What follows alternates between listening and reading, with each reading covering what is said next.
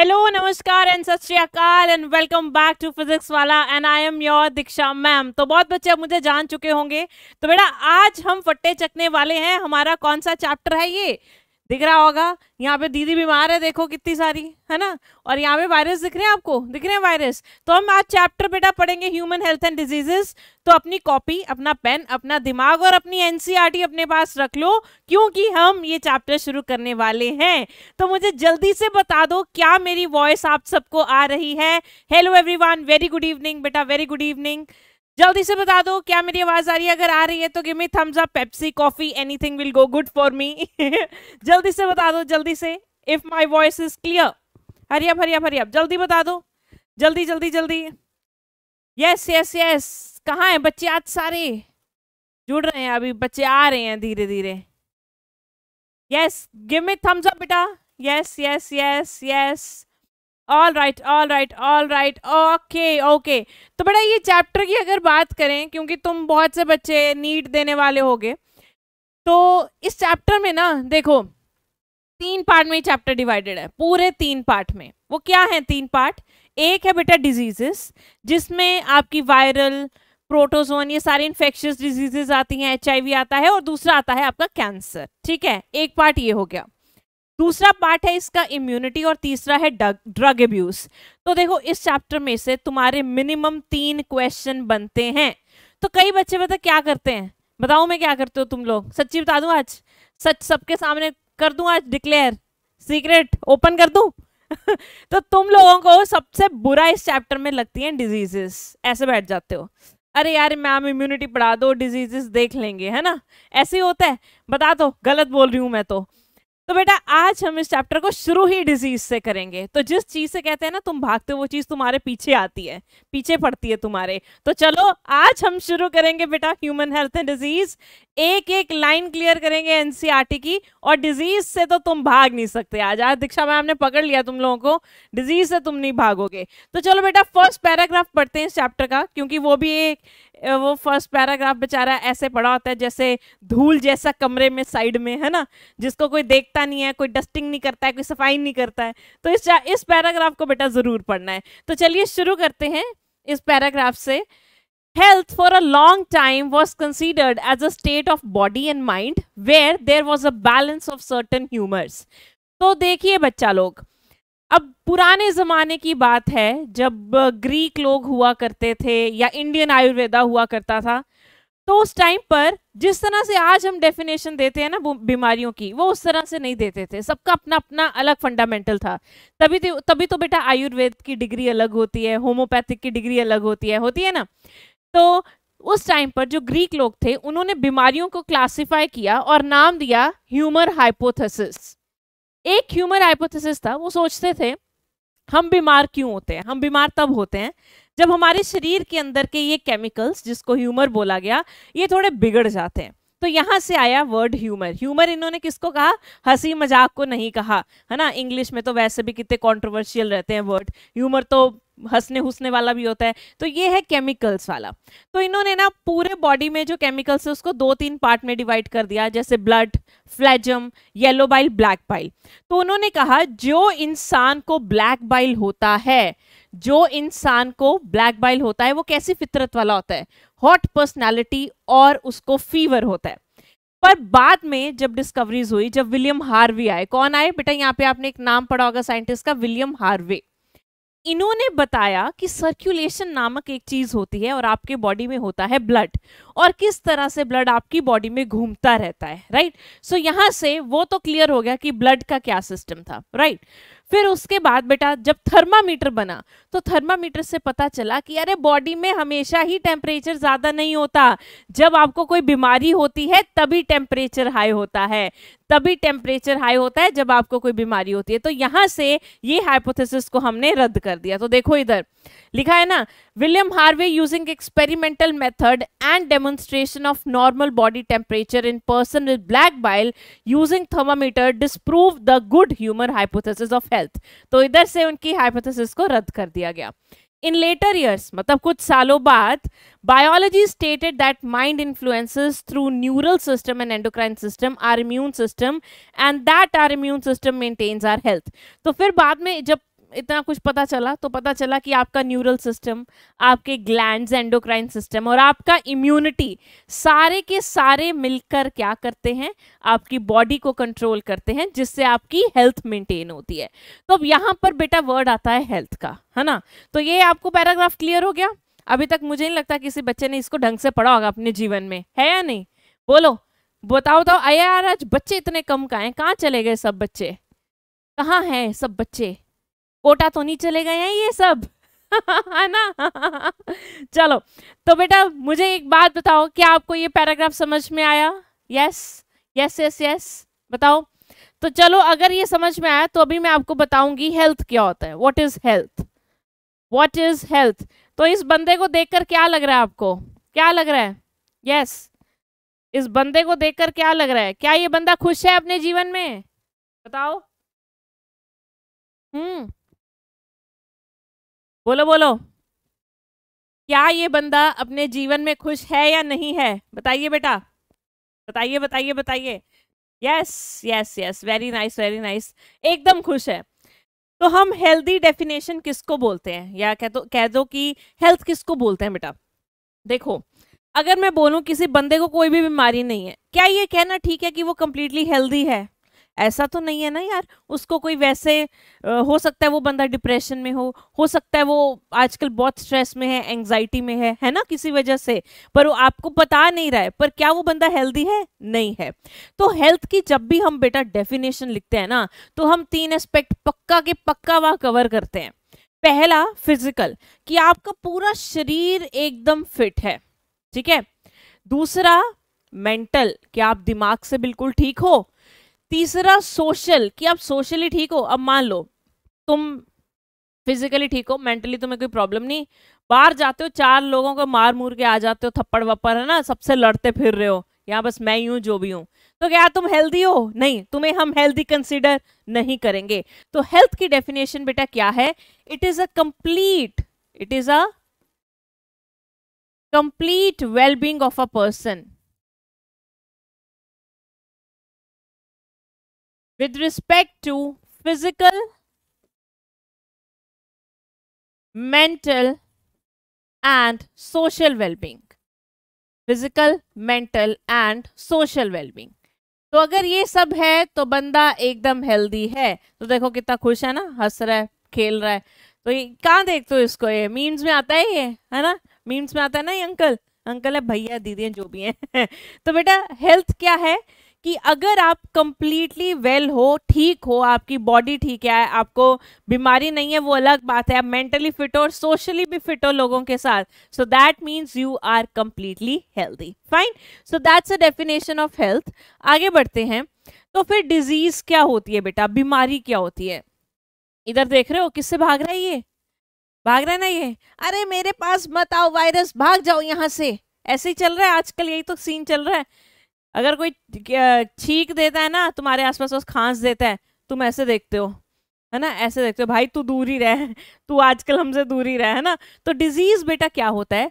Disease is an abnormal condition मतलब आप normal नहीं हो नॉर्मल फिजियोलॉजी से कुछ डिविएशन हो गई। आप दूर चले गए नॉर्मल से। मतलब आप अब नॉर्मल हो गए। मतलब आपको कोई चेंज आ गई। मान लो पहले तुम्हारा पेट खराब नहीं था, बढ़िया डाइजेशन चल रहा था, पर अब तुम्हारा पेट खराब है। क्यों? क्योंकि तुम ठेले से खाना खा के आए। वहाँ पर उसने कैसे हाथ से खा खाना बनाया होगा, हमें नहीं पता, है ना? तो मतलब तुम्हें कोई ना कोई तो बीमारी हुई ना बेटा, है ना? या फिर तुम्हारा दोस्त छींक रहा था। और वो उसने छीका तुम्हारे मुँह पे। अच्छी होते हैं ना कई लोग मतलब एकदम मैनरलेस की छीकना है तुम ऐसे छीको ना यार तुम ऐसे क्यों छीक रहे हो है ना? तो उसके कीटाणु तुम्हारे अंदर आ गए तो मतलब तुम्हें भी अब घर जाके फीवर और ऐसे रनी नोज़ सब कुछ हो रहा है तो मतलब आपका नॉर्मल कंडीशन से डिविएशन हो गया हटकर कुछ और हो गया तो उसे बेटा हम क्या कहते हैं? डिज़ीज़ कहते हैं। सो so, डिज़ीज़ क्या होती है बेटा? It's a deviation from normal condition deviation from normal condition अब ये जो बीमारी है, ये बीमारी कौन करता है? कौन करता है ये बीमारी? बीमारी कॉज करने वाले बेटा अलग अलग तरह के फैक्टर्स होते हैं। एक तरफ़ एक एक चीज़ से तो बीमारी नहीं होती ना? क्या आपको एक ही चीज़ से बीमारी होती है? कई बार कोई बैक्टीरिया हो सकता है। हो सकता है कई बार तुम पहाड़ों में चले गए, वहाँ पे प्रेशर जो है एयर का चेंज हुआ तो तुम्हें एल्टीट्यूड सिकनेस हो गई। तो वहाँ तो किसी की टानू ने कोई रोल नहीं ना प्ले किया, है ना? या कह लो बेटा तुम में वाइटामिन की डेफिशिएंसी हो गई डी की। तुम्हें रिकेट्स हो गया, वो भी बीमारी है है? तो बीमारी का एक फैक्टर नहीं होता। बीमारी कॉज करने वाले बहुत सारे फैक्टर्स होते हैं। तो डिज़ीज़ कॉजिंग फैक्टर्स या एजेंट्स अलग अलग होते हैं बेटा। जैसे एक हुआ बायोलॉजिकल जिसमें लिविंग ऑर्गेनिजम्स होंगे। क्या होंगे बेटा? लिविंग ऑर्गेनिजम्स ठीक है? दूसरा हो गया फ़िज़िकल जिसमें जैसे टेम्परेचर प्रेशर, जैसे होते हैं ना, आजकल के बच्चे कहीं बड़े पोले पोले से हैं। इनको धूप में ले जाओ कहीं, पर दो मिनट से ज़्यादा नहीं खड़ पाएँगे। हाय, चक्कर आगे गिर गए हम, है ना? स्कूल असेंबली में बहुत बच्चे ऐसे होते थे। तो ऐसे ही बेटा टेम्परेचर भी एक बहुत बड़ा रोल प्ले करता है। या कह लो कि तुम एक्सट्रीम ठंड की कंडीशन में चले गए और कहते हैं ना फ्रोस्टिंग हो गई। सुना तुमने कि लोगों की उंगलियाँ नीली पड़ जाती हैं जब वो माइनस फोर्टी फिफ्टी वाले टेम्परेचर में चले जाते हैं। हाँ जी, ऐसे एरियाज़ एग्जिस्ट करते हैं जहाँ लोग रहते हैं और इतना टेम्परेचर होता है, जैसे साइबेरिया हाँ जी राइट तो टेम्परेचर भी एक रोल प्ले करता है। या कह लो न्यूट्रिशन या फ़ूड ये भी एक रोल प्ले करता है। तो यहाँ पर जैसे बायोलॉजिकल में आते हैं बेटा, एक आपके पैरासाइट्स एक क्या आते हैं? पैरासाइट्स और दूसरे आते हैं पैथोजेंस फ़िज़िकल में आता है बेटा आपका टेम्परेचर प्रेशर इनकी वजह से भी आपको बीमारी हो सकती है. न्यूट्रिशन में बेटा आपका क्या आता है? न्यूट्रिशन में आता है जैसे न्यूट्रिशन डेफिशिएंसी विटामिन डी नहीं है विटामिन की डेफिशिएंसी हो गई या मरासमस पढ़ा ना तुमने? मरासमस क्वाश्योर को तो वो भी तो क्या है? वो भी तो आ, आपका ये है बेटा क्या कहते हैं न्यूट्रिशन डेफिशिएंसी से बीमारी हुई ना उसको माल न्यूट्रिशन हुआ। तो बेटा जो पैरासाइट्स होते हैं जो पैरासाइट्स होते हैं पैरासाइट और पैथोजन में फ़र्क क्या होता है? देखो पैथोजन एक वो बायोलॉजिकल चीज़ है या लिविंग ऑर्गेनिज्म है जो आपके शरीर में आके आपके शरीर को बर्बाद करेगा खराब करने की कोशिश जिससे आपको बीमारी होगी। फाइन दूसरा पैरासाइट फिर क्या है? पैरासाइट आपकी बॉडी में आके रहता है और आपका खाना खाता है। ज़रूरी नहीं पैरासाइट से आपको डिज़ीज़ हो ही हो बट यस पैरासाइट भी डिज़ीज़ कॉज कर सकता है। फॉर एग्ज़ाम्पल आपकी बॉडी में बेटा वायरस आ गया, ठीक है? आपको कॉमन कोल्ड हो गया, वो एक बीमारी है है ना? अब आपकी बॉडी में पैरासाइट आ गया एस्कैरिस वो है तो एक पैरासाइट बट क्योंकि वो आपका खाना खा के आपको अनीमिया कर रहा है तो वो भी एक बीमारी हुई। तो पैरासाइट वो जानवर होते हैं जो आपके शरीर में रह के आपका खाना खाते हैं। और पैथोजन यूजुअली खाना नहीं खाते, वो आपके शरीर को डिस्ट्रॉय करते हैं राइट right? वो इस इस फंडामेंटल से आए होते हैं कि यहाँ आके मल्टीप्लाई करेंगे। पर उनका मेन मकसद यही होता है कि आपकी बॉडी को डिस्ट्रॉय करना। पैरासाइट का मेन मकसद होता है आपके शरीर में रह के खाना खाना right so parasite lives in host for food and can cause disease और जो पैथोजन है दे कॉज डिज़ीज़ इसको खाना वाना से इतना प्रॉब्लम नहीं है, पर ये क्या करने आया बेटा? ये आपकी बीमारी बीमारी करने आया आपको, ठीक है? सो भाई, ये होते हैं बेटा डिज़ीज़ कॉजिंग एजेंट्स अब जो बीमारियाँ होती हैं, वो कितने टाइप की होती हैं? वो दो टाइप की होती हैं। एक होती है बेटा इन्फेक्शियस और एक होती है नॉन इन्फेक्शियस अब क्या फ़र्क है? इन्फेक्शियस बीमारी को हम कम्युनिकेबल बीमारियाँ भी बोलते हैं। और नॉन इन्फेक्शियस को हम नॉन कम्युनिकेबल भी बोलते हैं। क्या बोलते हैं बेटा? नॉन कम्युनिकेबल और राइट तो दो तरह की बेटा बीमारियाँ हैं। एक है हमारे पास कम्युनिकेबल बीमारियाँ, एक है नॉन कम्युनिकेबल मतलब एक बीमारी ऐसी है जो फैल जाती है, जो फैल जाती है। एक इंसान से दूसरे इंसान, जैसे कोविड है ना? और जो दूसरा है, आपका नॉन कम्युनिकेबल ये एक इंसान से दूसरे इंसान में नहीं फैलती। जैसे मान लो किसी को हार्ट अटैक आया, ये थोड़ी ना कि उसको हार्ट अटैक आया, साथ के साथ साथ वाले को भी आ गया। नहीं, या कह लो किसी एक को कैंसर है तो दूसरे को तो कैंसर नहीं होगा ना बेटा? उसी पर्सन को ही रहेगा कैंसर बट अगर मैं बोलूँ किसी को एचआईवी है, वो दूसरे से फैल सकता है। Right right? सो so, जितने भी आपकी वायरल होती हैं डिजीजेस आपकी बैक्टीरियल होती हैं ये बीमारी कम्युनिकेबल में आती हैं ये एक इंसान से दूसरे इंसान में जा सकती हैं फैल सकती हैं। ठीक है? वेयर एस जो आपकी नॉन कम्युनिकेबल होती हैं ये एक इंसान से दूसरे इंसान में बेटा नहीं जा सकती। वेरी गुड एक बच्चे ने ऋतु गुप्ता ने विटिलिगो का एग्ज़ाम्पल दिया बहुत बढ़िया बेटा जेनेटिक डिसऑर्डर्स भी नॉन कम्युनिकेबल है। फाइन यस समझ में आई बात सबको? बोलो। यस यस यस बताओ बताओ बताओ। बताओ बच्चों, जल्दी से बता दो थम्स अप दे दो मेरे को, जल्दी से। तो आपकी जो कम्युनिकेबल बीमारियाँ होती हैं बेटा they can spread from one individual to another one individual to another और जो नॉन कम्युनिकेबल है they cannot spread they cannot spread जैसे कैंसर हो गया जेनेटिक बीमारियाँ हो गई बेटा। ठीक है? डायबिटीज़ हो गया, ये सारी कहीं कहीं नहीं फैलने वाली राइट पर ये वाली जैसे आपकी वायरल है बैक्टीरियल है हेलमेंथिक है फंगल है, ये सब एक दूसरे से फैलती हैं। प्रोटोजोन है। प्रोटोजोआ पता है ना क्या होता है? बॉटनी में पढ़ा होगा तुमने।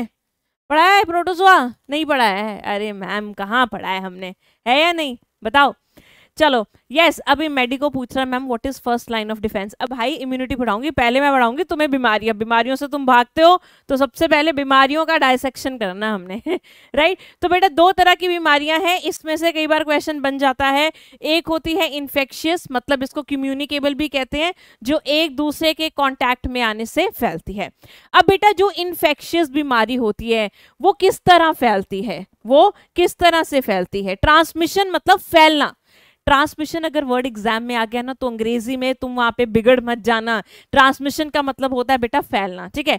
तो बीमारी फैलती कैसे है? इसका ट्रांसमिशन बीमारियों का बेटा डायरेक्ट भी हो सकता है और इनडायरेक्ट भी हो सकता है। जैसे, अगर मैं बोलूँ, जैसे बेटा, अगर मैं बोलूँ आपका डायरेक्ट ट्रांसमिशन किसी ने छीक दिया स्नीजिंग कफिंग जिसे हम ड्रॉपलेट ट्रांसमिशन कहते हैं। क्या कहते हैं? ड्रॉपलेट ट्रांसमिशन ये सारा डायरेक्ट ट्रांसमिशन है। इनडायरेक्ट यूजुअली होते हैं वेक्टर बॉर्न क्या होते हैं? कि एक आपका कोई वेक्टर है, जैसे कोई आर्थ्रोपोड है। वो आर्थ्रोपोड उड़ रहा है, अपना कीटाणु लेकर जा रहा है है ना? तो वो तुम्हारे अंदर भी उस डिज़ीज़ को, जैसे यार क्या होता है? ये मच्छर। मच्छर मलेरिया करता है ना तो मच्छर के अंदर प्लाज्मोडियम है। अब उसने तुम्हें इंजेक्ट कर दिया। प्लाज्मोडियम सीधा तो नहीं आया ना, नहीं आया ना? तो ट्रांसमिशन थ्रू एक व्हीकल हुआ, थ्रू एक ऑर्गेनिज्म हुआ, उसे हम कहते हैं वेक्टर। उस ऑर्गेनिज्म को क्या कहते हैं बेटा हम? वेक्टर। तो ट्रांसमिशन दो तरह का होता है, direct as well as indirect. आई बात समझ में? जल्दी से लिखो बेटा इसे। Hariya Hariya Hariya write this down in your copies अगर समझ में आया तो बेटा give me thumbs up Give me thumbs up. Hurry up, hurry up, hurry up. Yes, yes, yes. Boys and girls. Yes.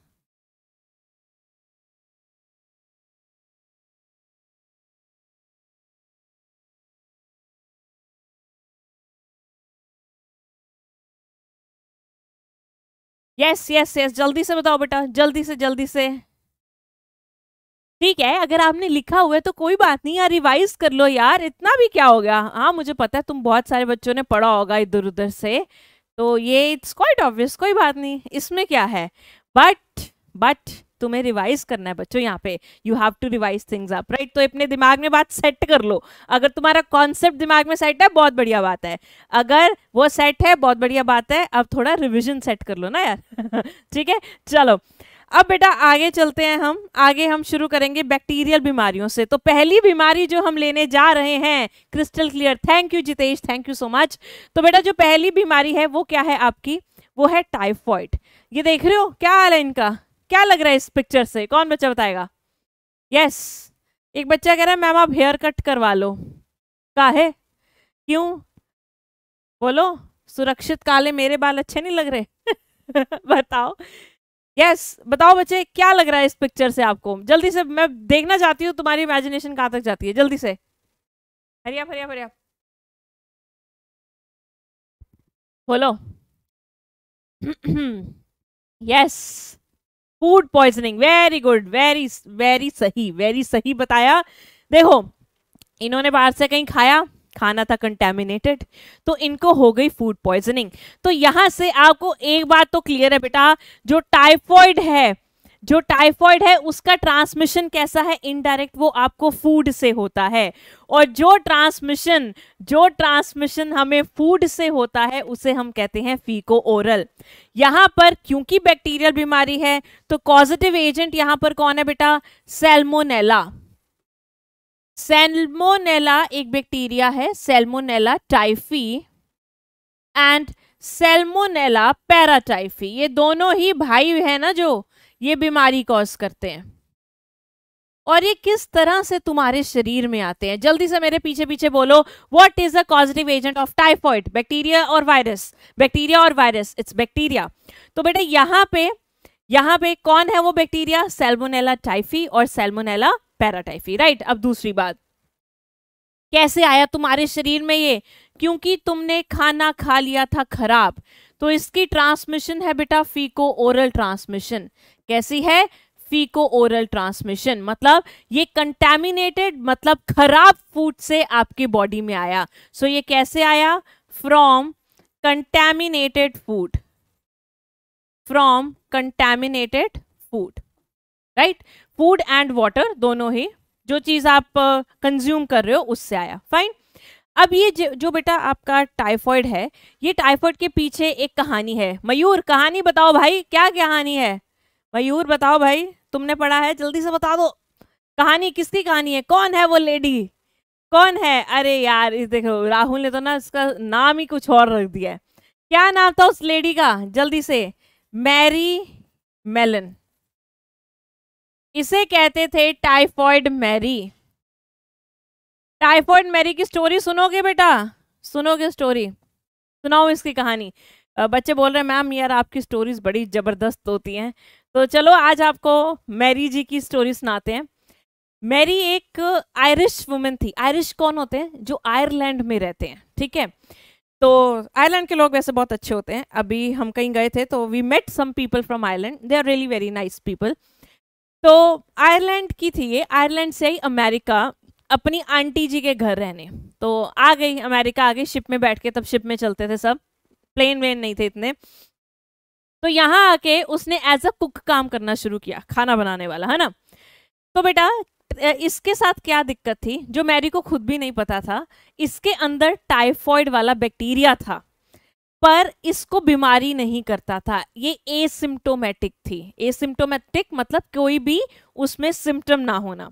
तो टाइफॉइड मैरी और Mary Mallon ये asymptomatic carrier थी टाइफॉइड बैक्टीरिया की।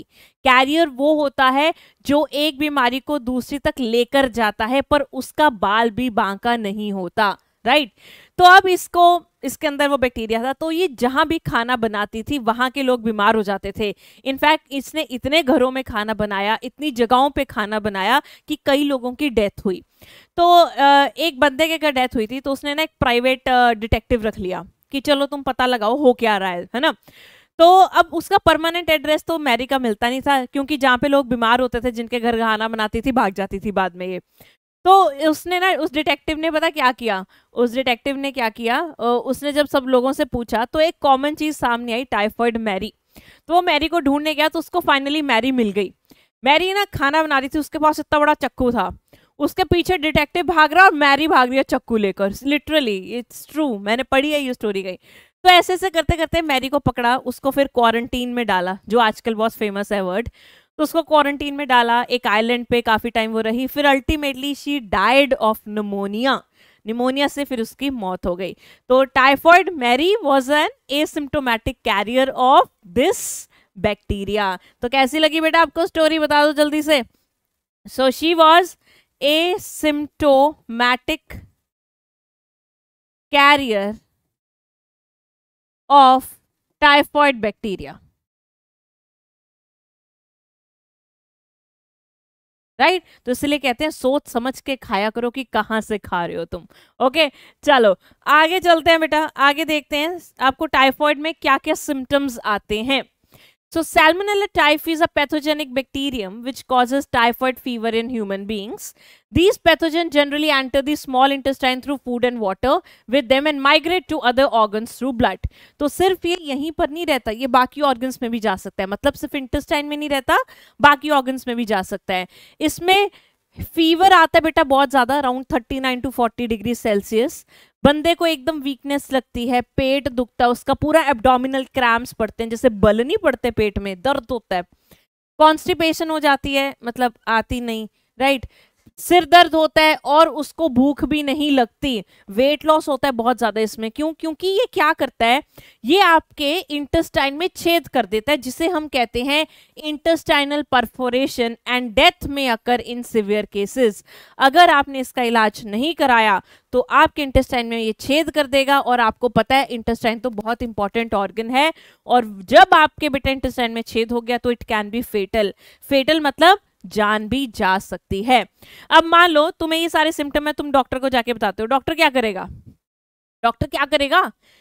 डॉक्टर को अगर लगेगा कि आपको ये सारे सिम्टम्स आ रहे हैं तो चलिए अपना थोड़ा सा खून दे दीजिए और हम आपका टेस्ट करते हैं। तो यहाँ पर बेटा जो टेस्ट करते हैं उसका नाम है विडाल टेस्ट क्या नाम है? विडाल टेस्ट विडाल टेस्ट हम किस बेसिस पे करते हैं? विडाल टेस्ट में हम क्या देखते हैं? इसमें हम एंटीजन और एंटीबॉडी इंटरैक्शन देखते हैं। क्या देखते हैं? एंटीजन एंड एंटीबॉडी इंटरैक्शन अब देखिए जरा इधर बच्चों। ये अगर मेरे पास एक प्लेट है और मैंने यहाँ पर एंटीजन लगाया है, या कह लो यहाँ बैक्टीरिया लगा दिया, सीधी सी बात, है ना? इजी करते हैं थोड़ा। यहाँ पे मैंने बैक्टीरिया लगा दिया। लगा दिया? अब मैंने लिया तुम्हारा खून। अगर तुम्हारे अंदर टाइफॉइड होगा तो उस पैथोजन के अगेंस्ट तो उस पैथोजन के अगेंस्ट एंटीबॉडी बनेगी बेटा बनेगी। मान लो एक पर्सन आया उसको टाइफॉइड है तो उसका मैंने खून लिया उसका मैंने रक्त लिया तो आ, जब मैंने उसका बेटा खून लिया वहाँ से तो अगर वो टाइफॉइड पॉजिटिव है तो मतलब उसके अंदर एंटीबॉडी होगा। और जब मैं उसका ब्लड का सैंपल यहाँ पे लगाऊँगी तो एंटीबॉडी इसके साथ ए शो करेगी। तो अगर मुझे यहाँ पर ए ग्लूटिनेशन दिखता है, एग्लूटिनेशन ग्लूटिनेशन मतलब क्लंपिंग दिखती है। तो मतलब जो वो इंसान है, वो टाइफॉइड पॉजिटिव है। मतलब उसको टाइफॉइड है। ठीक है? पॉजिटिव का मतलब होता है बीमारी होना, है ना? आजकल तो तुम्हें पता चल ही गया होगा पॉजिटिव नेगेटिव टेस्ट बड़े करे हैं भाई कोविड में लोगों ने, है ना? तो इस तरह से ये टेस्ट आप करवा सकते हो if you are suspected of typhoid right thumbs up दे दो, अगर टाइफॉइड में कोई दिक्कत नहीं है, फिर आगे चलते हैं बेटा, फिर आगे चलते हैं यस yes. और जो बच्चे पढ़ रहे हैं वो फालतू की बातों में ध्यान मत देना, क्योंकि अभी क्वेश्चन आने वाला है बच्चों। एक प्रीवियस ईयर क्वेश्चन आने वाला है टाइफॉइड पे। तो जल्दी से तैयार हो जाइए, क्योंकि हम क्लिक करने वाले हैं इस पे। All right identify the correct pair representing the causative agent of typhoid fever and the confirmatory test for typhoid. पहला प्लाज्मोडियम वाइवेक्स और यूटीआई टेस्ट स्ट्रेप्टोकोकस निमोनिया और विडाल टेस्ट साल्मोनेला टाइफॉइड और एंथ्रॉन टेस्ट सैल्मोनेला टाइफॉइड और Widal test बता दो यार, जल्दी से बता दो। जल्दी से जल्दी से, क्या होगा आंसर देखो प्लाज्मोडियम तो बेटा मलेरिया कॉज करता है और यूटीआई होती है यूरिनरी ट्रैक्ट इन्फेक्शन बैक्टीरियल होती है ये, ठीक है? तो ये तो गया। स्ट्रेप्टोकोकस निमोनिया निमोनिया करता है और विडाल टेस्ट तो फिर भी यहाँ ठीक है।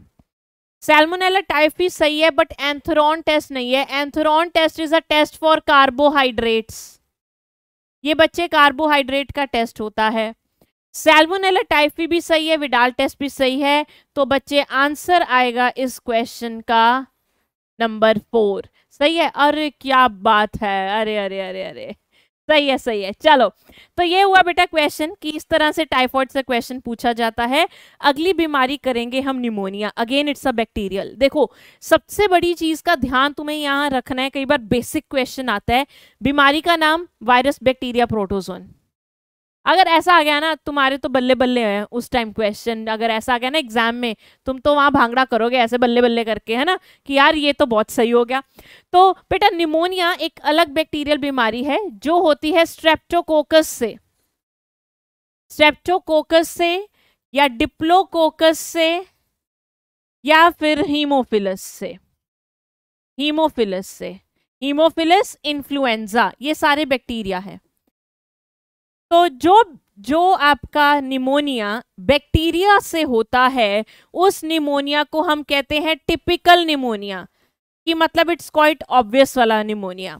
बट कई बार कई लोगों में पाया गया है, देखा गया है कि जिन लोगों की इम्यूनिटी बहुत कम होती है, उनमें ए टिपिकल निमोनिया होता है, जिसमें वायरस प्रोटोजोन माइकोप्लाज्मा भी निमोनिया कर सकता है, क्या बात?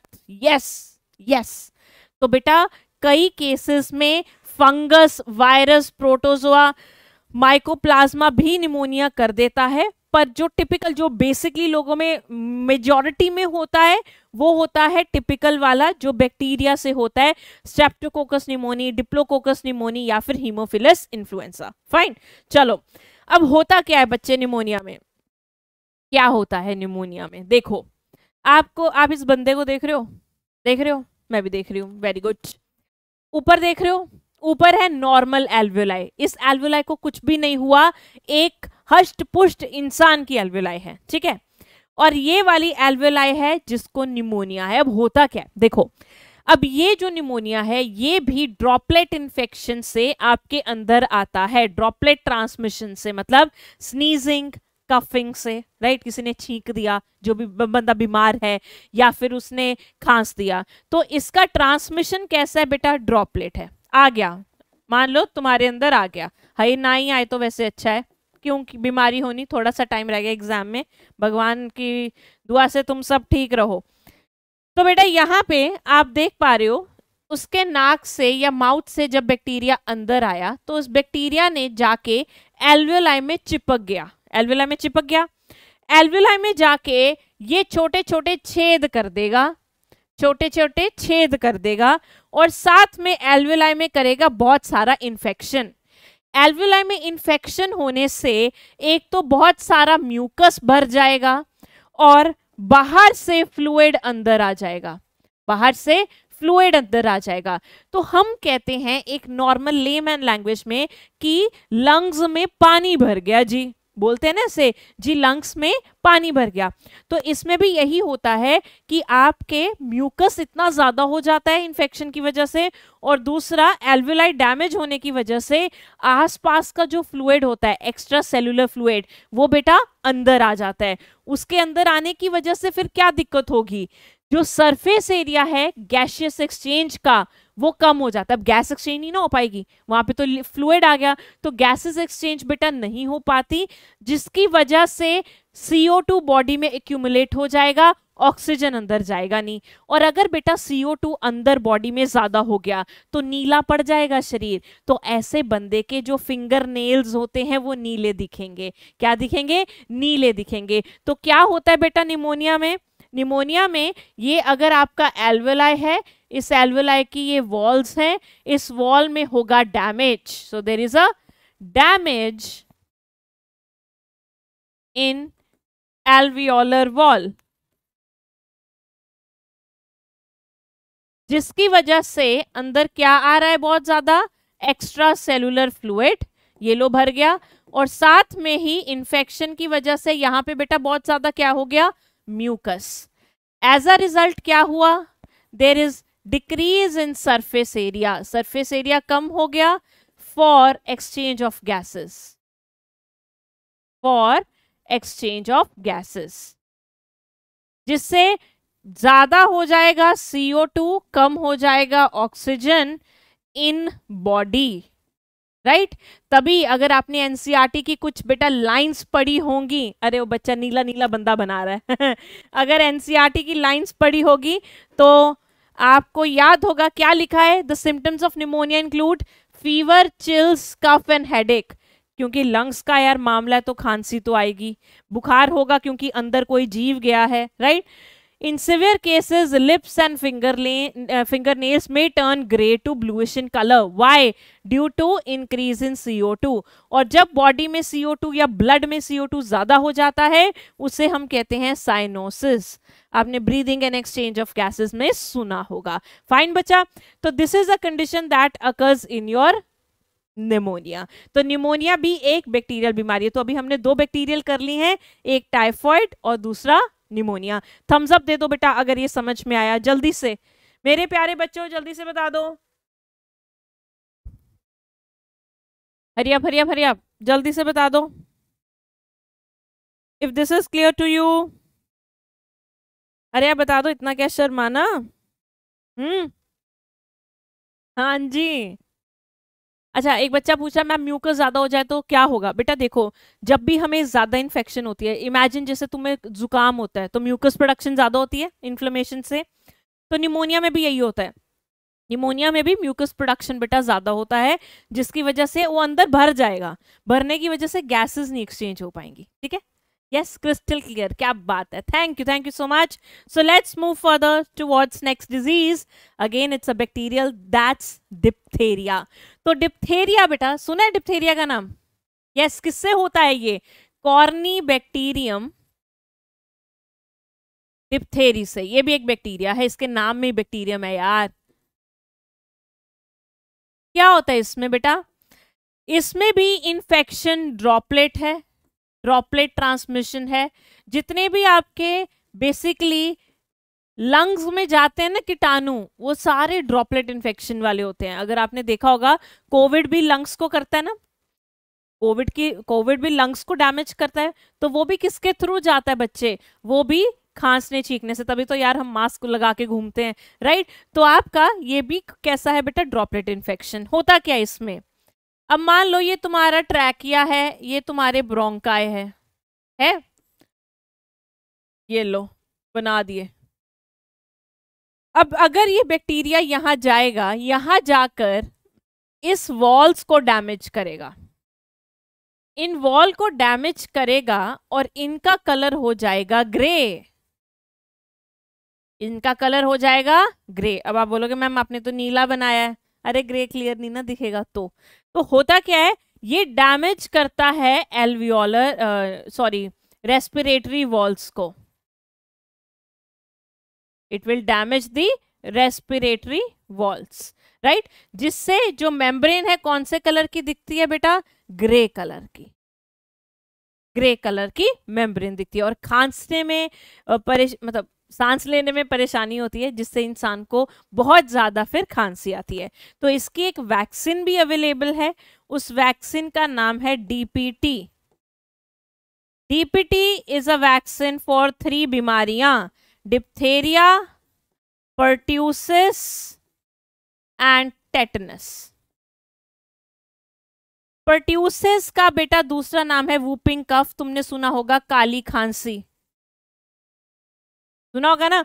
पर्ट्यूसिस होता है बेटा एक बैक्टीरिया से, जिसका नाम है Bordetella pertussis Bordetella pertussis से।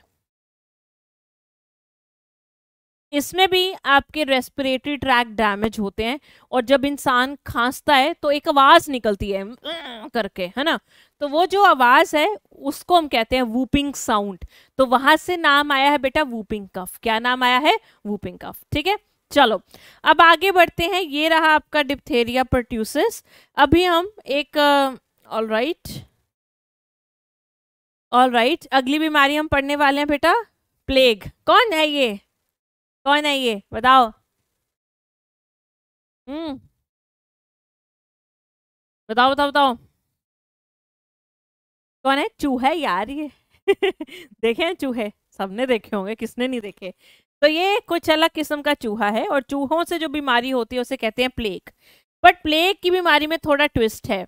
तो प्लेग की बीमारी में तीन लोग इन्वॉल्व हैं। एक बैक्टीरिया, एक आर्थ्रोपोडा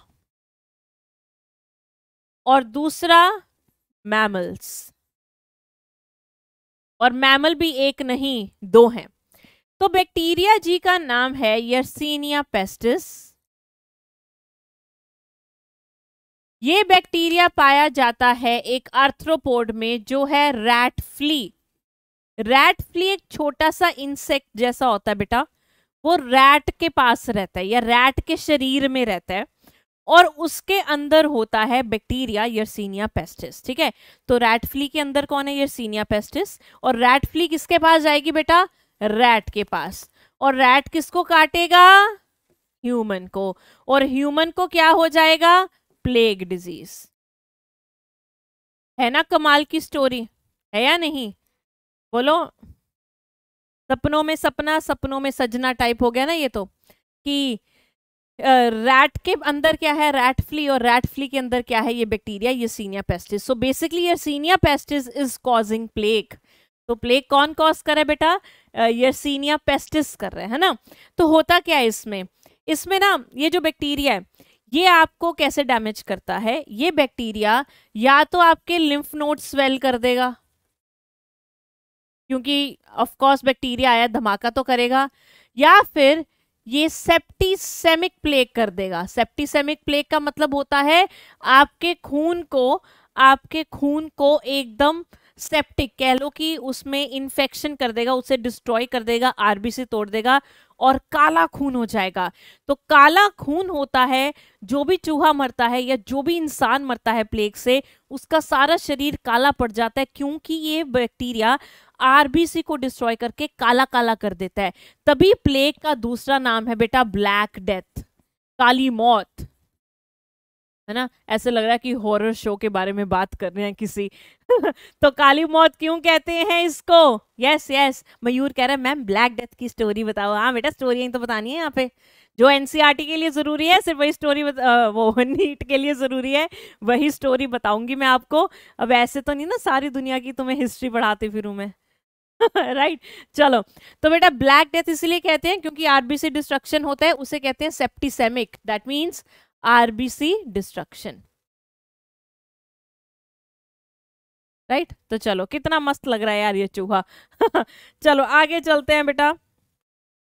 नेक्स्ट बीमारी है टीबी ट्यूबरक्लोसिस टीबी है ना? सुना है सबने टीबी का नाम? कोई बच्चा है जिसने टीबी के बारे में नहीं सुना? मुझे नहीं लगता, सभी ने सुना होगा। तो टीबी बेटा किससे होता है? माइकोबैक्टीरियम ट्यूबरक्लोसिस से। Again it's bacterial mycobacterium tuberculosis से टीबी होता है और इसकी इन्फेक्शन भी ड्रॉपलेट है। ड्रॉपलेट इन्फेक्शन है मतलब खांसने से, छींकने से ये आपके शरीर के अंदर जाएगा। एक सबसे जो कॉमन चीज़ जो बच्चों को शायद नहीं पता होती, वो क्या है? जो टीबी है, हम हमेशा इसको एसोसिएट करते हैं लंग्स से विच इज़ ट्रू क्योंकि टीबी अलग अलग टाइप का होता है और उसमें से सबसे कॉमन टीबी होता है pulmonary TB pulmonary tuberculosis otherwise TB आपके ब्रेन में भी हो सकता है किडनी में भी हो सकता है लिवर में भी हो सकता है. बट सबसे कॉमन कौन सा पाया जाता है बेटा? आपका लंग्स वाला. तो आप देख सकते हो, ये नॉर्मल लंग है, ये डैमेज लंग है. तो ये इस तरह से धीरे धीरे ये बैक्टीरिया टॉक्सिन प्रोड्यूस करता है. क्या प्रोड्यूस करता है? Toxin so this bacteria it produces toxin बड़ा ही टॉक्सिक है। है ना? बड़ा ही टॉक्सिक है ये। All my friends are toxic ना? लाइक दैट तो यहाँ पे ये टॉक्सिन प्रोड्यूस करता है जिससे बेटा ये क्या करता है? ऑर्गन डैमेज कर देता है। सो so, क्या क्या सिम्टम्स है बेटा? टीबी के? ऑब्वियसली फीवर होगा चिल्स होंगे वेट लॉस होगा बंदा एकदम कमज़ोर हो जाएगा। ठीक है? और स्प्यूटम ज़्यादा बनेगा और कई बार स्प्यूटम में खून भी आ सकता है। स्प्यूटम विद ब्लड स्प्यूटम समझते हो? थूक, थू, थूक राइट तो यहाँ पे आपका जो स्प्यूटम है, उसमें खून भी आ सकता है। तो आपने एक एडवर्टाइजमेंट देखी होगी डॉट्स की डी ओ टी एस देखिए directly observed treatment short course ये भाई सरकारी लोग जो हैं, उन्होंने हम लोगों के हित में ये शुरू किया था कि जिसको भी टीबी है, वो ये ट्रीटमेंट ले, जिसमें वो डॉक्टर के पास जाता है। स्टार्टिंग के मंथ्स में डॉक्टर उसको एडमिट करता है और खुद अपने हाथ से दवाइयाँ देता है ताकि तुम कोई दवाई भूल ना जाओ। बेटा, क्या बात है? ये ना एंटीबायोटिक्स देते हैं यहाँ पे। अगर एंटीबायोटिक तुमने एक भी छोड़ दी या बीच में खा के छोड़ दी तो बैक्टीरिया रेजिस्टेंट हो जाएगा। और अगर वो रेजिस्टेंट हो गया, उसके बाद डॉक्टर के पास मत जाना, क्योंकि उसके बाद उसके पास कोई भी अच्छी एंटीबायोटिक नहीं है। तो इसलिए निगरानी में डॉक्टर अपनी निगरानी में सारी दवाइयाँ खिलाता है, ठीक है?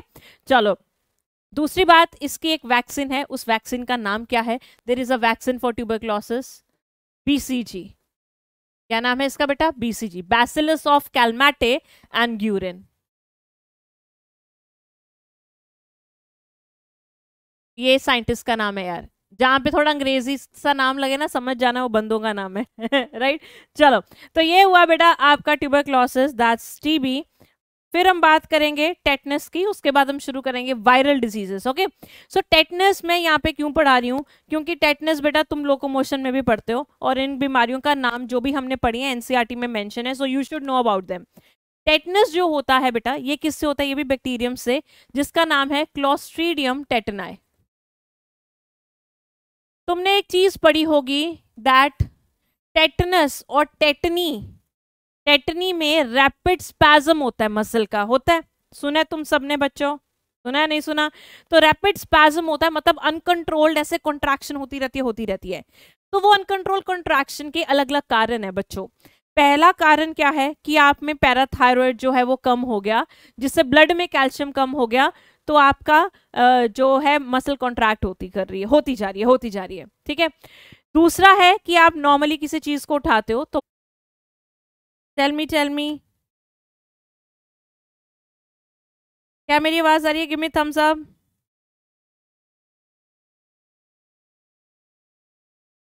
yes lag हो रहा है। आ रही है आवाज़? आ रही आ रही है ना?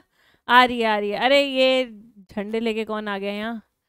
Yes yes yes yes all right lag lag lag ठीक है ठीक है ठीक है। अरे, थोड़ा नेटवर्क इशू आ जाता है कभी कभी टेक्नोलॉजी है।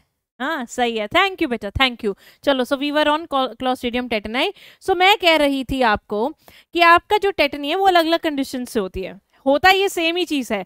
हर कंडीशन में they will be rapid spasm of muscle इस केस में बेटा क्या होता है? ये बैक्टीरिया बनाता है एक टॉक्सिन। क्या बनाता है बेटा? एक टॉक्सिन बनाता है। ये टॉक्सिन क्या करता है? ये टॉक्सिन, अगर आपको याद होगा once upon a time in locomotion and movement आपने एक मोटर एंड प्लेट पढ़ा होगा। तो मोटर एंड प्लेट में बेटा क्या था? इधर मसल होती है और इधर न्यूरॉन होता है। क्या होता है? न्यूरॉन और इधर होती है मसल, है ना? अब इधर होते हैं साइनेप्टिक वेसिकल्स जो न्यूरो रिलीज़ करते हैं। अब यहाँ पर न्यूरो तभी रिलीज़ होता है जब ऊपर से इम्पल्स आता है। अब ऐसा हो अगर, ऐसा हो अगर कि ये जो साइनेप्टिक वेसिकल है, इसको कोई बाहर से आके बार बार रिलीज़ करवा रहा है। इसको बार बार न्यूरो को रिलीज़ करवा रहा है। तो अगर बार बार न्यूरो रिलीज़ होगा तो बेटा मसल की कॉन्ट्रैक्शन उतनी ज़्यादा होगी, क्योंकि यहाँ पे मसल स्टिमुलेट हो जाएगा हो जाएगा। तो ये टॉक्सिन यही करता है, ये जल्दी जल्दी जल्दी को इंग्लिश में कहते हैं रैपिड ये रैपिड एक्सोसाइटोसिस करवाता है। एक्सोसाइटोसिस मतलब इस वेसिकल को तोड़ के बाहर निकलवाना। एक्सोसाइटोसिस करवाता है साइनेप्टिक वेसिकल्स की। जिससे जो मसल्स हैं, वो क्या करती हैं? रैपिड स्पैजम तो फिर हम इसको लॉक्ड जॉ क्यों कहते हैं? क्यों कहते हैं लॉक्ड जॉ अब बेटा वो बार बार उसकी एक्सोसाइटोसिस करवा रहा है, सारा न्यूरोट्रांसमीटर बाहर निकलवा रहा है। तो मतलब ये एक टाइम ऐसा आएगा, ये न्यूरॉन के पास कोई भी न्यूरोट्रांसमीटर नहीं होगा। और जब मसल को कॉन्ट्रैक्ट करना होगा तो मसल कॉन्ट्रैक्ट नहीं होगी। तो मसल जहाँ पर अड़ जाती है वहीं पर फंस जाती है। तो इसलिए इसको कहते हैं लॉक्ड जॉ अब मान लो जॉ की मसल रैपिड स्पैजम कर रही है, उसका सारा न्यूरो निकल गया। अब जब न्यूरो निकल गया तो अगर आपको बोलना है, आपने अपने न्यूरॉन को कहा, चलो इसे कॉन्ट्रैक्ट करवाओ। अब उसके पास तो साइनेप्टिक वेसिकल ही नहीं है तो वो वहीं पे अड़ा का अड़ा रह जाएगा। इसीलिए इसको हम कहते हैं लॉक्ड जॉ क्या कहते हैं बेटा? लॉक्ड जॉ अब क्वेश्चन ये उठता है, ये तुम्हारे शरीर में आता कैसे है? अगर ये, तुम्हें पता होगा, कभी हम गिर जाते हैं या मेटल ऑब्जेक्ट से चोट खाते हैं तो डॉक्टर कहता है, जी, इसको टेटनस का इंजेक्शन लगा दो। कहते हैं ना डॉक्टर तो मतलब ये आपके बॉडी में एंटर करता है एंटर थ्रू कट्स और वूंड वूंड मतलब चोट। जब भी आपके खून से इसके स्पोर्स, किसके स्पोर? बैक्टीरिया के स्पोर तुम्हारे ब्लड के कांटेक्ट में आएँगे, तुम्हारे ये शरीर में चला जाएगा, ठीक है? So it enter through cuts and wounds जिससे जो स्पोर्स हैं spores enter into body and sporulate क्या करेंगे? स्पोरुलेशन करेंगे और जिससे क्या बनाएँगे? बैक्टीरिया और बैक्टीरिया बनाएगा टॉक्सिन, और टॉक्सिन तो तुम्हें पता ही है। Toxic you know toxic. तो वो टॉक्सिक काम करेगा, जिससे क्या होगा? रैपिड स्पैसम ऑफ़ मसल्स तो ये थी कहानी आपके टेटनेस की। थम्स अप दे दो जल्दी से बेटा, अगर ये समझ में आया। यस यस बताओ। तो बेटा ये क्या करता है? ये बैक्टीरिया तुम्हारे शरीर में आया, कट से, चोट से। पोर गया इसका अंदर अंदर जाके बड़ा के बैक्टीरिया बन गया। बन गया? अब बैक्टीरिया क्या बनाएगा? टॉक्सिन। अब ये टॉक्सिन क्या करेगा? ये टॉक्सिन, ये जो साइनेप्टिक वेसिकल्स हैं, इनको बोलेगा, तुम अपना सारा न्यूरो निकाल दो। और न्यूरो जब तक मसल के पास जाता रहेगा मसल कॉन्ट्रैक्ट होती रहेगी। और जितनी मसल बेटा कॉन्ट्रैक्ट होगी, उसे कहते हैं रैपिड स्पैसम ऑफ़ मसल एक टाइम आएगा, सारा न्यूरो खत्म हो जाएगा मसल कॉन्ट्रैक्ट करना बंद कर देगी। तो इसीलिए इसे कहते हैं लॉक्ड जॉ क्योंकि जॉ वहाँ का वहाँ खड़ा रह जाएगा, ठीक है? तो ये था बेटा आपका टेटनस आगे बात करते हैं वायरल बीमारियों की। वायरल में सबसे पहले पढ़ेंगे हम कॉमन कोल्ड कॉमन कोल्ड होता है कॉमन लोगों को। है ना? और ये होता है राइनो वायरस से। कौन सा वायरस राइनो बेटा राइनो वर्ड हम जब भी यूज़ करें, ये राइनोसोरस तुमने सुना होगा ना? है ना? जानवर होता है। वैसे ही हम राइनो वर्ड यूज़ करते हैं हमारे नाक के लिए। तो क्योंकि ये आपके नाक से जाता है थ्रू ड्रॉपलेट इन्फेक्शन जाता है, और ये आपके नाक को लाल कर देता है। जब आपको जुकाम होता है ना सर्दियों में तो आपने देखा है कैसे नाक लाल हुई होती है है ना? कई लोगों की तो रोके भी हो जाती है। मैं अगर रो दूँ ना थोड़ा सा तो मैं एकदम लाल हो जाती हूँ कि बंदा दो सेकंड में पहचान लेता है, यार, ये बंदी रो रही है है ना? तो ये बड़ा खराब है, ये बहुत खराब है। तो यहाँ पे वैसे ही इसको अगर आप देखोगे छोटी सी बच्ची को, ये दीदी को क्या हुआ है, इसके भी नाक देखो एकदम लाल हो रखी है। क्यों? क्योंकि बेटा इसको कॉमन कोल्ड और कॉमन कोल्ड में एक चीज़ होती है जिसे कहते हैं rhinitis rhino means nose itis means inflammation तो नाक के अंदर तक पैसेजेस में इन्फ्लेमेशन हो जाती है। इन्फ्लेमेशन इन नेजल पैसेजेस ठीक है? जिसकी वजह से अंदर बहुत ज़्यादा सामान बनता है, उस सामान को हम क्या कहते हैं? Mucus so there is excessive mucus production excessive mucus production तभी तो तभी तो सर्दियों में लोगों के स्पीकर चल रहे होते हैं ना? कौन से? हैंकी के साथ hmm करके, है ना?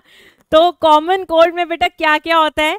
नेजल कंजेशन नाक का बंद हो जाना ब्लॉकेज हो जाना, क्योंकि अंदर म्यूकस भर गया है, और उसका बहना सॉर थ्रोट सॉर थ्रोट समझते हो? यहाँ पे ना दर्द सा नहीं होता जब आपको बुखार होने वाला होता है। तो यहाँ दर्द सा होता है, तुम फिर बार बार ऐसे करते हो ऐसे ऐसे करके। हॉर्सनेस मतलब आवाज़ का मोटा हो जाना, भारी, बीमारों वाली आवाज़ हो जाती है। खांसी आती है, सिर दुखता है थके थके से रहते हो और ये सारा मामला चलता है तीन से सात दिन तक। तीन से सात दिन तक ये पूरा मामला चलता है, उसके बाद ये अपने आप चला जाता है। राइट? right. तो फिर बेटा आपको कभी सोचा है तुमने कि अगर ये वायरस है तो हम इसमें एंटीबायोटिक क्यों खाते हैं? तूने सोचा है कभी? तुम डॉक्टर के पास जाते हो, तुम्हें यही कुछ हो रहा होता है होता है सबको सर्दियों में, मौसम चेंज होने पे होता है है ना? तो फिर तुम, तुम्हें एंटीबायोटिक क्यों देते हैं? सोचा कभी? ये तो वायरस है। हम्म। बताओ। बोलो बोलो, क्यों देते हैं? क्योंकि बेटा, इसमें क्या होता है कि वायरस जब आपको अटैक कर रहा है ना तो आपकी इम्यूनिटी हो जाती है वीक हो जाती है वीक और अगर आपका इम्यून सिस्टम वीक हो गया तो जो बाकी के वायरस है ना इधर उधर के, वो मौका ढूंढेंगे कि ये तो यार कॉम्प्रोमाइज्ड है तो चलो इसको जाके अटैक करते हैं। तो इसलिए डॉक्टर हमें क्या कहता है कि तुम एंटीबायोटिक्स खाओ। वो आने, आए हुए वायरस को तो नहीं मारती।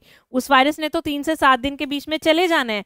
पर जो आपका बैक्टीरियल इन्फेक्शन है, उसको प्रिवेंट करने के लिए आपको एंटीबायोटिक्स दी जाती है। तो पता लगा? हाँ? यस पता लगा है नहीं अब? छोटी मगर, मोटी बातें। चलो, आगे चलते हैं बेटा। फिर अगली बीमारी वायरल में तीन बीमारी है mump measle and German measle. ठीक है? ये तीन बीमारी है। नाम सुने सबने इसका? इन बीमारियों का, विक्स की गोली लो, है ना? खिच खिच दूर करो। कर सकते हो खिच खिच दूर बेटा? ज़रूर कर सकते हो। हम्म? एडवर्टाइजमेंट करवा रहे हो तुम मैडम से? गलत कर रहे हो?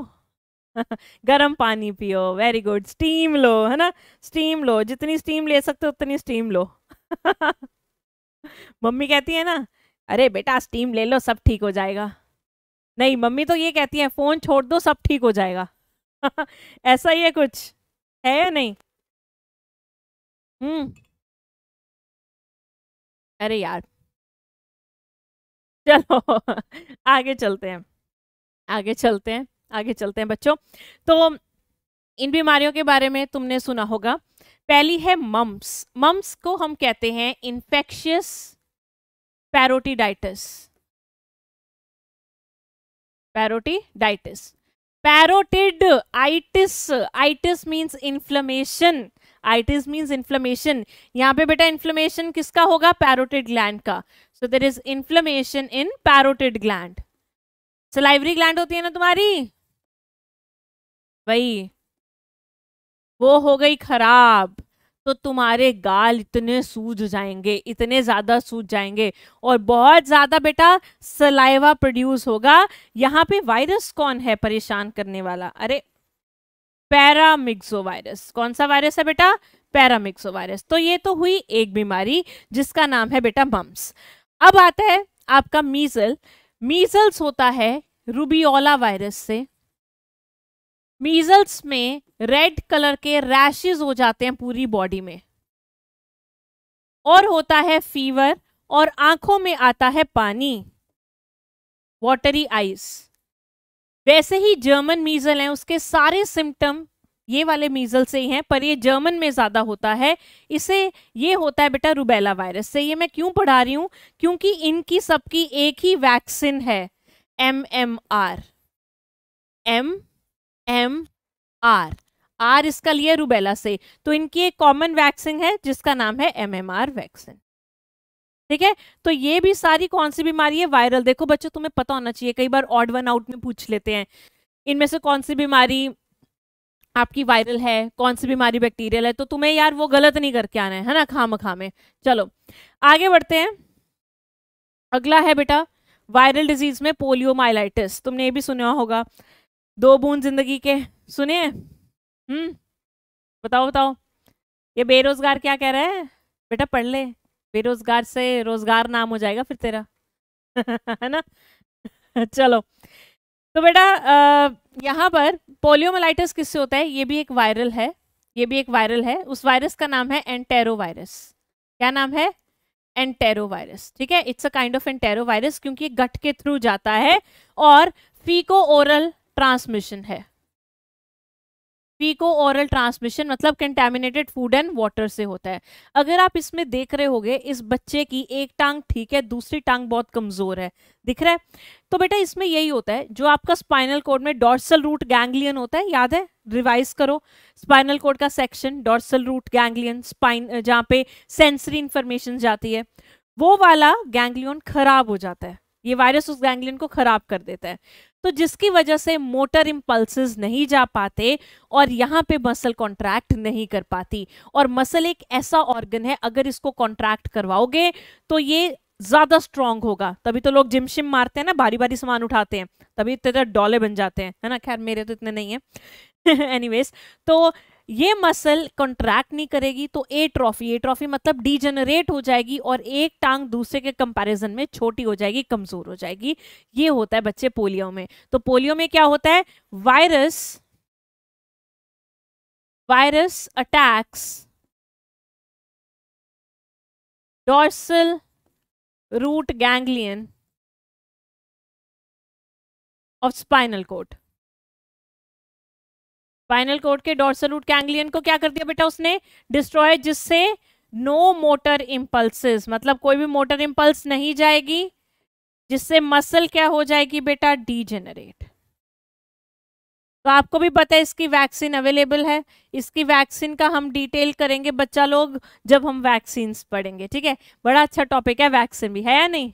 बोलो। बताओ बताओ। बताओ बताओ। यस चलो। आगे चलते हैं। नेक्स्ट है बेटा आपकी रेबीज रेबीज भी आपने सुना होगा। रेबीज का नाम सुना है? नहीं सुना। रेबीज होती है बेटा रेबीज वायरस से। रेबीज किससे होती है? हम कहते हैं ना कि पागल कुत्ते के काटने से होती है। So it's not about the dog कोई भी कार्निवोर इनफैक्ट अगर रैबिट भी है, पर रैबिट में केस में बहुत वो खैर कार्निवोर भी नहीं है रैबिट तो उस केस में भी हो सकता है रेबीज और जैकल काट रहा है, फॉक्स काट रही है मतलब लूमड़ी काट रही है है ना?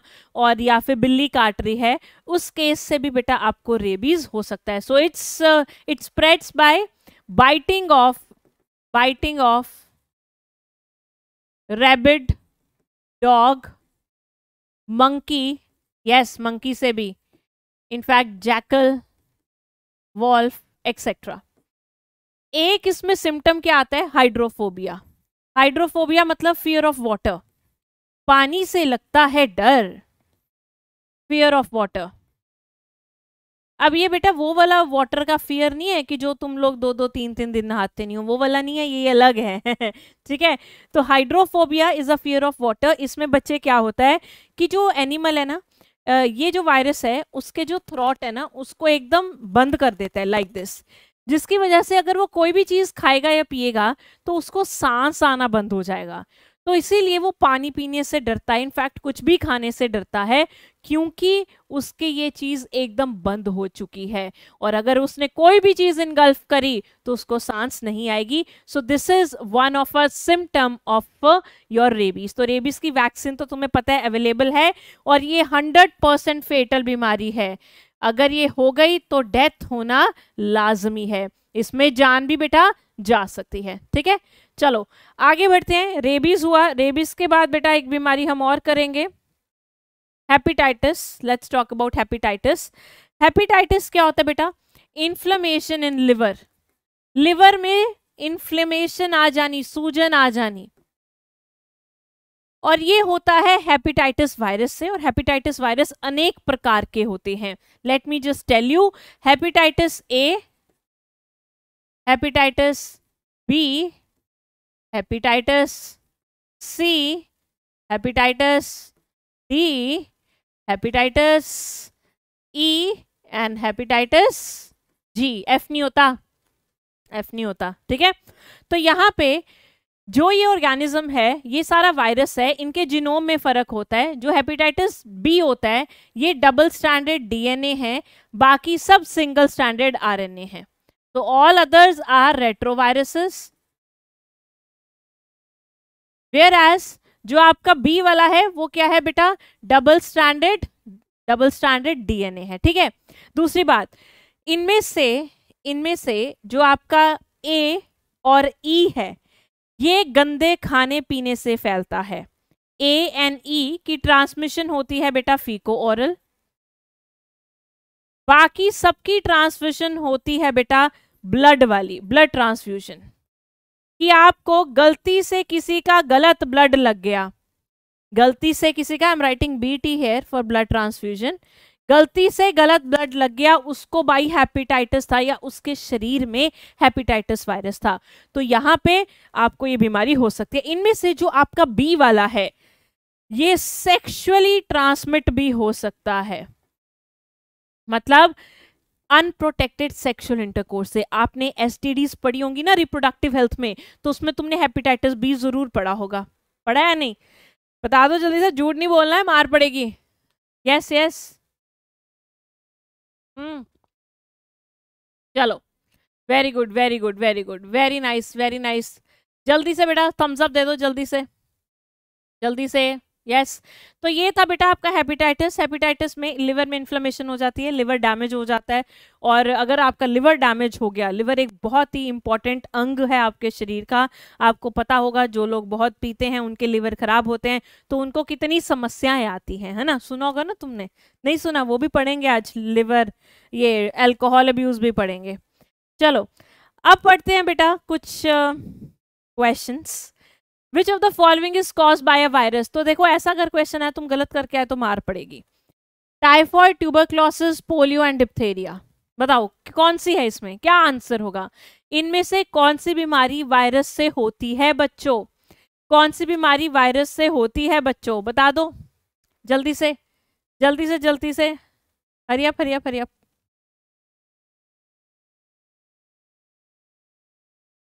कौन सी है बेटा इसमें बीमारी जो वायरस से होती है?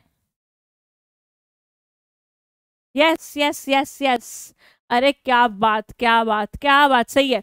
अब ये भी बता दो कौन से का क्या क्या बैक्टीरिया है। टाइफॉइड का बैक्टीरिया क्या है? सेल्मोनेला टाइफी ट्यूबरक्लोसिस का बेटा क्या है? माइकोबैक्टीरियम डिप्थेरिया का क्या है? कॉर्नी बैक्टीरियम तो बेटा, अगर ऐसा क्वेश्चन आया तो गलत तो नहीं करके आओगे? नहीं करके आओगे यार, बहुत बच्चों ने सही आंसर दिया है। तो आंसर हो गया बेटा थर्ड चलो next identify the wrongly matched pair typhoid Widal test plague viral disease malignant malaria plasmodium falciparum common cold rhinovirus इसमें से थोड़ा सा फंस सकते हो बट कर लोगे। इनमें से हमने एक बीमारी नहीं करी but I know you can do that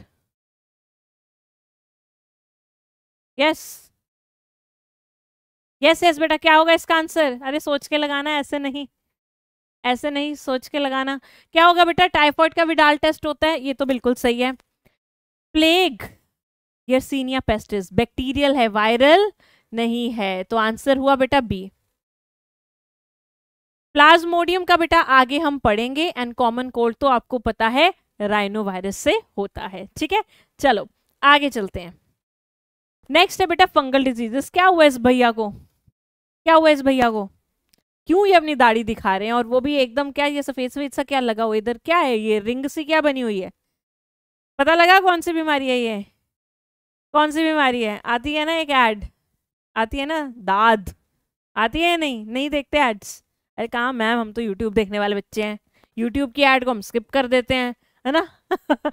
तो बेटा फंगल डिजीजेस का दूसरा नाम है, इसे हम कहते हैं टीनिया, या फिर इन बीमारियों को हम बोलते हैं माइकोसिस या डरमेटोफाइटोसिस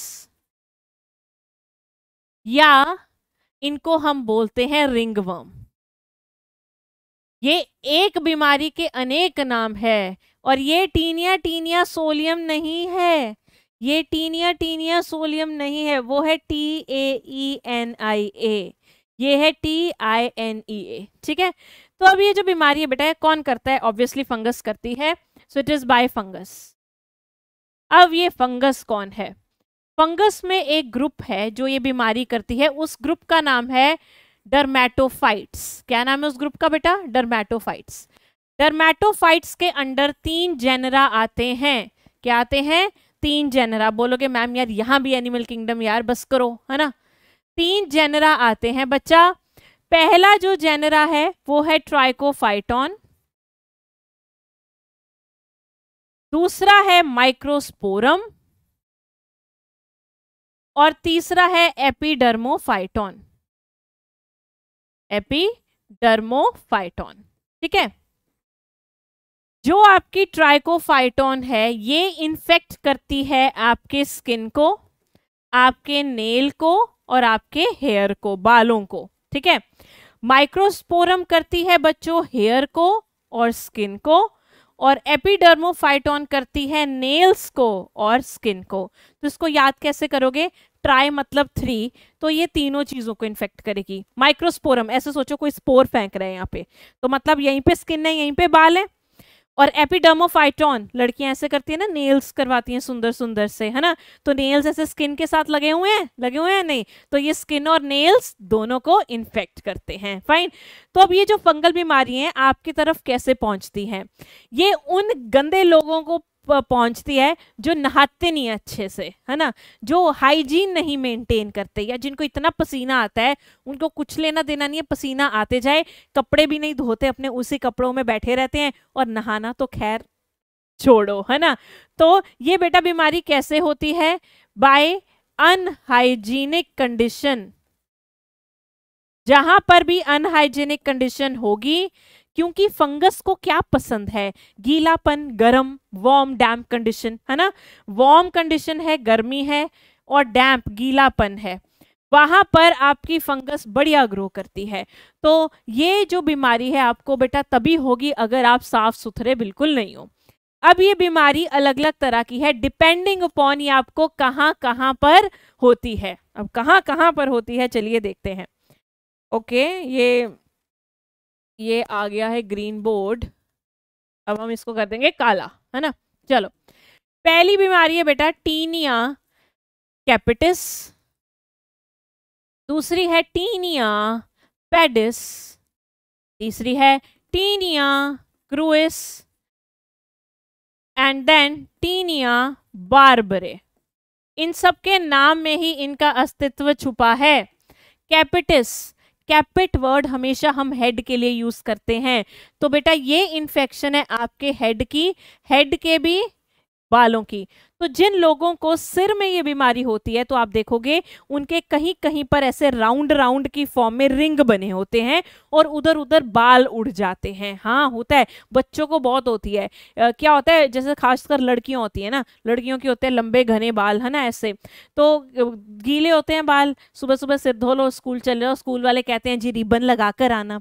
तो बाल चोटी बना लो, गीले बालों को, रिबन बनाओ, या फिर पसीना इकट्ठा हो जाए, सिर ना धो तो इन्फेक्शन हो जाती है बेटा बालों में। तो जब इन्फेक्शन होती है फंगस ग्रो करती है तो जिस एरिया में वो ग्रो करेगी, ऐसे सर्कल फॉर्म में ग्रो करेगी, वहाँ से आपके बाल उड़ जाएँगे, ठीक है? दोबारा भी आ जाते हैं, ऐसी बात नहीं है। टीनिया पेडिस और लड़कियाँ कराती है ना? आजकल तो लड़के भी कराते हैं पेडिक्योर, पैरों की सफ़ाई, वहाँ जाकर ब्यूटी पार्लर में जाकर। तो टीनिया पेडिस? पेडिस का दूसरा नाम है बेटा एथलीट्स फुट, क्योंकि ये बीमारी एथलीट्स को ज़्यादा होती है। ये किसको करती है बेटा? फुट को इन्फेक्ट करती है, पैरों को करती है, क्योंकि वो बेचारे सारा दिन खेलते हैं, एक ही पेयर ऑफ़ शूज़ एक ही पेयर ऑफ़ सॉक्स में, उसमें पसीना आता रहता है और वहाँ पे मिट्टी भी होती है तो उनको ज़्यादा खतरा होता है इस बीमारी का। फिर आती है क्रूइज क्रूइज होती है ग्रोइन रीजन पे। अब ये ग्रोइन रीजन क्या होता है? इन बिटवीन लेग्स लेग्स के बीच में जहाँ पे आपके जेनिटल्स होते हैं, वहाँ पर होती है और थाइस तक नीचे आती है। ये तब होता है जब आप अपने अंडर गार्मेंट्स गीले पहनते हो, गंदे पहनते हो, धोते नहीं हो। तो हॉस्टल और पीजी वाले बच्चों, आज से कपड़े धोने शुरू कर दो, है ना? तो तब ये टीनिया बेटा क्रूज होती है। बारबरे, बारबर कौन होता है? नाई। तो नाई के पास जाते हैं। ये भैया गए थे नाई के पास। देखिए पीछे इनकी तस्वीर। ये भैया गए थे नाई के पास। और भैया ने नाई को कहा नहीं शर्म खाते हुए कि जो अपना ब्लेड है वो नया यूज़ करो। उसने भी कर दिया, उस तरह मार दिया। और उस तरह जिसको पहले मारा तो उसको खुद फंगल डिज़ीज़ थी। भैया को भी हो गई। तो इस बीमारी का नाम है बेटा बारबरे। ये होती है बियर्ड या मुस्टैशिस पे। मुस्टैशिस मतलब मूंछ। खैर, हमारा गर्ल्स का तो ये वाला प्रॉब्लम नहीं है बिकॉज़ हमारी दाढ़ी नहीं होती, है ना? चलो तो बेटा, चार तरह की फंगल डिजीजेज है डिपेंडिंग अपॉन कि आपका कौन सा बॉडी ऑर्गन इन्वॉल्व है इसमें ओके चलो, आगे चलते हैं बच्चा, आगे चलते हैं। नेक्स्ट है आपकी हेलमिंथिक डिजीजेस हेलमिंथिक्स क्या होते हैं? वर्म्स क्या होते हैं बेटा? वर्म्स तो पहली जो बीमारी है, वो है टीनियासिस टीनियासिस होती है बेटा टीनिया से टीनिया सोलियम। दो तरह के होते हैं। एक होता है टीनिया सोलियम, एक होता है टीनिया सैजिनेटा। इसमें एक होता है बेटा प्राइमरी होस्ट, जो हमेशा मैन होगा, इंसान होगा, क्योंकि हम कॉम्प्लेक्स हैं। एक होता है सेकेंडरी होस्ट, इस केस में पिग होगा, इस केस में कैटल होगा। ठीक है? तो ये हमारे शरीर में कैसे आता है? जब इसके लार्वे या एग्स हमारे अंदर आए थ्रू कंटेमिनेटेड फ़ूड तो कैसे आता है ये? कंटेमिनेटेड फ़ूड से।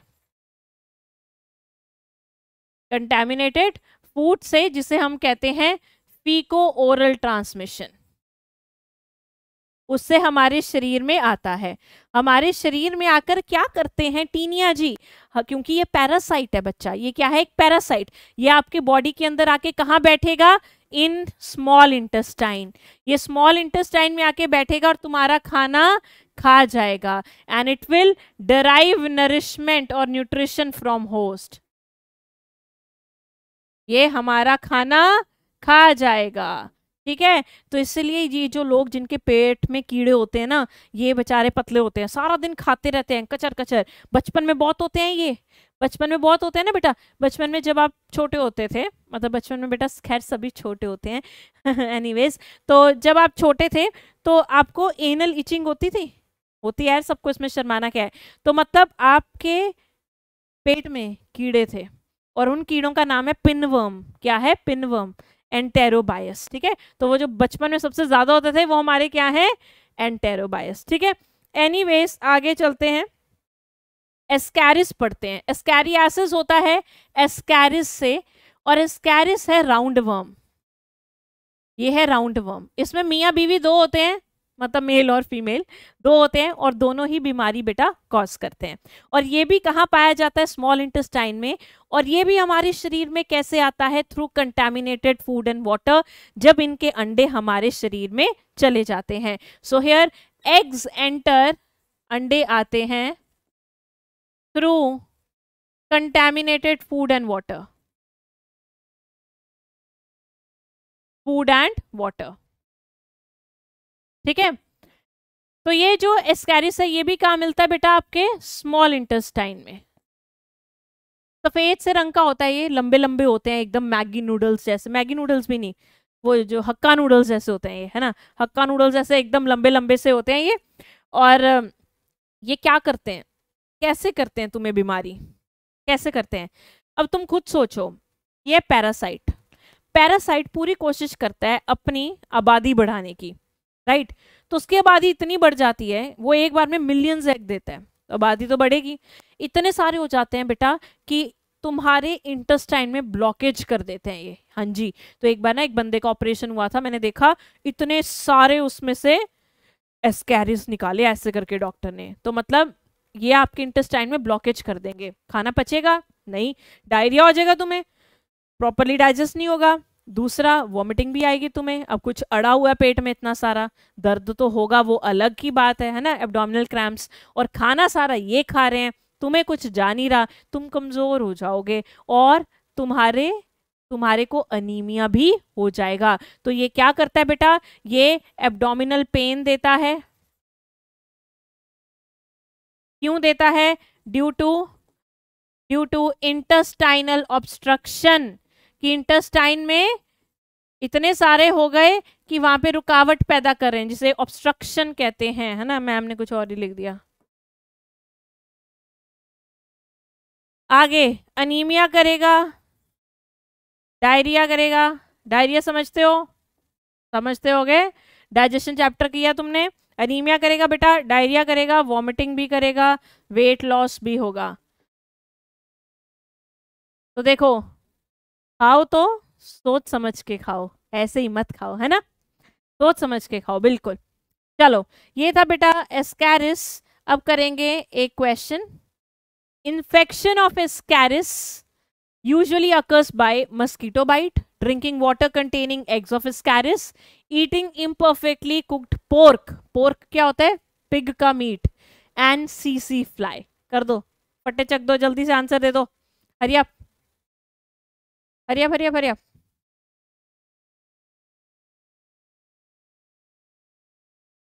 यस क्या होगा बच्चों इसका आंसर अरे क्या बात है, क्या बात है। ए थ्री वाले कौन है? थ्री क्यों दे रहे हो आंसर चलो। तो बेटा, क्या होगा इसका आंसर? मस्कीटो बाइट से तो मलेरिया, डेंगू होता है।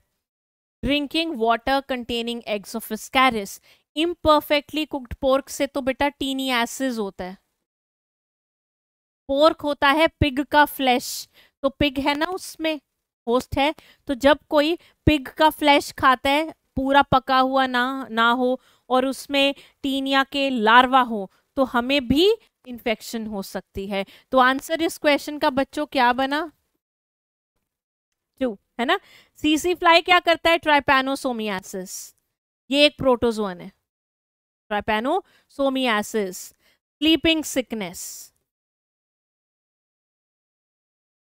इसमें ये वेक्टर होता है। सीसी फ्लाई क्या होता है बेटा इसमें? वेक्टर होता है। और पॉजिटिव एजेंट क्या होता है? Trypanosoma it is a protozoan ठीक है? चलो, आगे बढ़ते हैं बच्चों। हेलमेंथिक कंटिन्यू करते हैं। एक है एलिफेंटाइसिस और फिलारियासिस तुमने इसका पिक्चर देखा होगा एनसीईआरटी में, है ना? इसका पिक्चर शायद मेरे मेरे से डिलीट हो गया है, गलती से। हाँ डिलीट हो गया ये।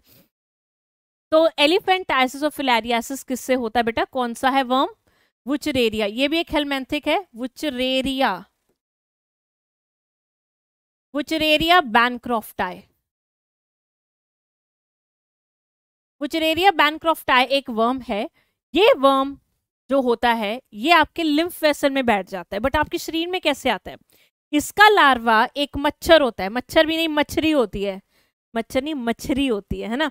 तो कौन है वो मछली फीमेल क्यूलिक्स इसमें बेटा फीमेल क्यूलिक्स मस्कीटो होती है, बच्चों वेक्टर वो आती है वो लार्वा उठा के लाती है एक किसी और इन्फेक्टेड बंदे से, और वो लार्वा तुम्हारे शरीर में डाल देती है। अब मान लो, ये तुम्हारी है बाजू, है ना? ये तुम्हारी बाजू है। इस बाजू में है ब्लड वेसल और ये आई मच्छरी, आई मछली मछली ने काटा मछली ने काटा, और लार्वा आ गया तुम्हारे शरीर में। क्या आ गया बेटा यहाँ पे? लार्वा। आ गया लार्वा? अब ये लार्वा बनेगा अडल्ट और ये अडल्ट कहाँ जाएगा? लिम्फ वेसल्स में.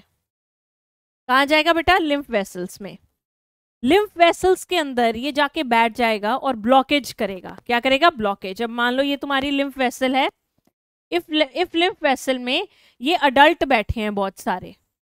अब लिम्फ वेसल के अंदर जगह नहीं है लिम्फ रखने की तो जो भी लिम्फ होगा, वो सारा टिश्यूज में चला जाएगा. किसमें चला जाएगा बेटा? टिश्यूज में चला जाएगा। सारा का सारा लिम्फ सारा का सारा लिम्फ कहाँ गया? टिश्यूज में क्या जिससे टिश्यूज में बेटा क्या आई? स्वेलिंग और इस स्वेलिंग को हम कहते हैं ओडीमा।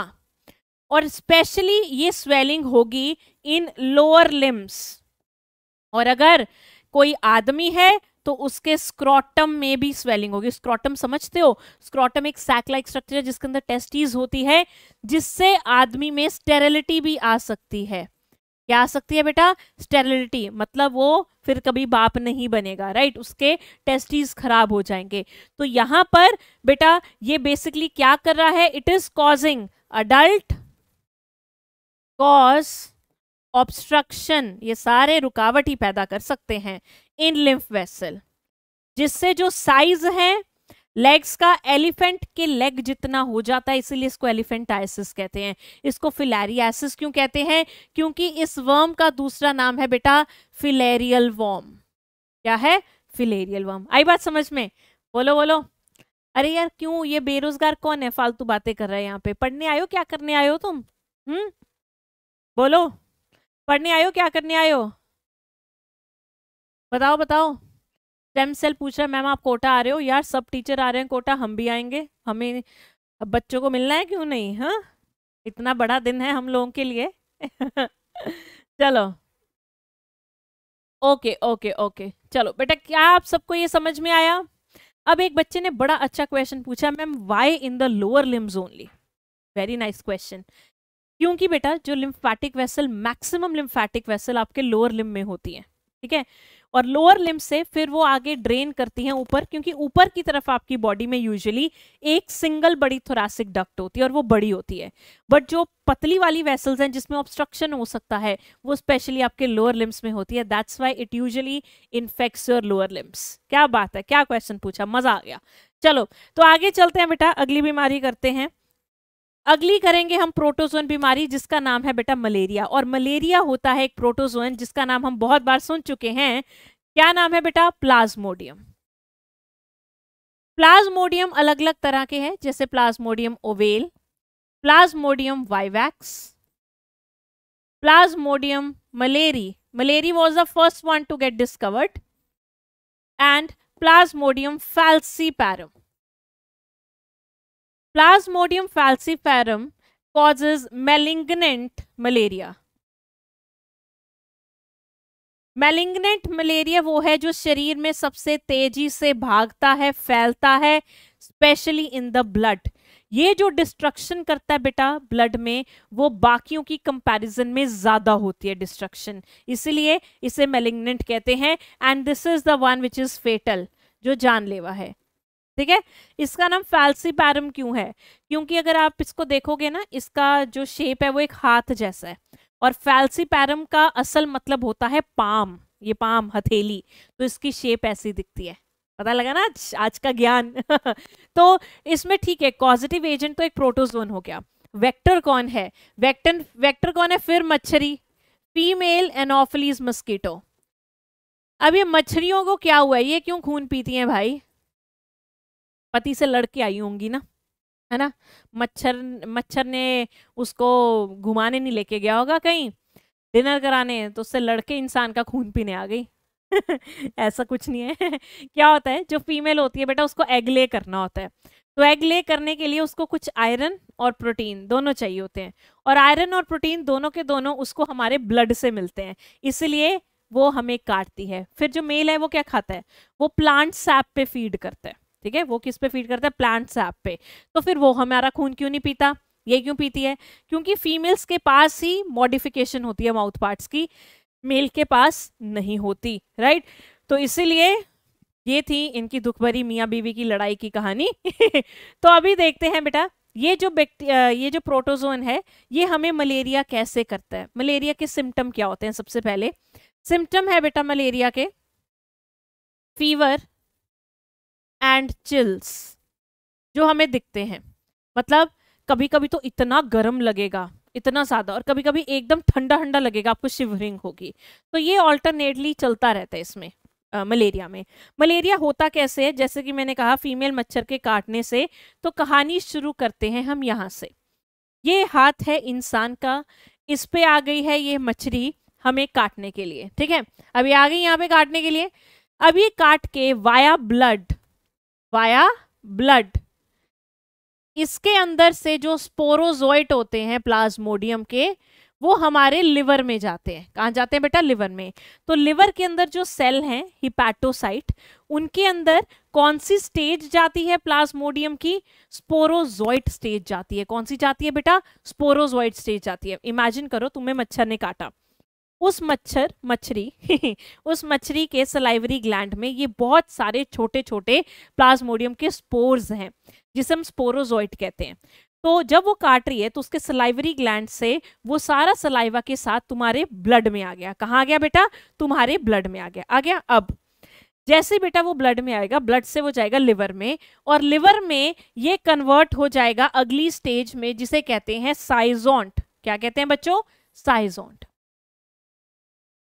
साइजोन स्टेज में कन्वर्ट हो गया। जैसे बेटा इस साइजोन में कन्वर्ट होगा, भाई इसने मल्टीप्लीकेशन शुरू कर देनी है और मल्टीप्लाई करके ये अगली स्टेज में जाएगा, जिसे कहते हैं मीरोजोइट। और यहाँ पे इसने मल्टीपल फिजन मल्टीपल फिजन क्या होती है? ए सेक्शुअल रिप्रोडक्शन कर करके, जिसका दूसरा नाम है साइजोगोनी। क्या नाम है? साइजोगोनी कर करके अपने बहुत सारे भाई बहन बना देने हैं और लिवर को कर देना है डिस्ट्रॉय, कर देना है लिवर को डिस्ट्रॉय। तो सबसे ज़्यादा जो ऑर्गन बेचारा खराब होता है ना मलेरिया में, वो तुम्हारा लिवर है। सारा कुछ गम ये ले लेता है अपने पे, है ना? तो यहाँ पे क्या है बेटा स्पोरोजोइट पहले साइजोन स्टेज में आएँगे। साइजोन क्या बनेगा फिर? छोटे छोटे ऐसे ही सर्कुलर मीरोजोइट साइजोइट साइजोन छोटे छोटे मीरोजॉइड बनाएगा और मीरोजॉइड का काम होता है लिवर के हिपैटोसाइट्स को डिस्ट्रॉय कर देना। जब उसने हिपैटोसाइट्स को डिस्ट्रॉय कर दिया, वो कैसे मल्टीप्लाई कर रहे साथ साथ asexually asexual reproduction यहाँ पे मल्टीपल फिजन होती है, जिसका यहाँ पे एक्सक्लूसिव नाम है बेटा साइजोगोनी। क्या नाम है? साइजोगोनी। तो अगर कोई तुमसे पूछे, अगर तुमसे कोई पूछे कि ए सेक्शुअल फेस कहाँ पे चलता है इसका? तो आप बोलोगे, इंसान में चलता है। किसमें चलता है बेटा? हम में चलता है। ठीक है? दूसरी बात। अब जो ये मीरोजोइट्स हैं, इनमें से जो छोटे साइज़ का मीरोजोइट होगा, कौन से साइज़ का? छोटे साइज़ का। यहाँ पे ना दो साइज़ के बनते हैं, एक छोटे साइज़ का, एक बड़े साइज़ का। बड़े साइज़ का तो लिवर में वापस जाके इन्फेक्शन करता है। छोटे साइज़ का बेटा आरबीसी में चला जाता है और आरबीसी को डिस्ट्रॉय करना शुरू कर देता है। आरबीसी को डिस्ट्रॉय करना शुरू कर देता है। तो यहाँ पे आप पढ़ सकते हो the parasite reproduce asexually in liver cell bursting the cell and releasing into the blood तो जैसे ही उसने अपने छोटे छोटे मीरोजॉइड बर्स्ट करे, वो ब्लड में आ गए। ब्लड में कहा है? आरबीसी में आए। आ गए। अब बेटा आगे चलते हैं। तो यहाँ पे ये जो है आरबीसी के अंदर भी रिप्रोड्यूस करेंगे, ये आरबीसी देख लो। दिख रहा है? आरबीसी के अंदर भी बेटा ये एसेक्सुअल रिप्रोडक्शन शो करेंगे, पर वहाँ पे ना इस चक्कर में हीमोग्लोबिन टूट जाएगा। सैड ना? आरबीसी के अंदर हीमोग्लोबिन टूटेगा, और जब बेटा हीमोग्लोबिन टूटता है तो एक ग्रेन्यूल्स बनते हैं। इन ग्रेन्यूल्स का नाम है हीमोजोइन ग्रेन्यूल क्या नाम है बेटा? हीमोजोइन ग्रेन्यूल ठीक है? मान लो, ये तुम्हारा आरबीसी है। इसके अंदर मीरोजॉइट आ गया। मीरोजोइट कहाँ से आया? लिवर में, ब्लड से घूमता हुआ। अब आरबीसी के अंदर आके ये फिर नहीं टिका उसने फिर रिप्रोडक्शन शुरू कर दी। ये कह रहा है, भाई, मैं हूँ पैरासाइट। मैं हूँ पैरासाइट, मैं करूँगा ग्रो, है ना? तो ये ग्रो करेगा, अंदर मल्टीप्लाई करेगा, इस चक्कर में हीमोग्लोबिन टूट जाएगा। हीमोग्लोबिन जब टूटता है, हीमोग्लोबिन का हीम पार्ट तो वहाँ से छोटे छोटे ग्रेन्यूल निकलते हैं। तो उसको कहते हैं हीमोजोइन ग्रेन्यूल। और जब बेटा ये हीमोजोइन ग्रेन्यूल निकलते हैं तो आपको होता है फीवर। इससे पहले तुम्हारे शरीर में कितना कुछ चल रहा है, तुम्हें पता ही नहीं चल रहा क्यों? क्योंकि सब कुछ सेल के अंदर हो रहा है। इम्यून सिस्टम को पता ही नहीं चल रहा। अगर कोई भी एक बंद रूम में कितनी मर्ज़ी शैतानी कर ले, किसी को नहीं ना पता चलेगा, है ना? तो ये भी क्या करें, बंद रूम में है तो बाहर नहीं आ पा रहे, इसलिए इम्यून सिस्टम को इनके बारे में पता बिल्कुल भी नहीं चल रहा। तो यहाँ पे बेटा, इसीलिए अभी तक कोई फीवर नहीं हुआ, कुछ नहीं हुआ, पर जब हीमोजोन ग्रेन्यूल निकले तो आपको अब आएगा बुखार। हीमोजोन ग्रेन्यूल निकल के अब इनकी जो स्टेज बनी वो है सेक्सुअल स्टेज पर यहाँ पे ये सेक्सुअल स्टेज नहीं चलेगी, यहाँ पे ये डेवलप नहीं हुई, रुक गई। एक इन्होंने फीमेल गेमीटोसाइट बनाया, एक मेल गेमीटोसाइट बनाया, ठीक है? पर ये यहाँ पे डेवलप नहीं हुआ रीजन क्योंकि अब तुम्हें बुखार हो गया तुम्हारा ह्यूमिडिटी पैटर्न चेंज हो गया है, तुम्हारा टेम्परेचर चेंज हो गया है, जिसकी वजह से ये यहाँ पे ग्रो नहीं कर पाएँगे। इनको कम टेम्परेचर चाहिए होता है इन गेमीट्स को ग्रो करने के लिए तो तुम्हारे बॉडी में इसका साइकिल यही रुक जाएगा। अब दोबारा से कोई मच्छर तुम्हें काटेगा तो ये गेमीट्स उस मच्छर की गट में जाएँगे। कहा जाएँगे? मच्छर की गट में। गए? अब मच्छर की गट में बेटा, ये क्या करेंगे? यहाँ आप देख सकते हो फर्टिलाइजेशन करेंगे। क्या करेंगे? फर्टिलाइजेशन करेंगे। तो अगर कोई पूछे कि फर्टिलाइजेशन कहाँ पे होता है? In the gut of mosquito कहाँ पे? गट ऑफ़ मस्कीटो वो भी स्टमक में, पेट में, ठीक है? तो गट ऑफ़ मस्कीटो मतलब उसकी गट के अंदर इसमें फर्टिलाइजेशन होगा। हो गया फर्टिलाइजेशन अब फर्टिलाइजेशन होने के बाद क्या होगा? उसकी स्टोरी मैं आपको बताती हूँ। इमेजिन करो बेटा ये इसकी गट है। क्या है? ये गट है, ठीक है? इस गट में यहाँ पे फर्टिलाइजेशन हो गया। हो गया? ये स्पर्म है, ये फीमेल एग है। अब बनेगा जाइगॉट बना? अब ये जो जाइगॉट है, ये जाइगॉट अगली स्टेज में जाएगा, जिसे कहते हैं ऊकाइनीट ये मोटाइल स्टेज होती है। क्या होती है? मोटाइल टाइप ऑफ़ जाइगॉट होता है मतलब जो हिलडुल सकता है। अब ये जायगॉट रुकने वाला नहीं है। हम रुकेगा नहीं, हम झुकेगा नहीं। अब ये यहाँ पे जाके सिस्ट इंसिस्टमेंट करेगा। सिस्ट बनाएगा। क्या बनाएगा बेटा? इंसिस्टमेंट करेगा।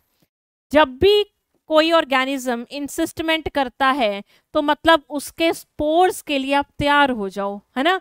तो यहाँ पे बेटा ये बहुत सारे स्पोर्स बनाएगा, जिनको हम कहते हैं स्पोरोजोइट्स क्या कहते हैं? स्पोरोजोइट ठीक है? ये हुआ ल्यूमन गट का। ठीक है? आसपास की चीज़, क्योंकि मच्छर अर्थ्रोपोड है तो आसपास की जगह को हम बोलते हैं हीमोसील क्या बोलते हैं? हीमोसील हीमोसील के अंदर होता है हीमोलिम्फ तो ये स्पोर्स हीमोलिम्फ के अंदर हैं। अब ये स्पोरोजोइट्स चल के सलाइवरी ग्लैंड के पास जाएँगे। किसके पास जाएँगे बेटा? सलाइवरी ग्लैंड के पास। अब सलाइवरी ग्लैंड से जब मस्कीटो दोबारा बाइट करेगा तो ये स्पोर्स इंसान के अंदर चले जाएँगे। चले गए। अब दोबारा से साइकिल शुरू। राइट देखो इधर से।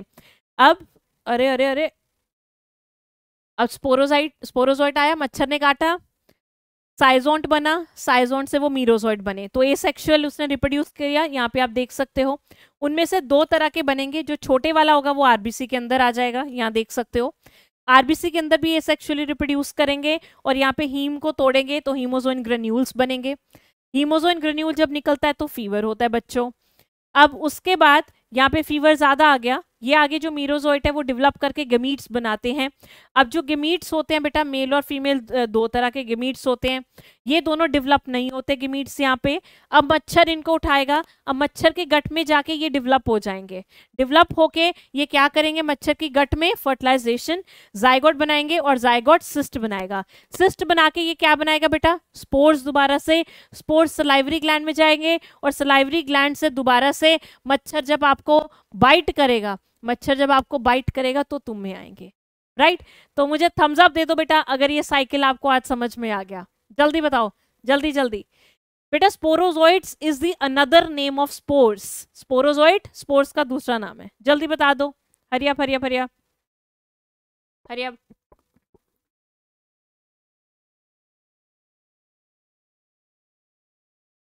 यस यस यस बताओ बच्चा लोग। भैया मैम को थोड़ा तो बता दो। हम्म। यस नहीं बताओगे? Very nice very nice thank you so much बच्चा। Very good very good very good very nice very nice तो ये था बेटा आपका मलेरिया का लाइफ साइकिल अब मुझे बताओ, आप मलेरिया को कैसे प्रिवेंट कर सकते हो? बताओ, कैसे कर सकते हो? आपको मच्छर मारना है, कैसे मारोगे? क्योंकि मलेरिया मच्छर से होता है ना? होता है नहीं? बोलो। कैसे रोकोगे मलेरिया को कि वो आपको ना काटे, बीमारी ना करे? इन हस्बैंड वाइफ की बात करवा के कि भाई तू लड़ा मत कर, अपनी बीवी से, बीवी लोगों को काटती फिर रही है। ऐसा कुछ। ऐसा तो नहीं है? नहीं है? फिर? तो मच्छर कैसे मारे जा सकते हैं? मच्छर कैसे कम किए जा सकते हैं? बताओ, सबसे पहले, अरे बच्चे सीधा गंभूसिया पे आ गया, रुक जाओ, सबर करो, रुक जाओ, है ना? तो बेटा जी, सबसे पहले तो हम ऐसे भी मच्छर मार सकते हैं। So you can kill the mosquito by with the help of your hands है या नहीं? हाथ से मच्छर मार लो, सस्ता, सुंदर और टिकाऊ, एकदम राइट ठीक है। और और अगर मान लो, अगर मान लो, बहुत सारे मच्छर है डीडीटी स्प्रे कर दो स्प्रे इंसेक्टिसाइड है ना? करते हैं ना? पर हमने पढ़ा था डीडीटी से तो रेजिस्टेंस हो जाती है। तो कोई और केमिकल यूज़ कर लो भाई, है ना? तुम्हें पता है, अगर आप लहसुन को जलाकर उसके फ्यूमिगेशंस बना के फ्यूमिगेशन समझते हो? वो जला हुआ जो धुआँ होता है। उसको अगर घर में करोगे तो उससे भी आपके मच्छर मर सकते हैं, ठीक है? तो देसी नुस्खे भी यूज़ कर सकते हो। अब जैसे अगर कोई वाटर बॉडी है, बहुत बड़ी, उसमें मच्छर है तो आप गेम्बूसिया फ़िश को लेकर जा सकते हो। Gambusia fish is a larvicidal fish मतलब जो मच्छर होता है ना बेटा, मच्छर अपने बच्चे या एग्स देता है पानी में, गंदे पानी में, ठीक है? तो मलेरिया की अगर मैं बात करूँ तो वो जो मच्छर है, उसके जो एग्स हैं, वो लार्वा बनेंगे तो ये गंबूसिया उसके लार्वा को खा जाएगा राइट या फिर अगर बहुत बड़ी वाटर बॉडी है you can spill the oil आप स्पिल कर सकते हो ऑयल मतलब अगर आपने वाटर बॉडी के ऊपर ऑयल डाल दिया तो जो लार्वा है, उनको ऑक्सीजन नहीं मिलेगी, क्योंकि वो सरफेस पे रहते हैं, मुँह उनका बाहर होता है। तो उनको ऑक्सीजन नहीं मिलेगी तो भी लार्वा बेटा मर जाएँगे।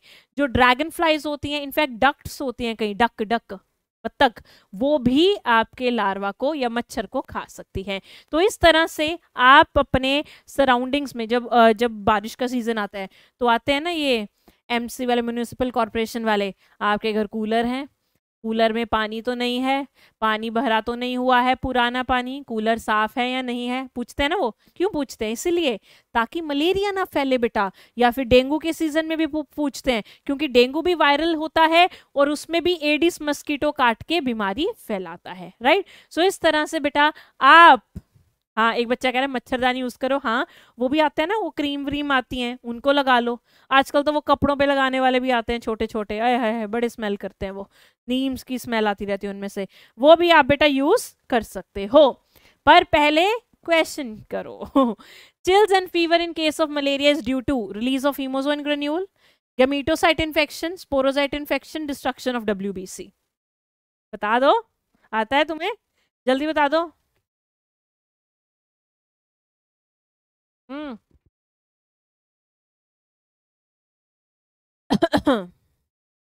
बताओ तो बेटा जल्दी से आंसर दो। बताओ बताओ। Very good very good very good very good तो बेटा चिल और फीवर क्यों आता है? जब आपके ग्रेन्यूल्स रिलीज़ होते हैं। तो आंसर हुआ बेटा इस क्वेश्चन का वन ठीक है? चलो। Next internal bleeding, muscular pain, fever, anemia, and blockage of intestinal passage are the symptoms of common cold, pneumonia, ascariasis, and ringworm. Very simple question. Do it. Do it, do it, do it. You can do it. Boys and girls, hurry up. Yes. क्या होगा इसका answer internal bleeding है खा जा रहे हैं तुम्हारे intestine को ब्लॉकेज कर रहे हैं तो वो किसका काम है नूडल्स का, ये नूडल्स कौन है? राउंड वर्म, ना कि रिंग वर्म। तो ध्यान से पढ़ना बच्चों, वर्म वर्म है, पर कौन सा वर्म है? राउंड वर्म है, ठीक है? चलो, आगे।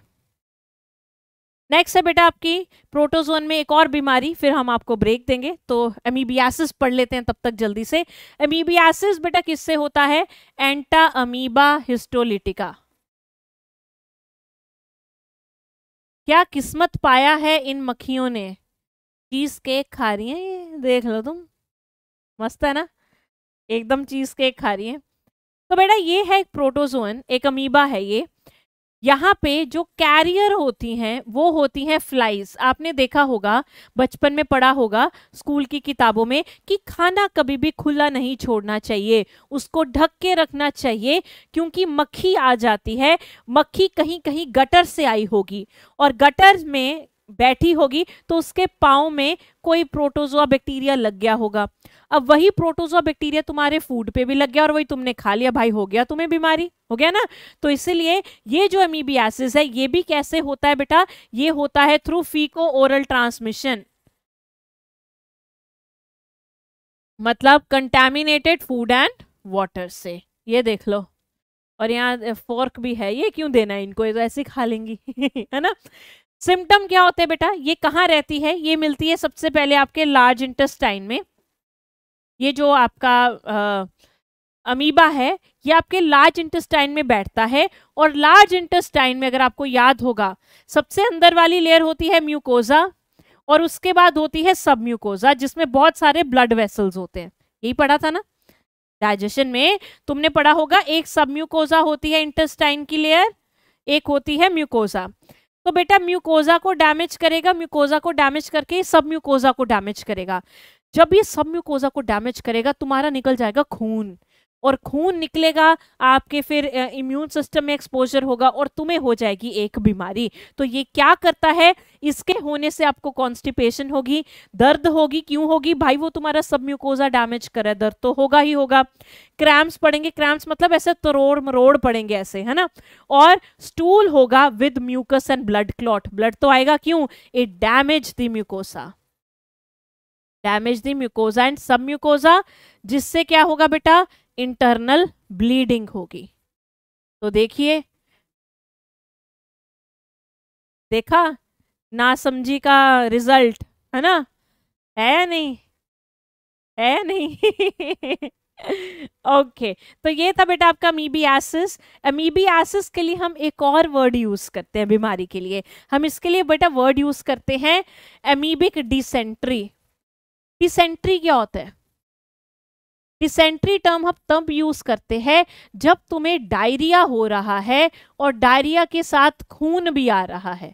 मतलब आपको डायरिया भी हो सकता है नॉर्मल स्टूल्स भी हो सकते हैं दैट डिपेंड्स बट खून आ रहा है तो उस बीमारी को हम कहते हैं डिसेंट्री या कई लोग डायसेंट्री वर्ड भी बोल देते हैं। तो ये है बेटा इसका राज। क्या राज है? ये अमीबा तुम्हारा सब म्यूकोसा खराब कर देता है, जिसकी वजह से खून आता है। ठीक है? आई बात समझने? Yes yes. देखा आपने लापरवाही का नतीजा? हाँ निखिल, यही था, यही डायलॉग था, है ना? ठीक है। चलो तो बेटा ये हुआ आपकी बीमारियाँ, जिस बीमारियों से तुम भागते हो। अब करो पी वाई क्यू इसके। चलो भाई, भगवान का नाम लेकर शुरू करो P Y Q choose the correct answer from the option given below तो ये दिया है मैच द फॉलोइंग करो। हो जाओ शुरू बच्चों। हरियप। Hurry up hurry up हरियप। यस कर दो यार, एकदम आसान है ये। हम्म। हंस लो तुम लोग। हाँ जी। बेरोजगार नहीं हटने वाला है आज। राहुल बेटा ब्रेक मिलेगा पर कब? जब पी वाई क्यू कर दोगे ना, उसके बाद आपको पक्का ब्रेक मिलेगा, ठीक है? प्रॉमिस है ये मेरा आपसे। क्या होगा बेटा आंसर ए इज़ फिलैरियासिस फिलैरियासिस होता है वुचरेरिया बैनक्रॉफ्टाई से। अमीबियासिस होता है एंटामीबा हिस्टोलिटिका से। हिस्टोलिटिका इसे बेटा क्यों कहते हैं? हिस्टोस मतलब tissues and lytic means destruction क्योंकि ये आपके टिश्यूज तोड़ता है, तभी इसका नाम हिस्टोलिटिका है। न्यूमोनिया होता है बेटा आपका हीमोफिलस इन्फ्लुएंजा से। और ट्राइकोफाइटोन कॉज करता है रिंगवर्म तो ए का हुआ बच्चों थ्री बी का हुआ बच्चों फोर सी का हुआ बच्चों वन एंड डी का हुआ टू तो ये आपका बन रहा है फ़र्स्ट तो आंसर हुआ पहला. बहुत से बच्चों ने सही आंसर दिया है. Keep it up very good आगे चलते हैं. अगेन एक और मैच द फॉलोइंग देखो, मैंने कहा था ना, इसमें से क्वेश्चन आते हैं. तुम हल्के में लेते हो इसको? नहीं नहीं नहीं. क्वेश्चन आते हैं बच्चा, करो इसको. चलो चलो, जल्दी से. हरिया, भरिया. क्या होगा बेटा इसका आंसर? अगेन पॉजिटिव एजेंट पूछे हैं। I am giving you time दिमाग लगाओ, करो इसे। मैच द फॉलोइंग हमेशा तुम्हें बचाते हैं एग्ज़ाम में। मैच द फॉलोइंग सोचो अगर आ गया तो ऐसे करना भगवान जी को। थैंक यू भगवान जी, आपने मैच द फॉलोइंग भेज दिया, है ना? क्योंकि मैच द फॉलोइंग हमेशा अगर एक भी नहीं आता ना तुम्हें इनमें से तो एडजस्ट करके भी आंसर लगा लेते हो, है ना? चलो टाइफॉइड होता है बेटा सैल्मोनेला से तो फ़र्स्ट का हुआ थर्ड ऐसे लिख देते हैं पहले निमोनिया निमोनिया होता है बेटा हीमोफिलस से तो टू का हुआ फोर फिलैरियासिस अभी किया वुचरेरिया से थ्री का हुआ वन एंड मलेरिया हुआ प्लाज्मोडियम से फोर का हुआ टू सो फ़र्स्ट का थर्ड टू का फोर थ्री का वन और ये बना वन आंसर कर लोगे अगर ऐसा आया? घबराओगे तो नहीं ना एग्ज़ाम में? चलो।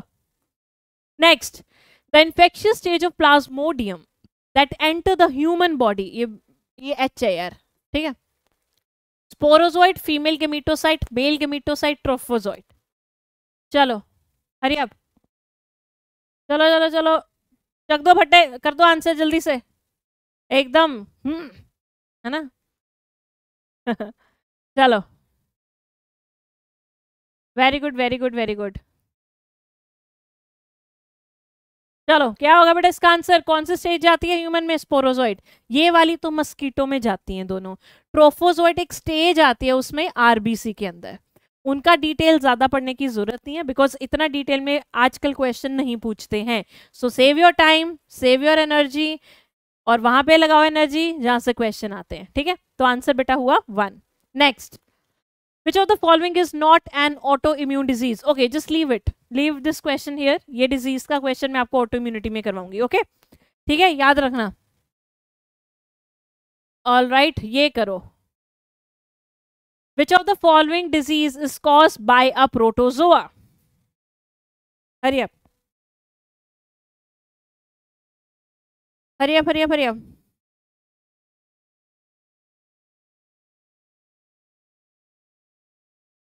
थोड़ा सा पुराना क्वेश्चन है बेटा, कर लो पर। कर लोगे तुम। कर लोगे कर लोगे। यस बताओ बताओ, क्या होगा इसका आंसर बड़ा आसान सा है। हम्म।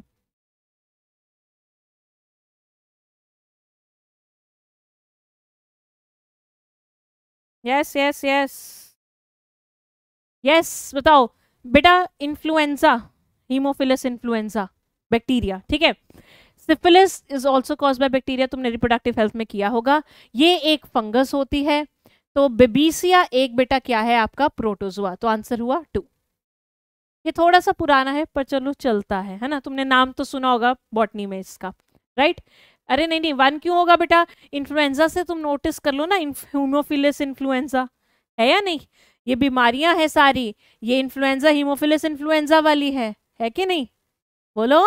हाँ जी चलो आगे चलते हैं। एक और क्वेश्चन चलो भाई मैच द फॉलोइंग चक दो फटे। हरिया हरिया यस क्या होगा बेटा इसका आंसर क्या होगा? अच्छा ये वै, वैक्सीन क्या है तो छोड़ दो इसको। वैक्सीन का क्वेश्चन छोड़ देते हैं हम। ये करो तुम। Active form of entamoeba histolytica feeds on ये भी थोड़ा पुराना है, पर तुम कर लोगे। वैक्सीन का क्वेश्चन वैक्सीन में करेंगे। वैक्सीन का क्वेश्चन आपको वैक्सीन में कराया जाएगा। बेटा, ये कर लोगे तुम। हरियप हरियप क्या होगा आंसर थोड़ा सा दिमाग लगाना है, ज़्यादा नहीं लगाना। थोड़ा सा। बोलो। बताओ बताओ। क्या होगा? देखो फ़ूड तो वो ज़्यादा नहीं खाने आए, वो खाने आए हैं तुम्हारा खून। तभी वो सब म्यूकोसा कोई रॉड कर रहे हैं, तभी तुम्हारा ब्लड निकल रहा है। तो बेटा जी, जो आपके एंटामीबा हिस्टोलिटिका होता है, वो आपके आरबीसी म्यूकोजा और सब म्यूकोजा तीनों को ही डिस्ट्रॉय करता है तो आंसर हुआ ठीक है? Why the blood oozes out because उसने सब म्यूकोजा को तोड़ा। और वो क्या करेगा बेटा? आपके एरिथ्रोसाइट्स के अंदर घुस के उसको मारेगा right so erythrocyte mucosa and mucosa तीनों आंसर बनेगा सो आंसर इज़ थ्री है फाइन ओके okay, अब बहुत से बच्चों ने लगाया होगा म्यूकोजा सब म्यूकोजा क्वाइट ऑब्वियस मुझे पता था। मुझे पता था। पर it also destroys your erythrocyte तभी तो उसका मकसद क्या है सब म्यूकोजा में जाने का? खून पीने का मकसद है ना? क्यों चाहता है वो सब म्यूकोजा की तरफ़? वो उसको टिश्यू थोड़ी ना खाना है उसको तो टिश्यू के अंदर जो है, सौदा अच्छा पड़ा हुआ, क्या खून, वो पीना है यार तुम्हारा। तो आंसर हुआ, थ्री, रक्त पीना है उसको। ओके, चलो, आगे चलते हैं बेटा। The organisms which cause disease in plants and animals are called. Do it. Do it do it do it. Hurry up hurry up again, simple question. थोड़ा सा सोचना है, ज़्यादा नहीं सोचना। बोलो। क्या कहते हैं? जो बीमारी कॉज करता है बेटा, उसको क्या कहते हैं? उसको पैथोजन कहते हैं यार। उसको क्या कहते हैं? पैथोजन अभी बताया ना? The disease causing agents they are known as pathogens they are known as pathogen simple okay next next करो। Which of the following virus is not transmitted through semen of an infected male. Chikungunya virus ebola virus, hepatitis b hiv चलो। Hurry आप।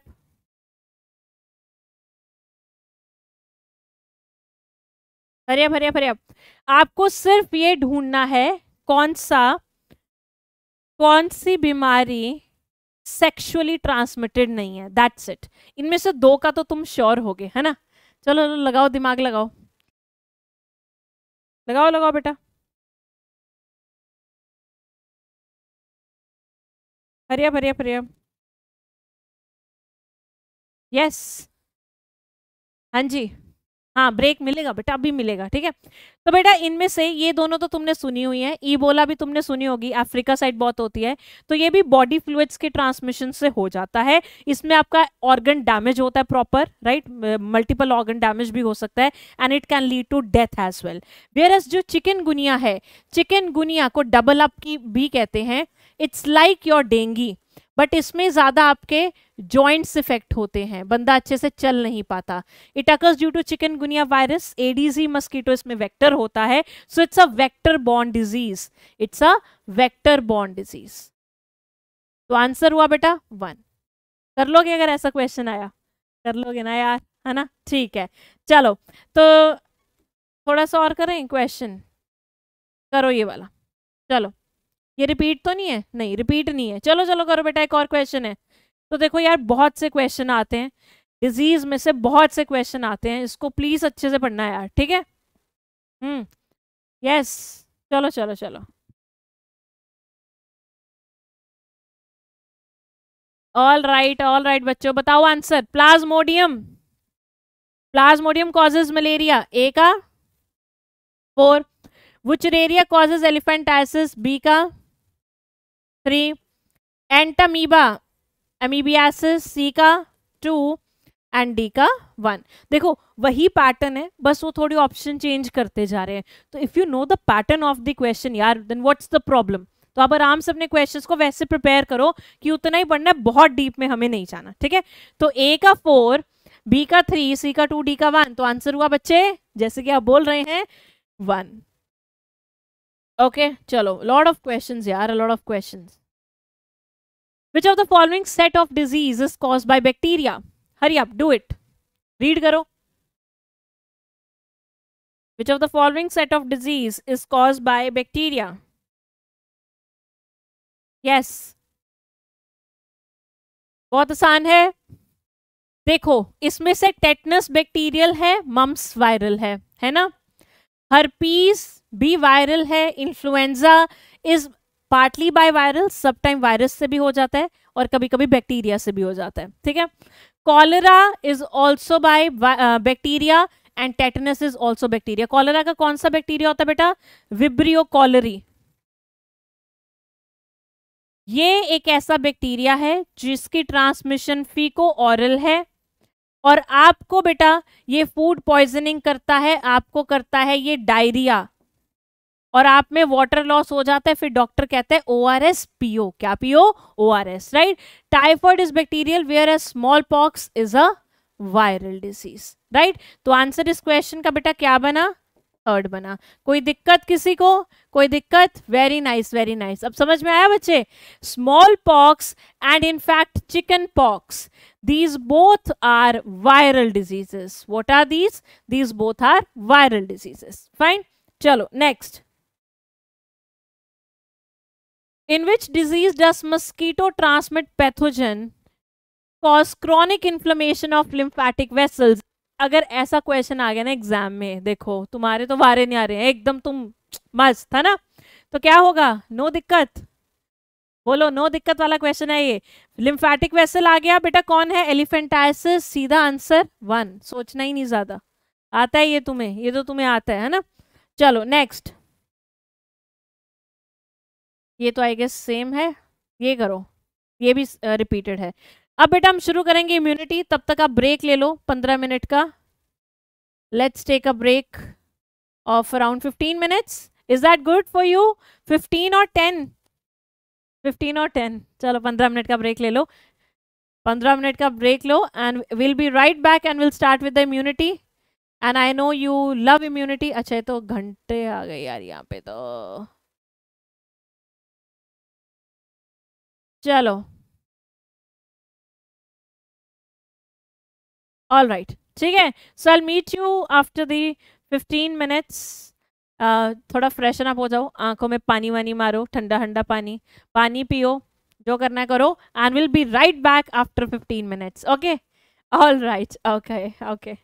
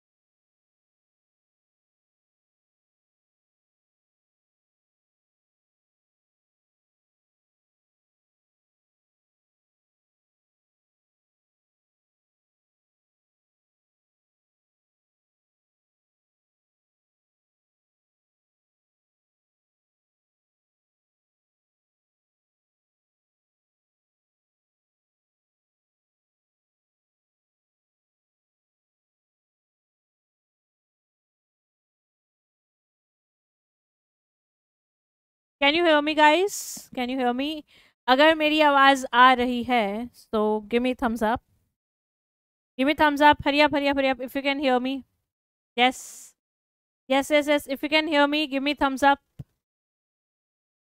yes yes yes yes hurry up hurry up hurry up क्या आप मुझे सुन सकते हैं, बच्चों? बताओ यार. बताओ बताओ बताओ. जल्दी से जल्दी से जल्दी से. चलो, सब बच्चे आ जाओ जल्दी से बेटा।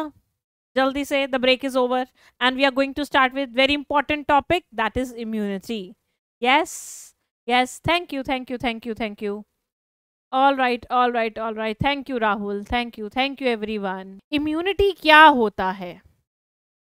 क्या होती है इम्यूनिटी कोई है ऐसा बच्चा जो बता सकता है इम्यूनिटी क्या होती है? इम्यूनिटी है हमारा एक डिफेंस सिस्टम इम्यूनिटी है हमारा एक डिफेंस सिस्टम कि अगर हमें कोई बीमारी करने वाला आया मिला तो हम चुप नहीं बैठेंगे हम झुकेंगे नहीं हम उसको मारेंगे। सो so, इम्यूनिटी बेटा क्या है? It's the defence system of our body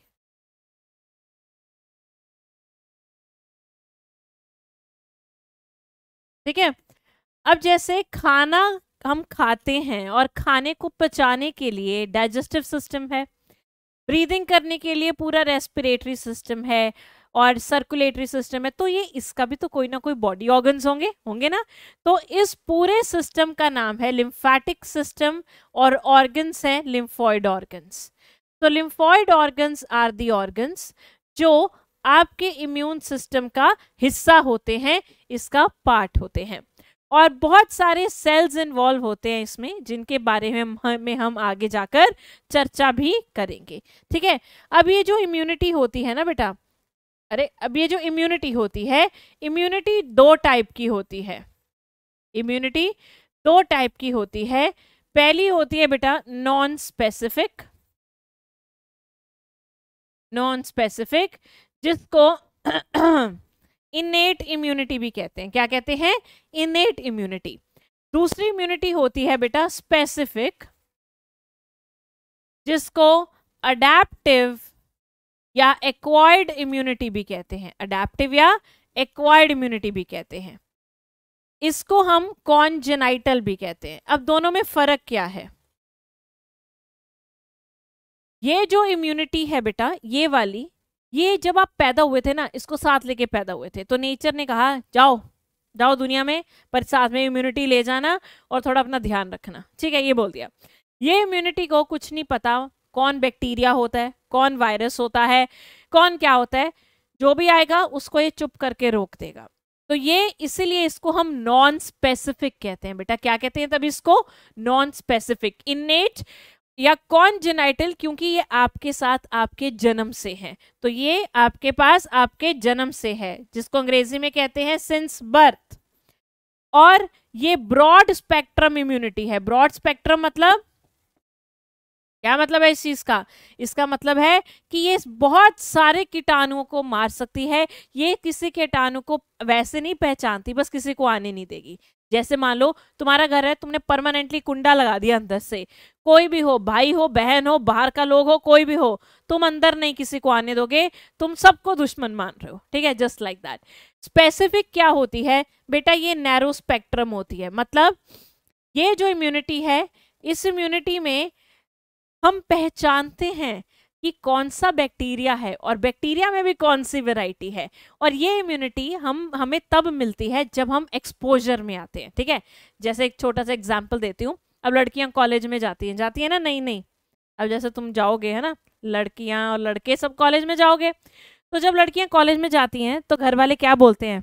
पढ़ाई पर ध्यान देना है, लड़कों पे ध्यान नहीं देना है है ना? और ज़्यादा लड़कों से बात बात नहीं करनी है, लड़के खराब होते हैं सब। राइट? तो ये हुई नॉन स्पेसिफिक इम्यूनिटी कि तुम्हारे लिए अब सब लड़के खराब है है ना? तुम कॉलेज में जाओगे, तुम किसी से बात नहीं करोगे। अब, पर बाद में जाके तुमने एक्सपीरियंस किया कि लड़के भांति भांति के होते हैं, कई अच्छे होते हैं, कई बुरे होते हैं। तो तुमने अपने एक्सपीरियंस से लड़कों को आइडेंटिफाई कर दिया, ये खराब इससे बात नहीं करनी, ये तो भाई जैसा है, इसको हम फ्रेंड बना सकते हैं, है ना? और बाकी कोई और कैटेगरी को कुछ कह नहीं सकते। तो बेटा, यहाँ पर इसीलिए हमारे पास ऐसी इम्यूनिटी है। ये इम्यूनिटी हमें जन्म के बाद जब हम पैथोजन के एक्सपोजर में आते हैं, तब मिलती है। और ये वाली इम्यूनिटी आपकी बॉडी में पहले से ही बनी होती है, ठीक है? आपकी जो नॉन स्पेसिफिक इम्यूनिटी होती है, इस इम्यूनिटी में दो बैरियर्स आते हैं first line of defence and second line of defence तो इसके अंडर क्या आते हैं बेटा? इसके अंडर आते हैं first line of defence and second line of defence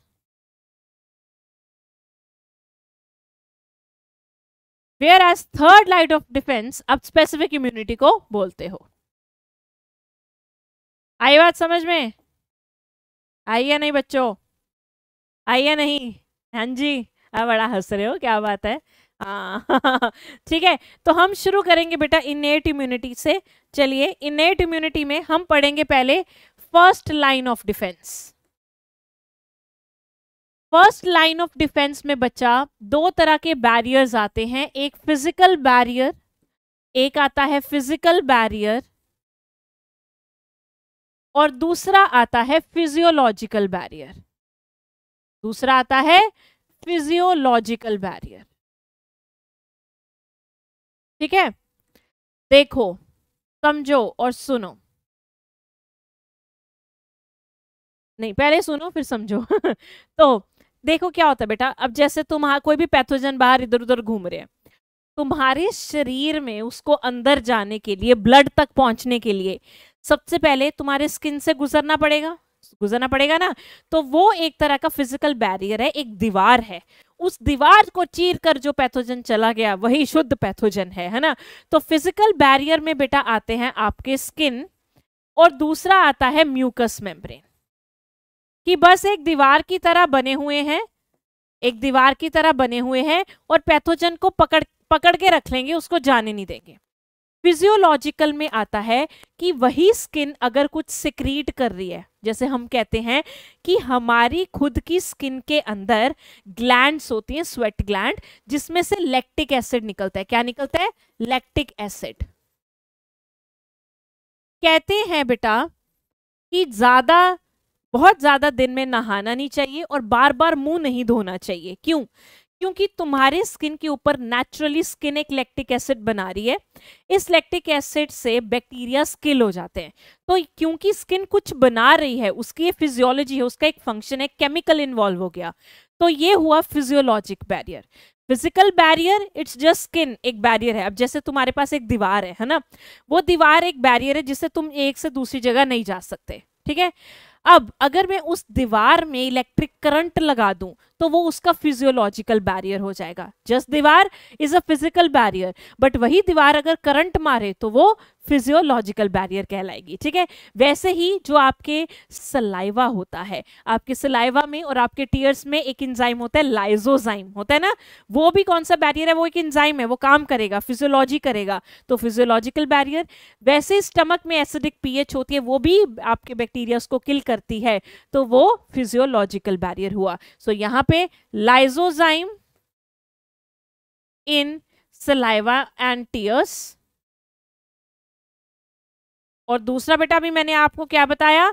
acidic pH of stomach वैसे ही बेटा जो आपका यूरिन होता है, उसका भी एसिडिक पीएच होता है, वो भी प्रोटोजोन्स को ग्रो नहीं होने देता। तो यूरिन का भी acidic pH special in case of males जिनका यूरिनोजेनाइटल ट्रैक्ट होता है, उनमें पैथोजन को ग्रो होने नहीं देता। तो ये हुआ आपका फ़र्स्ट लाइन ऑफ़ डिफेंस काफ़ी सिंपल है। इसी से तुम बने हुए हो, बचपन में भी तुम्हारे पास था नेचर ने तुम्हें ऐसे ही बना के भेजा, ठीक है? अब आते बेटा सेकेंड लाइन ऑफ़ डिफेंस से, जो इनेट इम्यूनिटी का ही पार्ट है that is your second line of defence मुझे बताओ आपको फ़र्स्ट लाइन बेटा समझ में आया? जल्दी से थम्स अप दे दो बेटा। अगर आपको फ़र्स्ट लाइन ऑफ़ डिफेंस में कोई डाउट नहीं है तो बता दो बच्चों, जल्दी से आग लगा दिया बच्चों ने, क्या बात है? अंश, क्या बात है, क्या बात है? Yes yes yes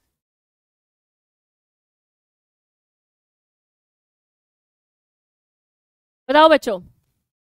Yes very nice very nice very nice okay अरे यार तुम यस मैम नो मैम कुछ तो बोलो यार। हाँ वह मज़ा आता है ना फिर, एकदम कैंट लगता है, एकदम कैंट। कैंट समझ तो क्या होता है? पंजाबी में बोलते हैं एकदम कैंट, सिरा। स्लैंग वर्ड्स यूज़ करते हैं हम लोग। पंजाबी गाने सब सुनते हैं आजकल तो। है ना? सबको पता होगा। सुनते हो ना तुम लोग? कौन से गाने सुनते हो? नहीं सुनते? समझ आते हैं? चलो सेकंड लाइन ऑफ़ डिफेंस में बेटा क्या होता है? सेकंड लाइन में, इसमें आते हैं आपके बहुत सारे सेल्स बड़ी चीज़ें आती हैं यार इसमें। इसमें आपके सेल्स भी आते हैं। इसमें आपके साइटोकाइंस भी आते हैं।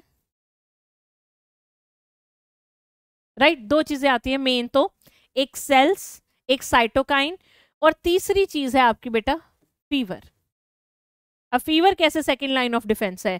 बेटा, अगर तुम्हें फीवर होगा टेम्परेचर बढ़ेगा तो पैथोजन को हम रोक सकते हैं। रोक सकते हैं नहीं?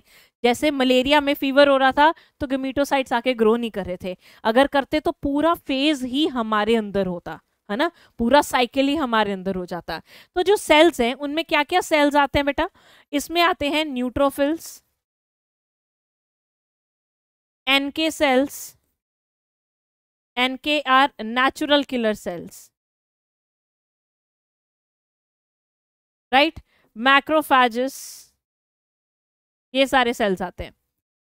साइटोकाइंस क्या होते हैं बेटा? व्हाट आर साइटोकाइंस साइटोकाइंस एक तरह के ग्लाइकोप्रोटीन्स होते हैं। What are these glycoproteins glycoprotein जैसे बेटा आपका इंटरफेरॉन इंटरफेरॉन का नाम सुने हो? सुना है सबने? बोलो। यस सुना है नहीं? अरे यहाँ बच्चे कह रहे हैं कि है, है, है, क्या बात है। मैम एक बार पंजाबी बोलो। क्या बोलूँ पंजाबी में बताओ? कोई नहीं। क्लास के एंड में तुम्हें गाना सुना देंगे पंजाबी। अभी पर तुम्हें पढ़ना पड़ेगा फिर मेरे साथ लास्ट तक। एकदम फिर कैंट वाला गाना सुनाएँगे, है ना? चलो तो बेटा ये होता है ग्लाइकोप्रोटीन ये क्या है चीज़? अगर मान लो तुम्हारे शरीर में वायरस आ गया, ये एक सेल है। तुम्हारे शरीर का सेल है, इसके अंदर वायरस आ गया। आ गया virus so you will call this cell as virus infected cell क्या बोलोगे इसको बेटा? वायरस इन्फेक्टेड सेल ठीक है? अब तुम्हारे शरीर में आ गया वायरस इन्फेक्टेड सेल अब ये इन्फेक्टेड सेल कुछ ग्लाइकोप्रोटीन बनाएगा। इन ग्लाइकोप्रोटीन्स को कहते हैं साइटोकाइंस या साइटोकाइन बैरियर बनाते हैं ये एग्ज़ाम्पल इंटरफेरॉन क्या है एग्ज़ाम्पल इंटरफेरॉन कौन बना रहा है? वायरस इन्फेक्टेड सेल नेचर क्या है? किसके बने हैं? ग्लाइकोप्रोटीन है। अब इनका काम क्या है? ये नॉर्मल सेल के पास जाएँगे। ये नॉर्मल सेल के पास जाएँगे। इस नॉर्मल सेल्स को बोलेंगे कि भाई देखो, तुम्हारे शरीर में वायरस आ गया है, अगली बार ये तुम्हारी। तो तुम कुछ ऐसा बनाओ जिसे वायरस मर जाए। तुम कुछ ऐसा बनाओ जिससे वायरस मर जाए। तो ये कुछ ऐसे प्रोटीन्स बनाएँगे जो वायरस की रेप्लीकेशन को रोक सकते हैं, जो वायरस की रेप्लीकेशन को रोक सकते हैं। जैसे इमेजिन करो, एक बिल्डिंग है, बहुत बड़ी, है ना? बिल्डिंग में ग्राउंड फ्लोर पे एक बंदा गया। उस बंदे ने देखा शेर आ गया वहाँ पे, है ना? तो उसने देखा शेर आ गया तो वो क्या करेगा? अब शेर को, हेलो, हाय तो नहीं करेगा, नमस्ते, वेलकम टू आर होम, ऐसा तो नहीं करेगा। तो वो पकड़ेगा लिफ्ट और सारे फ्लोर्स पे जाके बोलेगा, शेर आ गया, शेर आ गया, शेर आ गया। तो अब बाकी घर वाले लोग क्या करेंगे? वो अपना दरवाज़ा कर लेंगे बंद कहीं शेर उनके घर में घुस गया तो। तो वैसे ही शेर कौन है बेटा? वायरस। ठीक है? और वो बंदा जो चिल्ला रहा है वो कौन है? इंटरफेरॉन। और ये कौन है? ये नॉर्मल सेल्स हैं। ये नॉर्मल लोग हैं। नॉर्मल लोग क्या करेंगे? एक तो अपना घर बंद कर लेंगे। वो कुछ ऐसे रिसेप्टर्स होते हैं सेल के ऊपर। वो रिट्रीट बैक हो जाते हैं ताकि वायरस उसके अंदर ना जा पाए, क्योंकि वायरस को अंदर घुसने के लिए रिसेप्टर चाहिए। और साथ ही कुछ ऐसे प्रोटीन्स बनाएँगे जिससे वायरस के रेप्लीकेशन को भी रोका जा सकता है। आई बात समझ में सबको? यस बताओ बेटा। जल्दी से। तो जो आपका ये बैरियर है, ये साइटोकाइन बैरियर में क्या है? इंटरफेरॉन्स होते हैं ग्लाइकोप्रोटीन्स होते हैं। अब हम बात करेंगे बेटा किसकी? सेल्स की। हो जाए शुरू? चलो, सबसे पहले बेटा जो सेल है, इसमें पहले मुझे थम्स अप दे दो अगर आपको साइटोकाइन समझ में आ गया तो। जल्दी से शेर वाली स्टोरी समझ में आई या नहीं आई? बोलो। बताओ बताओ, बिजली बिजली, बताओ जल्दी से शेर वाली स्टोरी समझ में आई या नहीं? यस यस आ गई आ गई। हाँ अरे क्या बात, दिल भेज रहे हैं। इतने दिल है तुम्हारे पास? हमने तो सोचा था, एक होता है fourth chamber heart pumps blood once oxygenated once deoxygenated है ना? चलो very good very good very good good good good good good चलो, आगे चलते हैं बेटा। आगे पढ़ेंगे सेल्स सबसे पहला सेल है neutrophil neutrophils are the most abundant W क्या इसमें किसी बच्चे को कोई डाउट अगर मैं बोलूँ कि न्यूट्रोफिल सबसे ज़्यादा होते हैं, कोई प्रॉब्लम नहीं है। 60 to 65 percent of W are neutrophils तो अगर जो चीज़ ज़्यादा है, वो इन्फेक्शन के टाइम पे पहुंचेगी भी पहली, है या नहीं? तो ये सबसे पहले पहुँचते अगर कोई गड़बड़ होती है। ये सबसे पहले पहुँचेंगे इन्फ्लेमेशन हो जाए तो ये पहले पहुँचेंगे इन्फेक्शन होगी तो ये पहले पहुँचेंगे। So these are the first cell to arrive at the stage of infection and inflammation कोई गड़बड़ हुई क्या? हम है यार। है ना? भाई है ना तेरा? भाई आ जाएगा। तो ये न्यूट्रोफिल वही भाई हैं। इनको हम पस सेल कहते हैं। क्या कहते हैं? पस सेल। क्योंकि जब भी बेटा पस बनती है ना शरीर में, ये अपना, ये शहीद होते हैं। सबसे सिंपल सबसे सिंपल कौन है? Staphylococcus bacteria. कौन सा बैक्टीरिया? स्टेफाइलोकोकस। ये बैक्टीरिया है पिंपल बैक्टीरिया। ये बैक्टीरिया पिंपल करता है और पिंपल के अंदर होती है पस। ये होता है पस। पस बनती है ना बेटा? इस पस के अंदर होता है डेड न्यूट्रोफिल, जो शहीद हुए हैं neutrophil because that W B C and dead bacteria तो ये हमेशा वहीं पर मिलेंगे बच्चों, ये हमेशा वहीं पर मिलेंगे जहाँ पर पस बनती है। क्या बनती है? पस बनती है, ठीक है? अब दूसरे सेल की बात करते हैं, ये तो हुए बेटा आपके न्यूट्रोफिल ये न्यूट्रोफिल हुए। अगले सेल्स की बात करते हैं N K cell N K cell natural killer cell natural killer cell are like lymphocyte lymphocyte समझते हो? Lymphocyte are also W B C जैसे बी सेल टी सेल ये बी सेल और टी सेल के बिछड़े हुए भाई हैं। ये बी सेल और टी सेल के बेटा बिछड़े हुए भाई हैं। आपको अगर पता होगा, अगर आप बच्चों को पता होगा, अगर आप बच्चों को पता होगा, जो पुरानी पिक्चरें होती थी ना, उसमें दिखाते थे कि मेले में गए दो जुड़वा बच्चे, दोनों जुदा हो गए, है ना? तो ये भी किसी मेले में गए थे और बेचारे जुदा हो गए। तो they are also type of lymphocyte पर ये थोड़े ना अलग होते हैं। कैसे? ये देखेंगे कि क्या तुम्हारे शरीर में तुम्हारा सेल तुम्हारे शरीर में तुम्हारा सेल अब नॉर्मल तो नहीं है कोई? पागल वागल तो नहीं हो गया? ये चेक करेंगे कि तुम्हारे शरीर के किसी सेल के ऊपर क्या कोई अब नॉर्मल प्रोटीन तो नहीं लगा हुआ? और अब नॉर्मल प्रोटीन कब लगता है हमारे सेल के ऊपर? या तो वो किसी वायरस ने हाईजैक कर लिया है, या फिर वो ट्यूमर सेल बन गया कैंसर सेल बन गया है। तो ये क्या करता है? ये अब नॉर्मल सेल या हमारे ही बॉडी का जो सेल है सेल ऑफ़ बॉडी जिसके ऊपर क्या है बेटा? एब नॉर्मल प्रोटीन अब नॉर्मल प्रोटीन बेटा कब होता है? जब वो सेल या तो वायरस इन्फेक्टेड है, या ट्यूमर सेल है, या वो ट्यूमर सेल है। इन सेल को पहचानता है और इस सेल की करा, क्या करवा देता है? Cell death. क्या करवाता है बेटा? सेल डेथ, जिसे कहते हैं एपोप्टोसिस। क्या करता है? सेल डेथ या एपोप्टोसिस करवा देता है। तो ये फेगोसिटिक नहीं है, पहली बात। ये फेगोसिटिक नहीं है फेगोसिटिक अलग होता है। वो होता है जिसमें वो इनगल्फ करके खा जाता है चीज़ों को। ये फेगोसिटिक नहीं है, ये सेल डेथ करवाता है, एपोप्टोसिस करवाता है, पहली बात। आई बात समझ में सबको? यस? यस बताओ बेटा। यार प्लीज़ यहाँ पे ना जो भी लोग हैं चैट में फालतू बातें मत लिखिए। ये यहाँ पे हम पढ़ाई करवाते हैं बच्चों को। आप कहीं और जाके जो करना है करिए बट प्लीज़ यहाँ पे मत करिए। हैव सम ह्यूमन नेचर थोड़ी इंसानियत बरतिए और प्लीज़ यहाँ पे फालतू बातें मत लिखिए। ऐसा नहीं चलता है। थोड़ा तो सोचो यार। कम ऑन जो भी हो आप। है ना? एडवर्टाइजमेंट करनी कहीं और जाके करो। बच्चों के साथ क्यों कर रहे हो तुम? पढ़ने वालों को पढ़ने दो। चलो बाकी बच्चे ध्यान मत दो आप ठीक है? बिल्कुल ध्यान नहीं देना ऐसे लोगों पे। हम्म, बिल्कुल भी नहीं। चलो एनीवेज तो बेटा ये एनके सेल्स का काम है दे आर लाइक लिम्फोसाइट्स और ये अब नॉर्मल प्रोटीन्स होते हैं इनके ऊपर जिस सेल्स के ऊपर आपके बॉडी के उनको पकड़ के खत्म कर देते हैं। अब आते हैं macrophages macrophages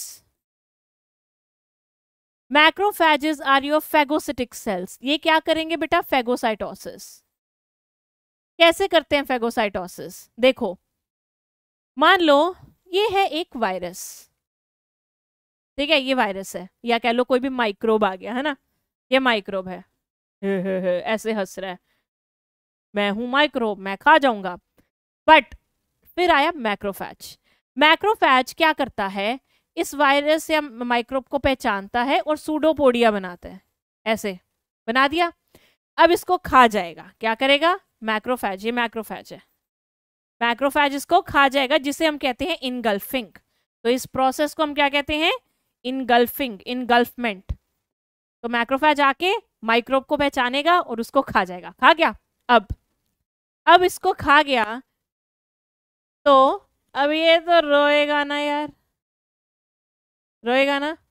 है ना? ये तो रोएगा। अब इसके साथ कौन मिल जाएगा? इसके साथ जुड़ेगा लाइजोजोम कौन जुड़ेगा इसके साथ? लाइजोजोम जैसे बेटा लाइजोजोम जुड़ेगा तो आपने बॉटनी में पढ़ा होगा ना, ये फेगोलाइजोजोम बनता है। बनता है ना फेगोलाइजोजोम तो यहाँ पे बन जाएगा फेगोलाइजोजोम फेगोलाइजोजोम जैसे ही बनेगा तो लाइजोजोमल जो इंजाइम्स होते हैं फेगोलाइजोजोम क्या है बेटा? इन दोनों को फ्यूजन से बनता है ना? ये बॉटनी में पढ़ा हुआ है तुमने। तो जैसे ही लाइजोसोम्स इंजाइम होते हैं हाइड्रोलिटिक इंजाइम्स होते हैं, ये इंजाइम इस पे काम करेंगे और इसको डिस्ट्रॉय करेंगे। जिसके जिसके चलते हुए यहाँ पे फ्री रेडिकल्स बनेंगे। क्या बनेंगे? फ्री रेडिकल्स और फ्री रेडिकल्स की हेल्प से फ्री रेडिकल समझते हो ना तुम? फ्री रेडिकल की हेल्प से ये पूरा जो ऑर्गेनिज्म है, इसको डिस्ट्रॉय कर दिया जाएगा, जिसे हम कहते हैं फ्री रेडिकल की हेल्प से इसका ऑक्सीडेटिव बर्स्ट कर दिया। हमने इसको जला दिया। तो बेटा, जब भी हमारे अंदर कोई माइक्रोब आता है, दो हमारा इम्यून सिस्टम उसके अगेंस्ट काम करके उसको बर्बाद तो करना चाहता है बट हमें थोड़ा सा तो थोड़ा सा तो हमारी शरीर को भी सहना पड़ेगा ना। तो ये फ्री रेडिकल्स बनेंगे उस टाइम पर, अब ये फ्री रेडिकल्स आपके नॉर्मल सेल को भी डिस्ट्रॉय कर सकते हैं। तभी वो ऐड आती है ना ग्रीन टी की। आती है कि ये इसके अंदर कुछ होता है जो फ्री रेडिकल्स को डिस्ट्रॉय कर देता है। तो फ्री रेडिकल जब भी बनते हैं तो आपके नॉर्मल सेल को भी वो डिस्ट्रॉय कर सकते हैं, जिससे एजिंग ज़्यादा होती है। तो ग्रीन टी पियो ना तो एजिंग थोड़ी कहते हैं, माना गया है कि कम हो जाती है। तो पिया करो, है ना? अच्छी होती है ग्रीन टी, ऐसी बात नहीं है। तो इसलिए ये फ्री रेडिकल्स को ग्रीन टी डिस्ट्रॉय कर देती है। फ्री रेडिकल तब बनते हैं जब आपकी बॉडी में स्ट्रेस होता है, माइक्रोब आता है और ये आपके नॉर्मल सेल्स को डिस्ट्रॉय करते हैं। राइट बच्चा? हाँ आगे, अभी आगे हीरोइन बताने ये लोग। ये सब आता है तुम्हें। ये सब आता है है ना? चलो क्वेश्चन करो बेटा ये। Acid in stomach acid in stomach saliva in the mouth tears from eyes all prevent microbial growth belong to which of the following barrier physical physiological cellular cytokine रख दो भट्टे लगा दो आंसर क्या होगा बेटा इसका आंसर? बताओ बताओ। यस बोलो बोलो।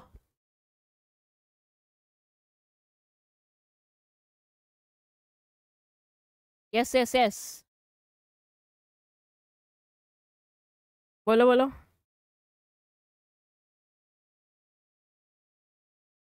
क्या होगा बेटा इसका आंसर? एसिड इन स्टमक तो मतलब फिजियोलॉजिकल है। आंसर हुआ टू। ठीक है? चलो। आगे चलते हैं acquired immunity right acquired immunity क्या बोल रहे हो? हाँ सही है बेटा, सही आंसर दिया है। फ़िज़िकल कैसे हुआ, आयुष? नहीं नहीं बेटा। फ़िज़िकल तब होता जब वो स्किन बोलता, जब वो ऐसे बैरियर्स देता हमें, ठीक है?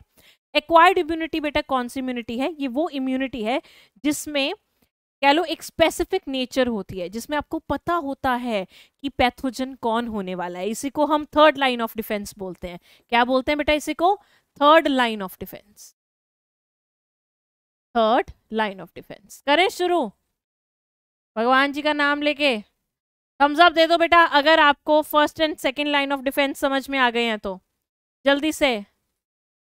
अभी आ गए हैं बच्चे पूछने वाले कि, मैम, कितना देर क्लास और चलेगा?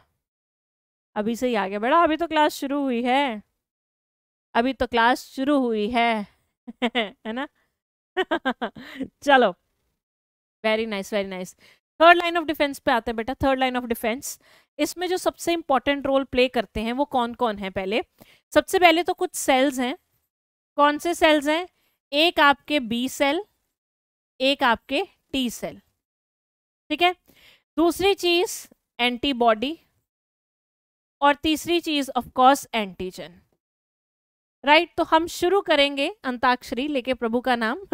दैट मीन्स एंटीजन से। सो so, बेटा हम सबसे पहले एंटीजन के बारे में जानेंगे because this immunity is all about antigen antibody interaction types बाद में सब बाद में पहले बेसिक्स पे। एंटीजन क्या होता है? व्हाट इज़ एन एंटीजन बेटा एंटीजन के नाम में ही सब कुछ छुपा है। ये वो चीज़ है जो एंटीबॉडी बनाएगा। It is antibody generating it is antibody generating मतलब ये कोई पैथोजन भी हो सकता है, पूरा का पूरा, ये पूरा का पूरा कोई सेल भी हो सकता है, किसी और इंसान का एनिमल का, किसी का, ये उस पैथोजन या सेल का थोड़ा पार्ट भी हो सकता है। और ये यूजुअली बना होता है, या प्रोटीन या ग्लाइकोप्रोटीन या ग्लाइकोलिपिड का, और ये आपके शरीर के जब अंदर जाएगा, सुनिए मेरी बात ध्यान से ध्यान से सुनिएगा, ये हो तुम। ये हो तुम। ठीक है? तुम्हारे बॉडी में सेल्स हैं। इन सेल्स के ऊपर ग्लाइकोप्रोटीन्स है।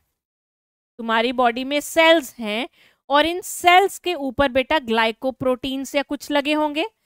इनको हम बोलते हैं एंटीजन क्या बोलते हैं? एंटीजन ठीक है? वैसे ही किसी और माइक्रोब किसी और माइक्रोब या फिर फॉरेन सेल के ऊपर भी ग्लाइकोप्रोटीन या फिर ग्लाइकोलिपिड्स लगे होंगे राइट तो आपकी बॉडी इसको फॉरेन एंटीजन मानेगी, पर आपके बॉडी वालों को सेल्फ एंटीजन मानेगी, ठीक है? इम्यून सिस्टम की ना एक बात है, इसको सिखाया जाता है कि भाई देख लिए तेरे सेल हैं, ये बाहर के सेल हैं। जो तेरे अपने सेल है भाई उसको ना खत्म कर दियो माना तू एंटीजन लवर है, पर उसको खत्म नहीं करना राइट तो यहाँ पर जब ये सेल आपके बॉडी में जाएगा, ये सेल आपकी बॉडी में जाएगा, इसके पास बेटा ये ग्लाइकोप्रोटीन या ग्लाइकोलिपिड फॉरन है, इसको तो हम अपना मानते ही नहीं। तो हमारा शरीर इसको मारने के लिए एंटीबॉडी बनाएगा। क्या बनाएगा? एंटीबॉडी बनाएगा।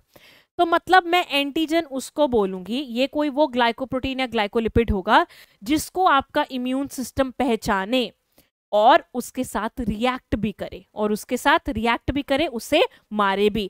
अब इसको हमारे इम्यून सिस्टम ने पहचाना, तभी एंटीबॉडी बनाई, और क्योंकि इसके पास प्रॉपर्टी ऑफ़ रिएक्टिविटी भी है तो इसीलिए इसके साथ रिएक्ट करके इसको खत्म किया। तो हम एंटीजन को कहते हैं, antigen is a complete pathogen और फॉरेन सेल और part of it which have two properties which have immunogenicity and reactivity मतलब इम्यूनोजेनिसिटी मतलब वो इम्यून रिस्पॉन्स जनरेट कर सकता है। It can generate immune response मतलब आपके इम्यून सिस्टम इसको पहचान सकता है। और रिएक्टिविटी अब वो इम्यून सिस्टम जो भी बनाएगा, उससे उस एंटीजन के साथ रिएक्ट भी कर सकता है। Can react with immune cells और एंटीबॉडीज। इसको हम बेटा बोलते हैं एंटीजन। और ये जो एंटीजन्स होते हैं दे कैन बी ग्लाइकोलिपिड और glycoproteins any doubt in this क्या आपको पता चला एंटीजन क्या होता है बच्चे? अब पता चला एंटीजन क्या होते हैं? तो एंटीजन कुछ ग्लाइकोप्रोटीन ग्लाइकोलिपिड होते हैं, जिसको आपका शरीर का इम्यून सिस्टम पहचान लेता है और बोलता है, आजा तेरे को मैं देखता हूँ, है ना? अब जो आपके खुद के शरीर के एंटीजन हैं, उन्हें हम क्या कहते हैं बेटा? सेल्फ एंटीजेंस क्या बोलते हैं उनको? सेल्फ एंटीजेंस अब ये जो सेल्फ एंटीजेंस होते हैं बेटा, ये कितने टाइप के होते हैं? सेल्फ एंटीजेंस कितने टाइप के होते हैं? मतलब अब मेरे जो बॉडी में एंटीजन है, जो मेरे अपने हैं, जिसको मेरा इम्यून सिस्टम अपना मानेगा बट अगर मैं आपको अपनी किडनी दे दूँ तो आपका इम्यून रिस्पॉन्स क्या करेगा? आपका इम्यून रिस्पॉन्स क्या करेगा? उसे फॉरन मानेगा, है ना? क्या मानेगा? फॉरन अब मैं किडनी दे दूँ आईफोन मत ले लेना, ठीक है? तो आप, मेरे बॉडी के सेल जब आपकी बॉडी में जाएँगे, वो फॉरन है। मेरे लिए वो सेल्फ एंटीजन है, ठीक है? उसके ऊपर लगे हुए ग्लाइकोप्रोटीन अब सेल्फ एंटीजन हम में बेटा तीन तरह के होते हैं। एक तो हो गया आपका ब्लड ग्रुप्स वाला। ठीक है? ब्लड ग्रुप्स वाले कौन कौन से हैं? ए बी ओ एंड तीसरा क्या है बेटा? आपका आर एच एंटीजन ठीक है? फिर आते हैं M H C one and M H C two अब ये क्या चीज़ है भाई? ये क्या है? M H C means major histo compatibility complex ये आपके बॉडी के सेल्स के ऊपर होते हैं। किसके ऊपर होते हैं? बॉडी का कोई भी सेल अगर होगा, उसके ऊपर एमएचसी पक्का होगा। ये आपका आईडी है, ये आपका आइडेंटिटी कार्ड है। ये क्या है? आइडेंटिटी कार्ड इसके अलग अलग कैटेगरी हैं। जैसे तुमने एक एच एल ए सुना होगा, जो ल्यूकोसाइट्स के ऊपर होता है। जब भी तुम्हें किसी की किडनी लेनी है, तुम्हें किसी की किडनी तुम्हें अपनी किडनी देनी है, उस टाइम पर तुम्हारे ये ब्लड ग्रुप्स के ऊपर जो एंटीजन है और स्पेशली जो टिश्यूज के ऊपर है बाकी बॉडी टिश्यूज के ऊपर हैं। इनको चेक किया जाएगा इनको मैच किया जाएगा। अगर मैचिंग हो गई तो बेटा तुम किडनी दे सकते हो। अगर मैचिंग नहीं हुई तो तुम किडनी नहीं दे सकते। सो so, इनको हम मैच करते हैं इन दोनों को। Match during graft transfer. Graft transfer या फिर ऑर्गन ट्रांसफ़र। जब भी आपको ऑर्गन देना है। ठीक है? अगर ये मैच नहीं करते तो तुम्हारा इम्यून सिस्टम मान लो तुमने किसी का किडनी लिया और ये मैच नहीं कर रहा तो तुम्हारा इम्यून सिस्टम इसको क्या कर देगा? Reject yes they are not present on RBC RBC have their different glycoproteins ठीक है? ये बेटा एमएचसी आरबीसी के ऊपर नहीं होते, इनके पास अपने डिफरेंट है, ओके? चलो, आगे। तो बेटा जब भी आपका ग्राफ्ट रिजेक्शन होता है, जब भी आपका ग्राफ रिजेक्शन होता है उस टाइम पर, जब भी ग्राफ रिजेक्शन होता है उस टाइम पर क्या होगा? कौन सी इम्यूनिटी या कौन से सेल काम करेंगे? उस टाइम पर आपके टी सेल काम करेंगे। कौन से सेल टी सेल तो T cells are type of lymphocyte T cells rejects graft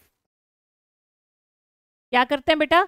यही रिजेक्ट करते हैं ग्राफ्ट को या फिर आपके जो भी ऑर्गन है या उसको। और रिजेक्शन कब होता है? When MHC does not match कब होता है? जब एमएचसी मैच नहीं करते। तो इस टाइम पर हम बेटा क्या करते हैं? इस टाइम पर एक तो हम चेक करेंगे ब्लड सैंपल लेके कि उनके एमएससी मैच हो रहे हैं नहीं। या फिर इस टाइम पर जब भी कब कोई किडनी लेता है या किडनी देता है, जिस बंदे के अंदर हम किडनी डालते हैं, उनको इम्यूनो सप्रेसेंट्स दिए जाते हैं। Immunosuppressants are given to recipient recipient कौन होता है बेटा? जो किडनी लेता है, उसे रेसिपियंट कहते हैं। इम्यूनोसप्रेसेंट की एग्ज़ाम्पल जैसे cortisol cortisol is also a natural immunosuppressant in your body ये एड्रीनल कॉटेक्स से बनता है। सुना है नाम सुना है नहीं सुना? सुना है या नहीं? बोलो। हम्म।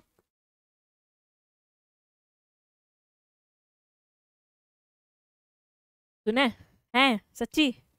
सच्ची मुच्ची yes very good very good very good बच्चा। आए है, है क्या बात है क्या बात है। क्या बात है। चलो अब दूसरी बात। ऑटो इम्यूनिटी क्या होती है? ग्राफ रिजेक्शन तो तब होगा जब किसी का लिया हुआ ऑर्गन मैच नहीं किया है ना? अब अगर तुम्हारी अपनी इम्यूनिटी बावली हो जाए और तुम्हारे अपने सेल को दुश्मन मान ले फिर बोलो तुम्हारी जैसे कहते हैं ना, घर का बेटी लंका टाइप टाइप से बात हो जाए, कि तुम्हारी अपनी इम्यूनिटी पागल हो गई और वो तुम्हारे अपने सेल्स को फॉरन मान रही है। उस टाइम पर ऑटो इम्यून रिएक्शन होते हैं। सो ऑटो इम्यूनिटी क्या होती है? The immunity start to kill our own body cells और सेल्फ एंटीजन सेल्फ एंटीजन के अगेंस्ट काम करना शुरू कर देती है। ठीक है? तो बेटा आपके इस संसार में बहुत सारे ऑटो इम्यून डिसऑर्डर्स हैं। तो उन ऑटो इम्यून डिसऑर्डर्स की अभी हम बात करेंगे। देखो, आपको वो जानने हैं सारे, उसमें से क्वेश्चन आता है। तो मैं आपको बहुत सारे ऑटो इम्यून डिसऑर्डर्स बताने वाली हूँ। हो जाओ तैयार? रेडी हो? रेडी हो बच्चों? चलो। तो सबसे पहला सबसे पहला ऑटोम्यून डिसऑर्डर हम वो करेंगे जो हम ऑलरेडी बहुत सारे चैप्टर्स में कर चुके हैं। जैसे type one diabetes type one diabetes पहले मैं नाम लिख देती हूँ सारे, है ना? अभी तुम्हें रिमाइंड होगा, यार, इतने सारे तो हमने पढ़ लिए हैं, है ना? अच्छा लोकोमोशन में कौन सा पढ़ा था? अरे, क्या बात है, दमनप्रीत कौर, क्या बात है? कौर ने ना, बड़ा सही दिया है एग्ज़ाम्पल रूमटॉइड आर्थराइटिस और सोरियोसिस पी साइलेंट है। विटिलिगो एडिसंस डिज़ीज़ पढ़ा है ना एडिसंस बच्चों? है ना? ग्रेव्स डिज़ीज़ ग्रेव्स डिज़ीज़ भी पढ़ा होगा तुमने। थायरोडाइटिस मल्टीपल स्क्लीरोसिस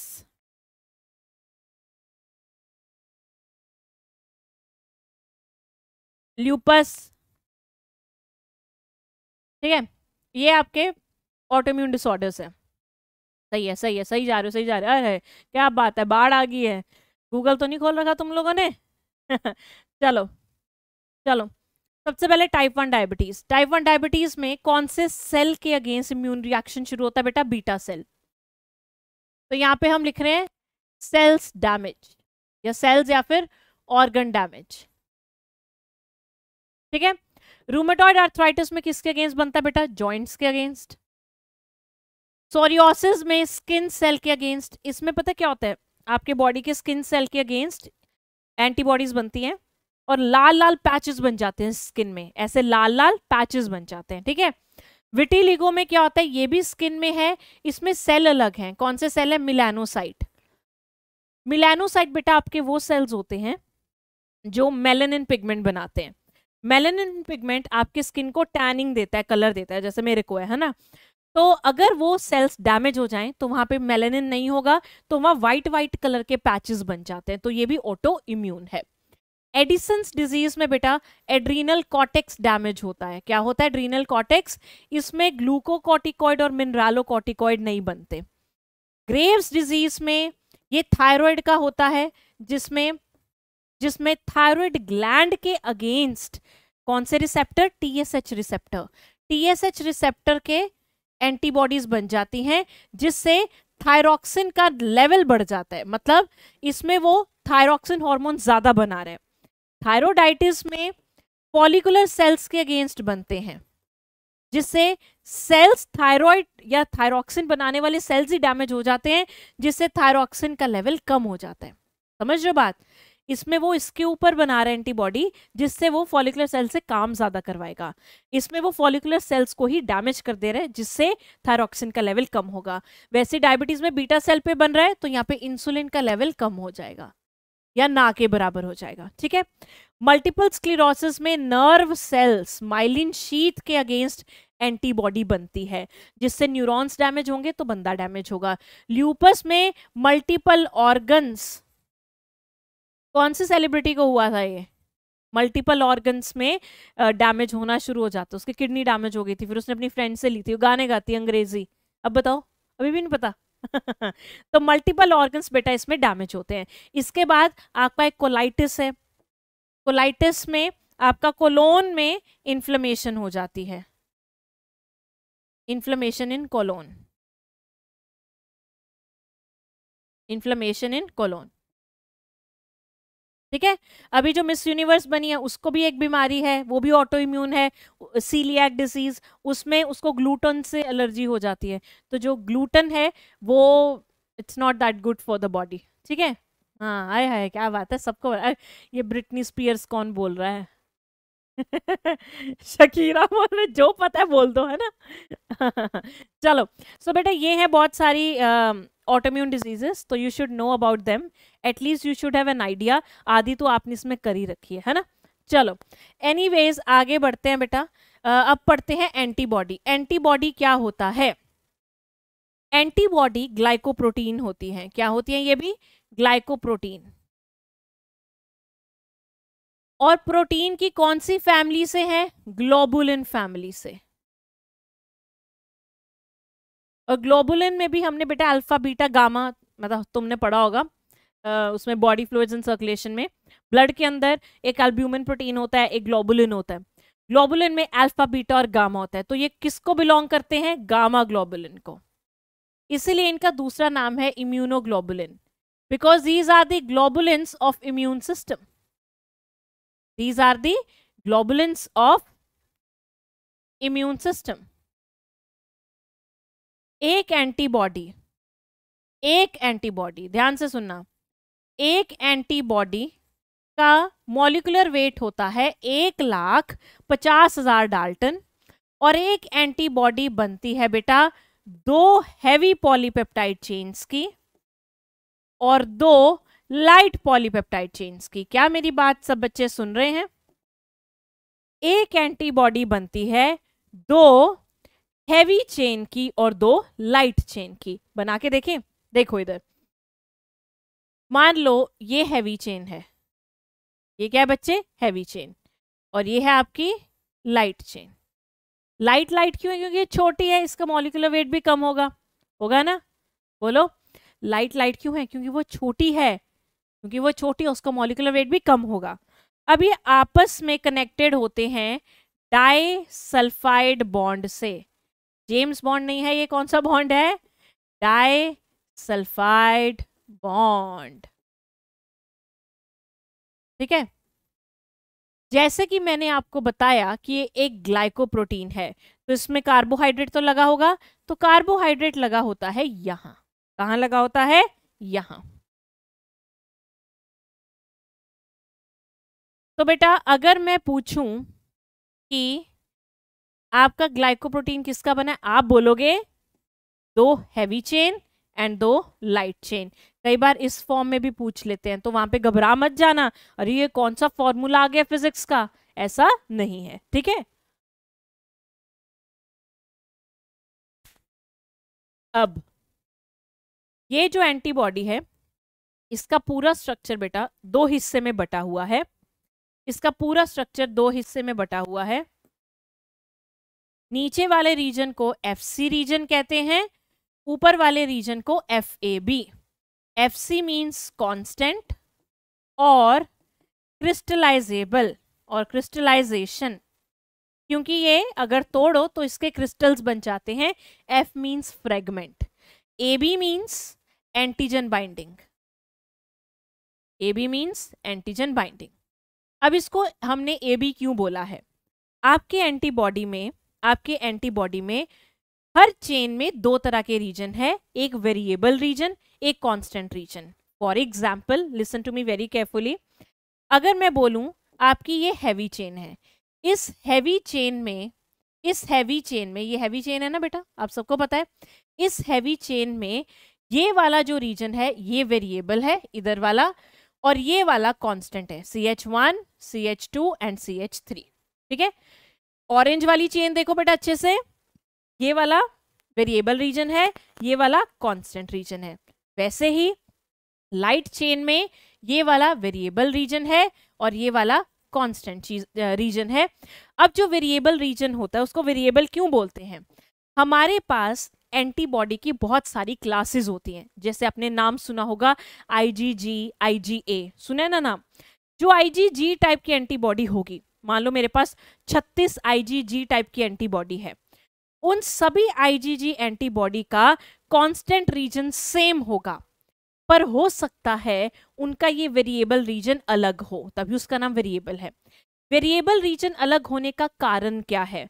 ये वेरिएबल रीजन डिपेंड करता है कि एंटीजन इसके साथ कौन सा बाइंड करेगा। तो जब भी एंटीबॉडी बनती है तो उसका वेरिएबल रीजन हमेशा डिपेंड करेगा कि वो किस एंटीजन से जुड़ने वाला है, वो जो कीटाणु आया है वो किस तरह का है।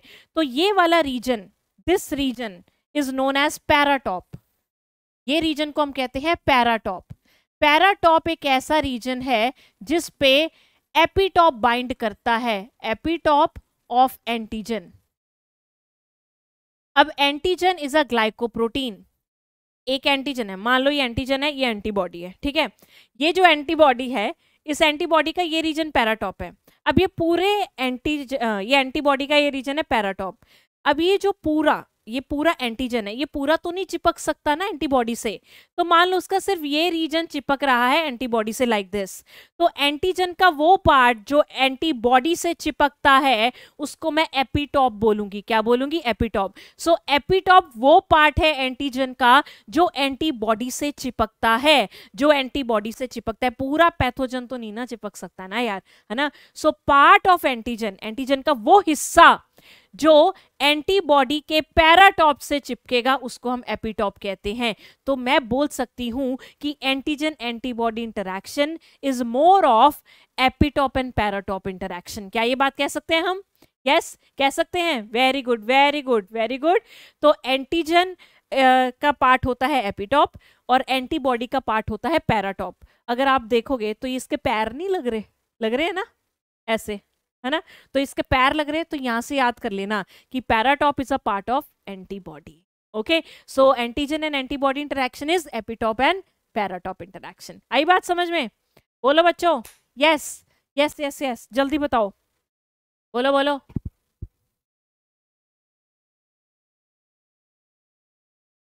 अगर मैं बोलूँ क्वेश्चन पूछ रही हूँ एक। कि पैराटॉप किससे बनता है? V H plus V L C H plus V L C H plus C L या फिर V L plus C H किससे बनता है बताओ क्या क्या लिखोगे? This is one this is two this is three this is four बोलो। पैराटॉप बेटा किससे बनता है? जल्दी बता दो। जल्दी बताओ। पैराटॉप किससे बनता है बच्चों? हरी मैम को बता दो जल्दी से। जल्दी बता दो पैराटॉप किससे बनेगा? One two three four hurry up hurry up hurry up yes yes very good one one is correct ठीक है? तो पैराटॉप हमेशा दोनों के वेरिएबल रीजन से बनता है। वेरिएबल रीजन किस पे डिपेंड करता है? डिपेंड अपॉन एंटीजन किसका? एपिटॉप ऑफ़ एंटीजन ठीक है? Right right? तो यहीं पे बेटा हम पढ़ते हैं अब types of antibody okay let's get started बच्चों। टाइप्स ऑफ़ एंटीबॉडी पढ़ते हैं। आपने अलग अलग प्रकार की एंटीबॉडी सुनी होगी? सुनी होगी ना यार?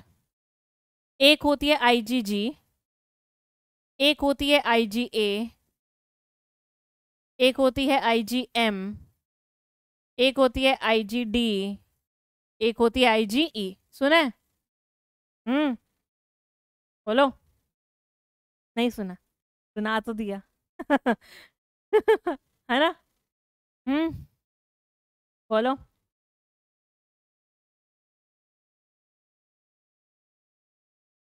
चलो।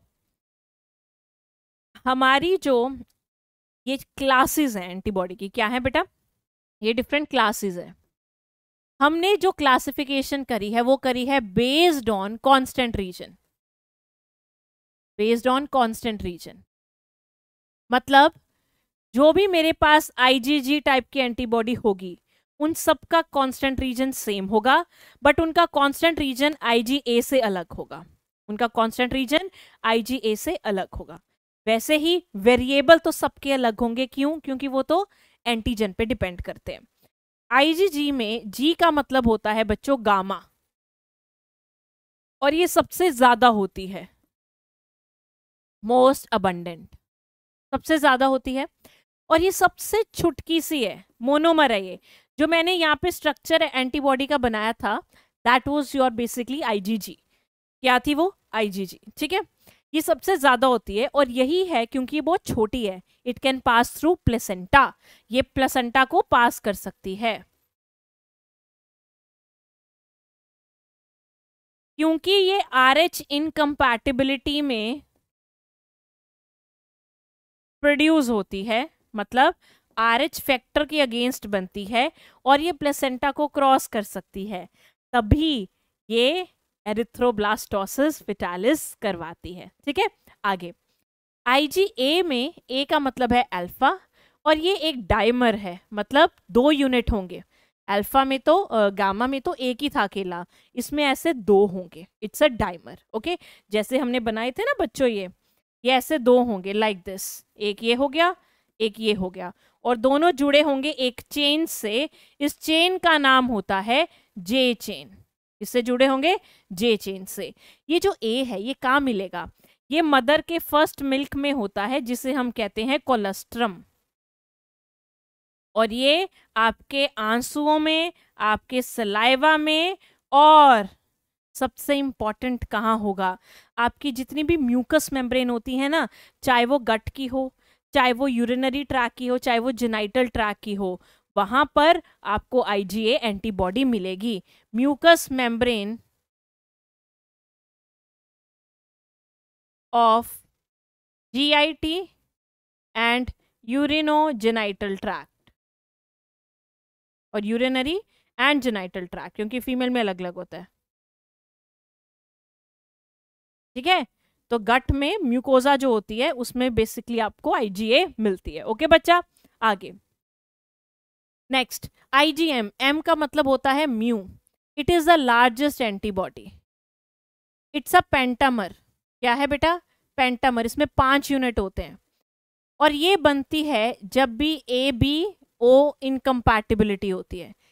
क्योंकि ये बड़ी है, ये प्लेसेंटा को पास नहीं कर सकती, तभी ये इनकम्पैटिबिलिटी के केस फीटस और मदर के बीच में नहीं हो पाते। अब आपने देखा होगा, उस आपका जो ब्लड ग्रुप है, हमेशा ऐसा थोड़ी ना मम्मा से मैच करता है।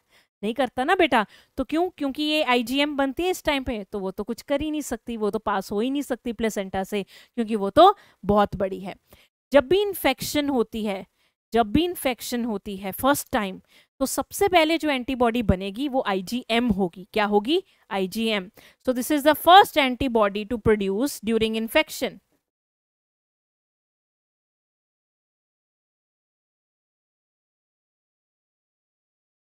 during infection ठीक है? फिर आते हैं डी डी फॉर डेल्टा ये जो एंटीबॉडी अराउंड एक से दो परसेंट होती है, बहुत कम होती है। It's around one to two percent और ये आपको हमेशा मिलेगी बी सेल के ऊपर। मान लो ये बी सेल है ना तो बी सेल के ऊपर ये एंटीबॉडी ऐसे लगी हुई मिलेगी हमेशा। जो आईजीई है ई मींस एप्सिलन राइट ये होती है लेस देन वन परसेंट अगर तुम्हारे शरीर में कभी इसका अमाउंट बढ़ गया, दस पंद्रह परसेंट हो गई तो मान लेना तुम्हें कोई एलर्जी है तो ये तब बनती है जब आपको कोई एलर्जीज होती है।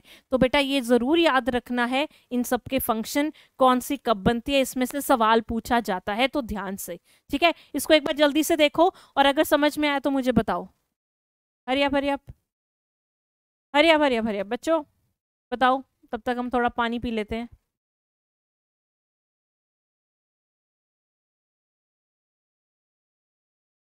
यस और नो बता दीजिए। मैडम जी को? हम्म। बोलो बोलो। अभी बताएँगे हिमोरल भी बताएँगे, सब बताएँगे बेटा। गो विद द फ्लो करो ना आप, हमारे साथ। यस चलो भाई, चलो। आए है दिल आ रहे हैं गुलाबी गुलाबी। चलो चलो चलो चलो चलो, ये। तो हमने बेटा करी है types of antibodies yes types of antibodies okay okay okay okay okay चलो भाई बच्चों, आगे बढ़ते हैं। अब पढ़ेंगे आपकी सेल्स के बारे में। अब ज़रा गौर फरमाइएगा। ज़रा गौर फरमाइएगा, ठीक है? थोड़ी आँखें इधर।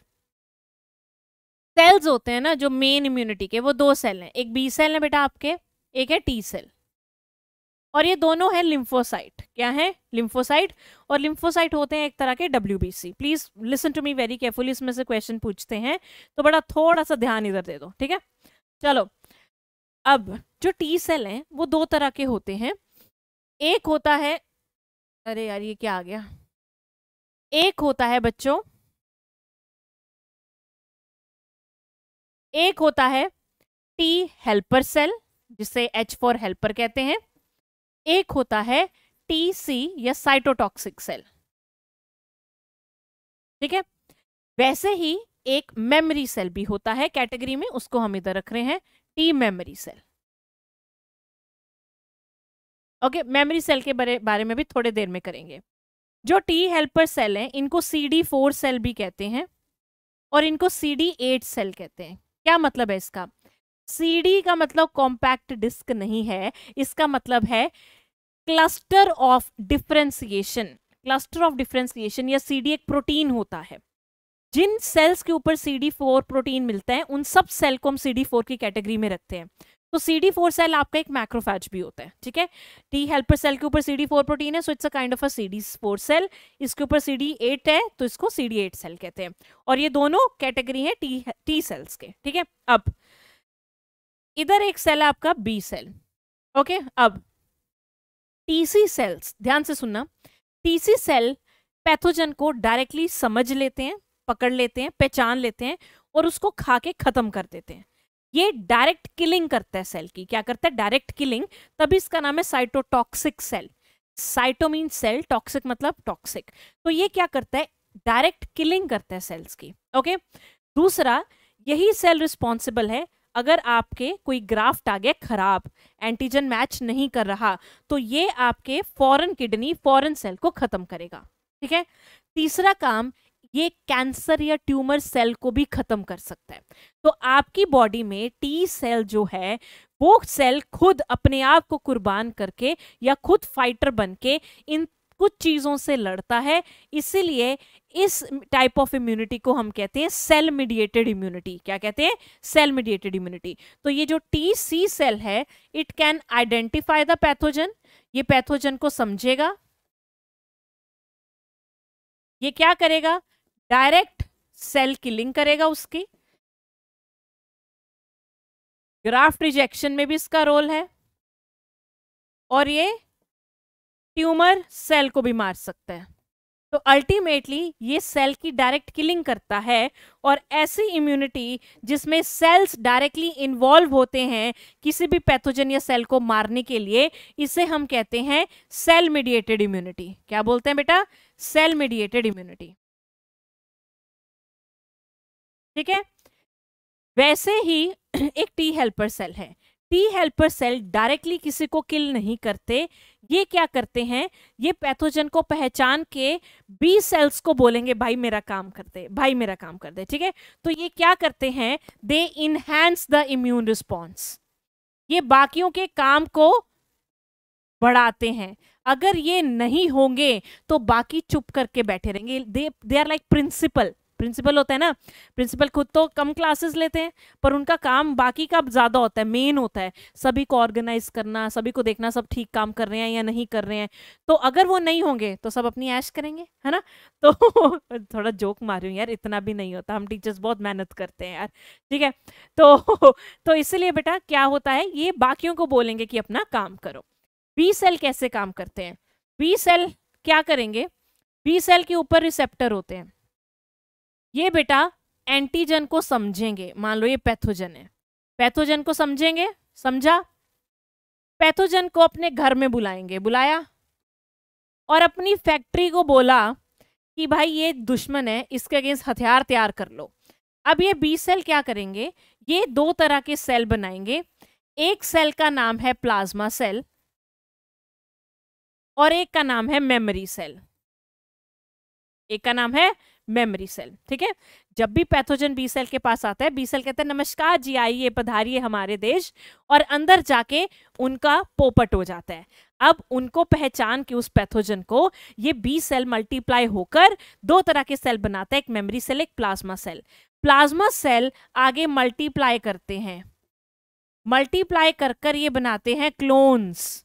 और ये जो क्लोन्स हैं, ये बनाते हैं एंटीबॉडीज। क्या बनाते हैं बेटा? एंटीबॉडीज। क्या बनाते हैं ये? एंटीबॉडीज। अब ये जो एंटीबॉडीज हैं, ये बन रहे हैं बी सेल से और ऐसी इम्यूनिटी जिसमें एंटीबॉडीज इन्वॉल्व होते हैं, ऐसी इम्यूनिटी को हम कहते हैं ह्यूमोरल इम्यूनिटी। क्या बोलते हैं बेटा? Humoral immunity. ठीक है? अब इन मेमोरी सेल का क्या काम है? मेमोरी सेल एक ऐसे सेल हैं अब ये बन गए हैं एक बार पैथोजन के एक्सपोजर से। अब ये तुम्हारे शरीर में रहेंगे। जब अगली बार पैथोजन आएगा, जब अगली बार पैथोजन आएगा तो ये मेमोरी सेल रेडी बैठे हैं कि अब हम पैथोजन को पहचान चुके हैं। अब सीधा हम एंटीबॉडीज बनाएँगे और उसे खत्म कर देंगे। हम ये ताम झाम नहीं करेंगे, हम सीधा उसे पकड़ेंगे क्योंकि हमें पता चल गया वो कैसा है और एंटीबॉडी बनाएँगे और उसको किल कर देंगे। ठीक है? तो ये हुआ बेटा आपकी दो टाइप की इम्यूनिटी एक ह्यूमोरल इम्यूनिटी एक cell mediated cell mediated immunity is is associated with T cells whereas आपके जो ह्यूमोरल uh, है वो बी सेल से एसोसिएटेड होती है। क्या किसी को इसमें कोई बेटा प्रॉब्लम uh, यस yes? बोलो। साइटोटॉक्सिक को किलर सेल्स भी बोल देते हैं। एक बच्चा पूछ रहा है मैम यस? और एक होते हैं बेटा टी मेमोरी सेल्स ये मेमोरी सेल भी वैसे ही काम करते हैं, जैसे बी सेल करते हैं तो ये भी मेमोरी रखेंगे, अगली बार पैथोजन आया उसे सीधा मार देंगे। Fine any doubt in this yes बोलो बोलो। किसी बच्चे को बेटा इसमें कोई डाउट हरिया फरिया प्लेट मी नो जल्दी से। हम्म। यस एक टी सप्रेसर सेल भी होते हैं। कोई बच्चा पूछ रहा है यस उनका काम होता है नॉर्मल कंडीशन में इम्यूनिटी को ठंडा करके रखना। क्योंकि अगर इम्यूनिटी इतना काम करेगी तो ऑटो इम्यून डिसीजेस ज़्यादा हो सकते हैं बेटा। ठीक है? कोई बच्चा पूछ रहा था तो मैंने बता दिया but it's not that much of importance all right no doubt very good very good very good very good very good all right all right all right चलें आगे बेटा। आगे बढ़ते हैं। आगे बढ़ते हैं। एक हाँ टाइप्स ऑफ़ इम्यून रिस्पॉन्स देखो हमने ना इम्यूनिटी को इम्यून रिस्पॉन्स को अलग अलग कैटेगरीज में डिवाइड किया है डिपेंडिंग अपॉन कि किस तरह से uh, हमारे पास अलग अलग फीचर हैं। पहला हमने डिवीज़न किया था कि सेल कौन से इन्वॉल्व हैं। हम अब कर रहे हैं कि रिस्पॉन्स कैसा दे रहा है वो। ठीक है अब जैसे मैं बोलूँ कि तुम्हें चिकन पॉक्स हुआ है ना? अब तुमने बहुत से बच्चे होंगे जिनको चिकन पॉक्स लाइफ में हुआ होगा। जल्दी बताओ, कितने कितने बच्चों को चिकन पॉक्स हुआ है? जल्दी बताओ, हुआ है? है बच्चे? भाई मेरे को तो हुआ था। मेरे को मेरे कज़न से हुआ था। मेरे को याद है, छोटे से होते थे, हम खेलते होते थे ना तो मेरे को पता नहीं था ये क्या होता है। तो खेलते खेलते अब वो छोटे छोटे पॉक्स होते हैं और अगर वो कांटेक्ट में आ जाएँ तो बस हो गया। है ना? यस बताओ बताओ बताओ। बोलो बच्चों, बोलो बोलो, जल्दी से। हम्म हुआ है हुआ है हुआ है। मैम, हुआ था, बहुत आइसक्रीम खाई है। कौन खा रहा है आइसक्रीम चिकन पॉक्स में? चलो तो एक बार ऐसे ही हुआ था एक बार मैं कहीं पढ़ाती होती थी, वहाँ पे एक क्लास में हो गया बच्चे को ऑफलाइन में, और उसने पूरी क्लास को फुला दिया। मैं देखूँ क्लास का है? वो आधे बच्चों को चिकन पॉक्स हो गया, ठीक है? तो क्योंकि ये वायरल है और कम्युनिकेबल है। तो बेटा जब आपको फ़र्स्ट टाइम चिकन पॉक्स हुआ लाइफ में तो तुम्हें बीमारी हुई पूरी? मतलब पैथोजन आपके शरीर में पहली बार आया। तो उस टाइम पे तुम्हारे शरीर उसे पहचान नहीं पाया। तो आपके शरीर को ये सारा काम करना पड़ा। आपके शरीर को ये सारा काम करना पड़ा। है ना? पहले पहचानना पड़ा, फिर एंटीबॉडी बनानी पड़ी। इतने में वो वायरस जो था, बड़ा तेज था, उसने आपको बीमारी कर दी पूरी। ऐसे इम्यून रिस्पॉन्स को हम कहते हैं प्राइमरी इम्यून रिस्पॉन्स क्या कहते हैं बेटा? प्राइमरी जिसका नाम है एमनास्टिक क्या कहते हैं एमनास्टिक प्राइमरी इम्यून रिस्पॉन्स वो होता है कि जब आपके शरीर में पैथोजन पहली बार आया और उसने आपको बीमारी करके दिखाई, क्योंकि आपका इम्यून सिस्टम उसको भी पहचानता नहीं था। तो उस टाइम पर आपका शरीर, आपके इम्यून सिस्टम ज़्यादा काम नहीं कर पाया राइट अब, जब अगली बार वायरस आएगा, क्या तुम्हें चिकन पॉक्स होगा? नहीं, कहते हैं ना, एक बार हो गया तो दोबारा नहीं होता, है ना?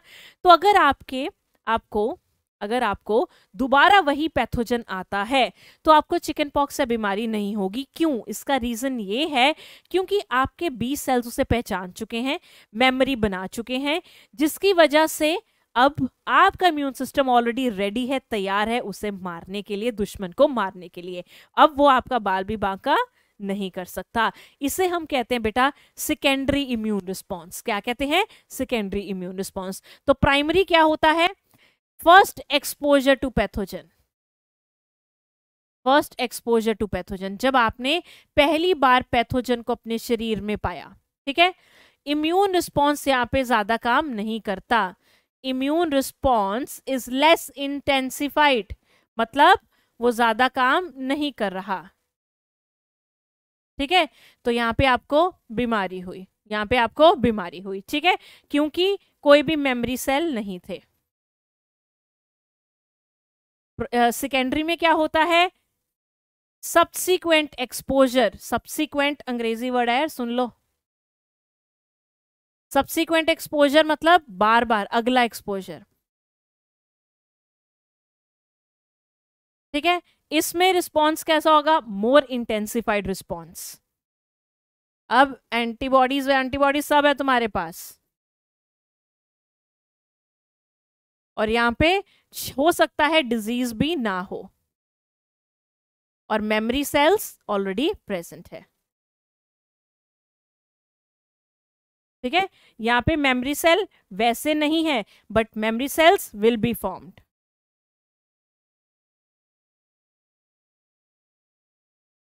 okay इसी के बेसिस पे ही हमने वैक्सीन बनाई है। इसी के बेसिस पे बेटा हमने क्या बनाया है? वैक्सीन बनाई है। देखा? है ना? इसी के बेसिस पे हमने वैक्सीन बनाई है फाइन अब एक और प्रकार की इम्यूनिटी है, उसके बारे में भी डिस्कस करेंगे। पहले आप हमें ये बताओ कि आपको ये समझ में आया? बोलो। क्या बेटा आपको ये समझ में आया? जल्दी से बता दो मैम को। हरी आप।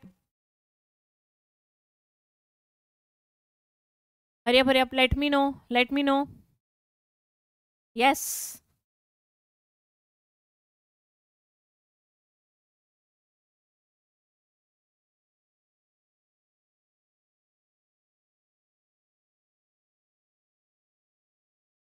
बताओ बच्चा लोग, समझ में आया? आया, अरे आया।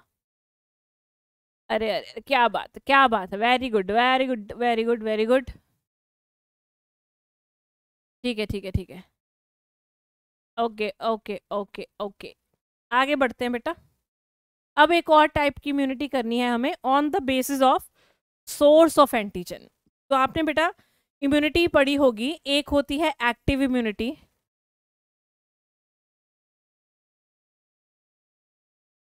एक होती है passive immunity on the basis of source of antigen और एंटीबॉडी ठीक है? अब, देखो। एक इम्यूनिटी है, एक इम्यूनिटी बन रही है कि तुम हो, तुम्हें बीमारी हो रही है और तुम्हारा ही खुद का शरीर एंटीबॉडी बना रहे और सेल्स बना रहे इम्यून सेल्स ठीक है?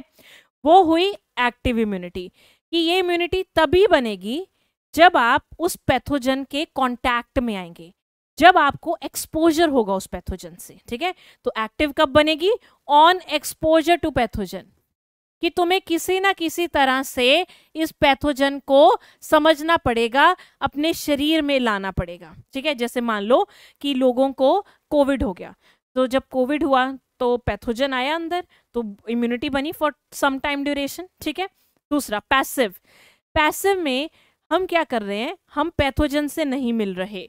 रादर हम रेडीमेड एंटीबॉडी या एंटी सेल किसी एंटी एंटीबॉडी या इम्यून सेल किसी से ले रहे हैं। जैसे आपने सुना होगा, जो लोग कोविड में अच्छे से रिकवर नहीं कर पा रहे थे और जो लोग रिकवर कर गए हैं तो जो लोग रिकवर कर गए हैं, उनसे हमने प्लाज्मा लिया था। लिया था?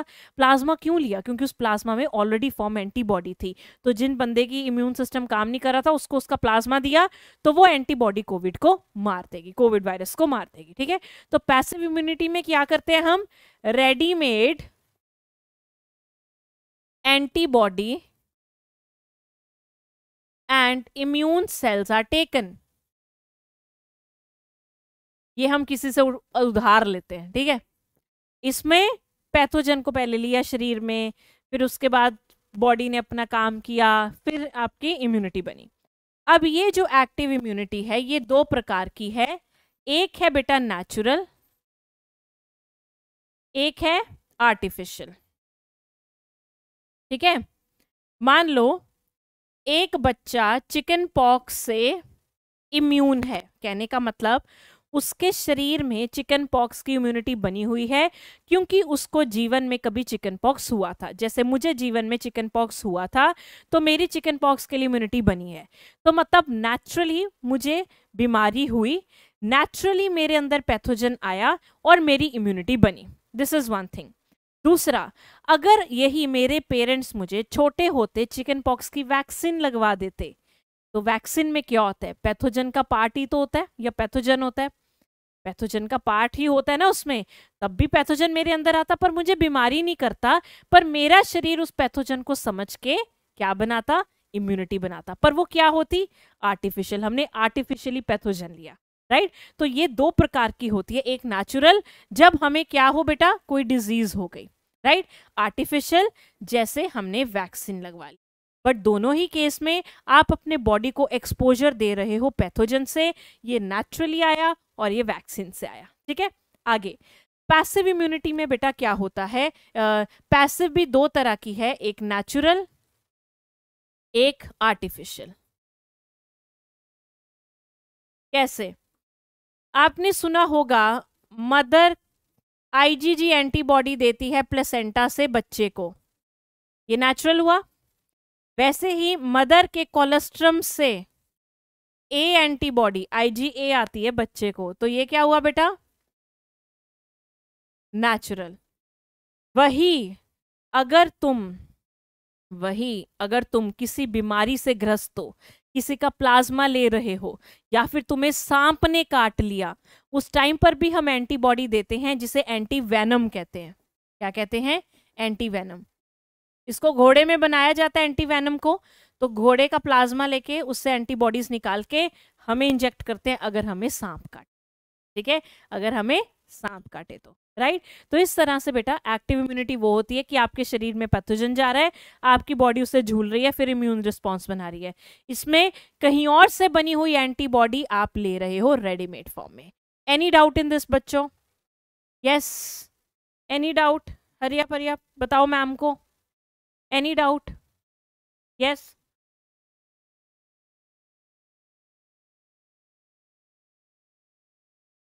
Boys and girls, any doubt? Let me know. बताओ बताओ है कोई डाउट है तृप्ति तृप्ति बेटा क्लियर हो गया वेरी नाइस अरे क्या बात है। नो डाउट नो डाउट सही है सही है सही है। क्रिस्टल क्लियर डायमंड क्लियर चक दे फटे। लिख दो फिर सब। अगर सही समझ में आ गया, लिख दो, चक दे फटे। Great great great great very nice very nice चलो। अब बेटा, आपकी बारी है। आप क्वेश्चंस करिए, क्योंकि अब पता चलेगा तुम्हें कितना समझ में आया, है ना? चलो क्वेश्चन करो। Colostrum the yellowish fluid secreted by mother during initial days of lactation is very essential to impart immunity to the new born infants because it contains natural killer cell monocyte macrophage I अरे यार, ऐसे कर दोगे? तो एकदम चुटकी वाला है। ये बड़ा बहुत पूछते हैं यार, ये क्वेश्चन ये क्वेश्चन बहुत पूछा जाता है। बताओ फिर। जल्दी बता दो। क्या होगा बेटा इसका आंसर? कोलेस्ट्रम में क्या होता है? सब बच्चे सोचो, किसी का आंसर नहीं देखना, चीटिंग नहीं करनी, गंदे बच्चे नहीं बनना। हम्म। क्या होगा बच्चों? वेरी गुड कोलेस्ट्रम में कौन सी एंटीबॉडी होती है? आईजी चलो next Again, the yellowish fluid colostrum secreted by mammary glands of mother during the initial days of lactation has abundant antibodies, that is IgA, to protect the infant. This type of immunity is called aha. Uh -huh. Same question, different uh, इसका answer बनेगा देखना चलो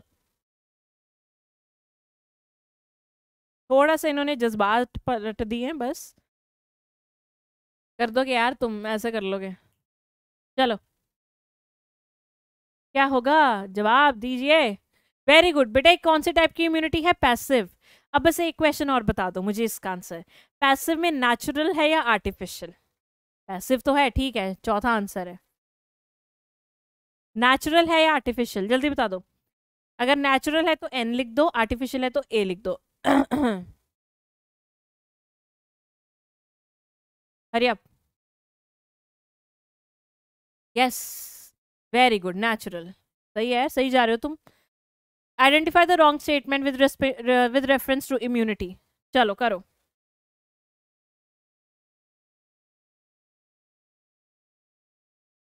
हरिया हरिया हरिया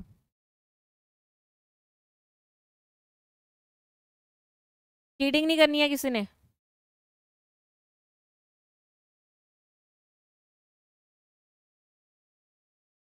बोलो बोलो। क्या होगा बेटा इसका answer?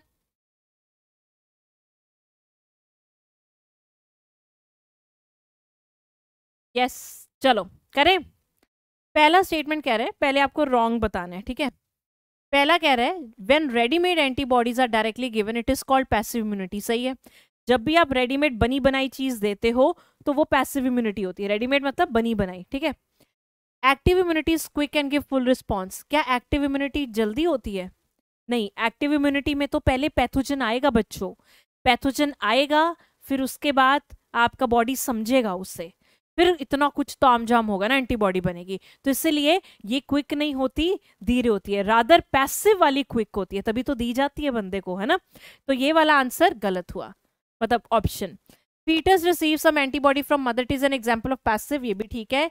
When exposed to antigen, antibodies are produced in host body. This is active. This is also correct. तो आंसर हुआ बच्चे टू। ठीक है ना? कर लोगे अगर ऐसा कुछ आया? अरे क्या बात है। एकदम चैंपियंस बैठे हैं हमारे पास। ये क्या आ गया?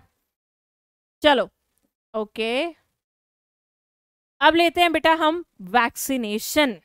वैक्सीनेशन शुरू करेंगे, पर अभी हम एक ब्रेक ले लेते हैं which is a dinner break for around twenty minutes dinner break के बाद प्रॉब्ली ब्रेक्स कम हो तो आप अपना खाना खाया खाइए it's already eight thirty because बीच में फिर बेटर टाइम नहीं मिलेगा। अभी अगर if I started vaccination so it will take a lot of time so just go and have your dinner so will be back within fifteen और twenty minutes okay all right तो time लगा देते हैं। Twenty minutes I guess are sufficient for you to have dinner and for me as well okay so meet you just quickly जाओ, खाना खा के आओ, ठीक है बच्चा? ओके वेरी नाइस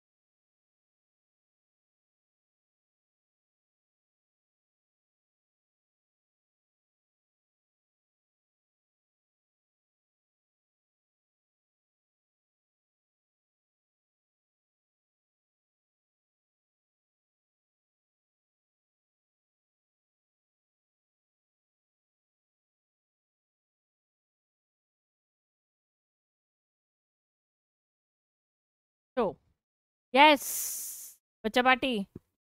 आ जाओ, जल्दी से वापस। खाना वाना खा लिया होगा आपने। खा लिया सबने? कहते हैं ना? खा लिया सबने या नहीं खाया? कहते हैं ना वो कि पहले पेट पूजा, फिर काम दूजा। है नहीं। देखो this is an essential part of the life खाना कभी नहीं छोड़ना चाहिए, कभी भी। मेरे जो दादी थे ना, वो पता क्या कहते थे? कहते, जब भी गुस्सा हो, परेशान हो किसी चीज़ के लिए, तब खाना मत छोड़ना कभी भी। इनफैक्ट वो कहते थे कि उस जगह पर जब आप परेशान हो तो एक फुलका या एक चपाती, एक रोटी एक्स्ट्रा खाओ, ताकि तुम्हारा जो शरीर है वो सेटिस्फाई रहे और तुम खुश रहो। क्योंकि जब आप काब्स खाते हो ना, देखो वो इतने पढ़े लिखे नहीं थे बट उनको ये बात पता थी क्योंकि जब आप काप्स खाते हो ना तो आपकी बॉडी खुश हो जाती है। है नहीं? तो कुछ भी हो, एग्ज़ाम की टेंशन है, कुछ भी हो anything always always have food never leave your food है या नहीं? आप कुछ भी करते हो लाइफ में you are doing it for food ना? और किस चीज़ के लिए कर रहे हो? Right all right all right all, आगे सब बच्चे, जल्दी आ जाओ बेटा सब। आया, आ रही है ना आवाज़ सबको? All right all right stress eating इतना भी मत खाओ। चलो। तो बेटा, अभी तक हमने टाइप्स ऑफ़ इम्यूनिटी किया अलग अलग इम्यून रिस्पॉन्स किए कि किस तरह से आपकी बॉडी पैथोजन के जब कांटेक्ट में आती है तो किस तरह से बिहेव करती है। अब हम पढ़ेंगे वैक्सीनेशन तो शुरू होते, हो जाओ तुम। हम भी शुरू होते हैं। And and will start with vaccination और यहाँ पे भी आपको एक स्टोरी सुननी पड़ेगी। स्टोरी मैम यस किस बच्चे को स्टोरी सुननी है अब? सुनिए स्टोरी सुनिए या नहीं? बताओ। बताओ बताओ। यस और नो बच्चे कह रहे हैं ma'am you look very energetic ये राज तो राज ही रहेगा। ये नहीं, मैं कैस, किसी को बताऊँगी कि how I always remain energetic चाहे नौ घंटे की क्लास हो। सब पूछते हैं मुझे। मैं नहीं बता रही। ये तो सीक्रेट ही रहेगा। एनी वेज एनी वेज बेटा वैक्सीनेशन पढ़ते हैं। वैक्सीनेशन वैक्सीन ये वर्ड कहाँ से आया? ये आया वाका से। वाका मीन्स काउ वाका का मतलब क्या होता है बेटा? काउ तो vaccine who is the father of vaccination किसने इसको डिस्कवर किया? एडवर्ड जेनर ने। किसने बनाया? Who is the father of vaccination Edward Jenner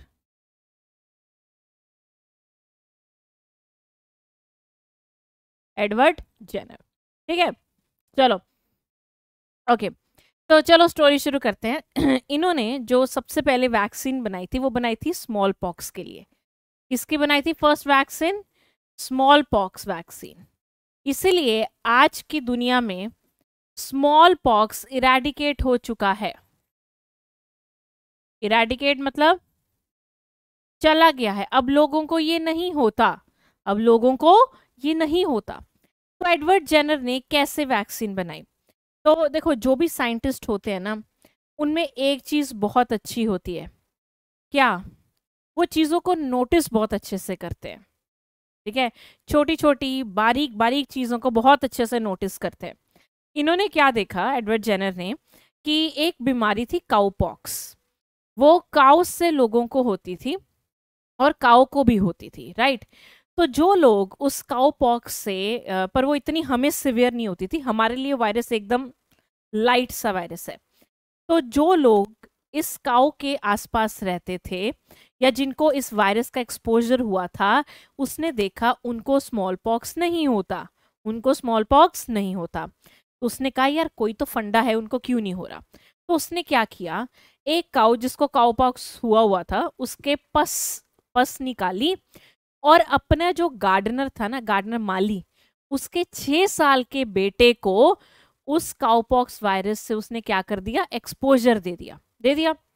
अब उसने देखा, उस बच्चे को बुखार हुआ, थोड़ा वो अनईजी हुआ, पर उसके बाद वो ठीक हो गया, उसको ऐसा कुछ नहीं हुआ। फिर उसने थोड़े टाइम बाद स्मॉल पॉक्स वाला वायरस उसको दिखाया या उसकी बॉडी को एक्सपोज किया। अब उसको स्मॉल पॉक्स हुआ ही नहीं। देखो, वैसे आज की डेट में ही अनएथिकल आप ऐसे नहीं कर सकते, पर तब इतने वो नहीं होते थे ना, रूल्स वगैरह स्ट्रिक्ट नहीं होते थे। तो उसने इस तरह से बेटा पहली वैक्सीन डिस्कवर करी। राइट तो स्मॉल पॉक्स की वैक्सीन कहाँ से आई? काउ पॉक्स से। तो मतलब उसने बेसिकली किया क्या? एक वायरस यूज़ किया। वो वायरस थोड़ा वीक था। वो वायरस थोड़ा वीक था, पर उस वायरस ने हमारे शरीर में प्राइमरी या एमनास्टिक इम्यून रिस्पॉन्स जगा दिया और जब अगली बार एक्चुअल में पैथोजन आया तो उसने, हमारी बॉडी ने उसके अगेंस्ट सेकेंडरी इम्यून रिस्पॉन्स चलाया, जिसकी वजह से हमें बीमारी नहीं हुई। क्या ये बात सब बच्चों को समझ में आई? यस बताओ, क्या ये सबको समझ में आई? तो उसने क्या किया बेटा? ये है काओ। है ना? ये लो, काओ। हाय आई एम काओ। ये लो, ठीक है? इस काओ को क्या हुआ है? Cowpox. अब इसको काओ पॉक्स हुआ है तो छोटे छोटे पस सेल्स होंगे ना, ऐसे। ठीक है? ये है छह साल का बच्चा। खुशी खुशी खेल रहा था और लग गया एडवर्ड जेनर के हाथ। राइट। अब क्या किया इसने?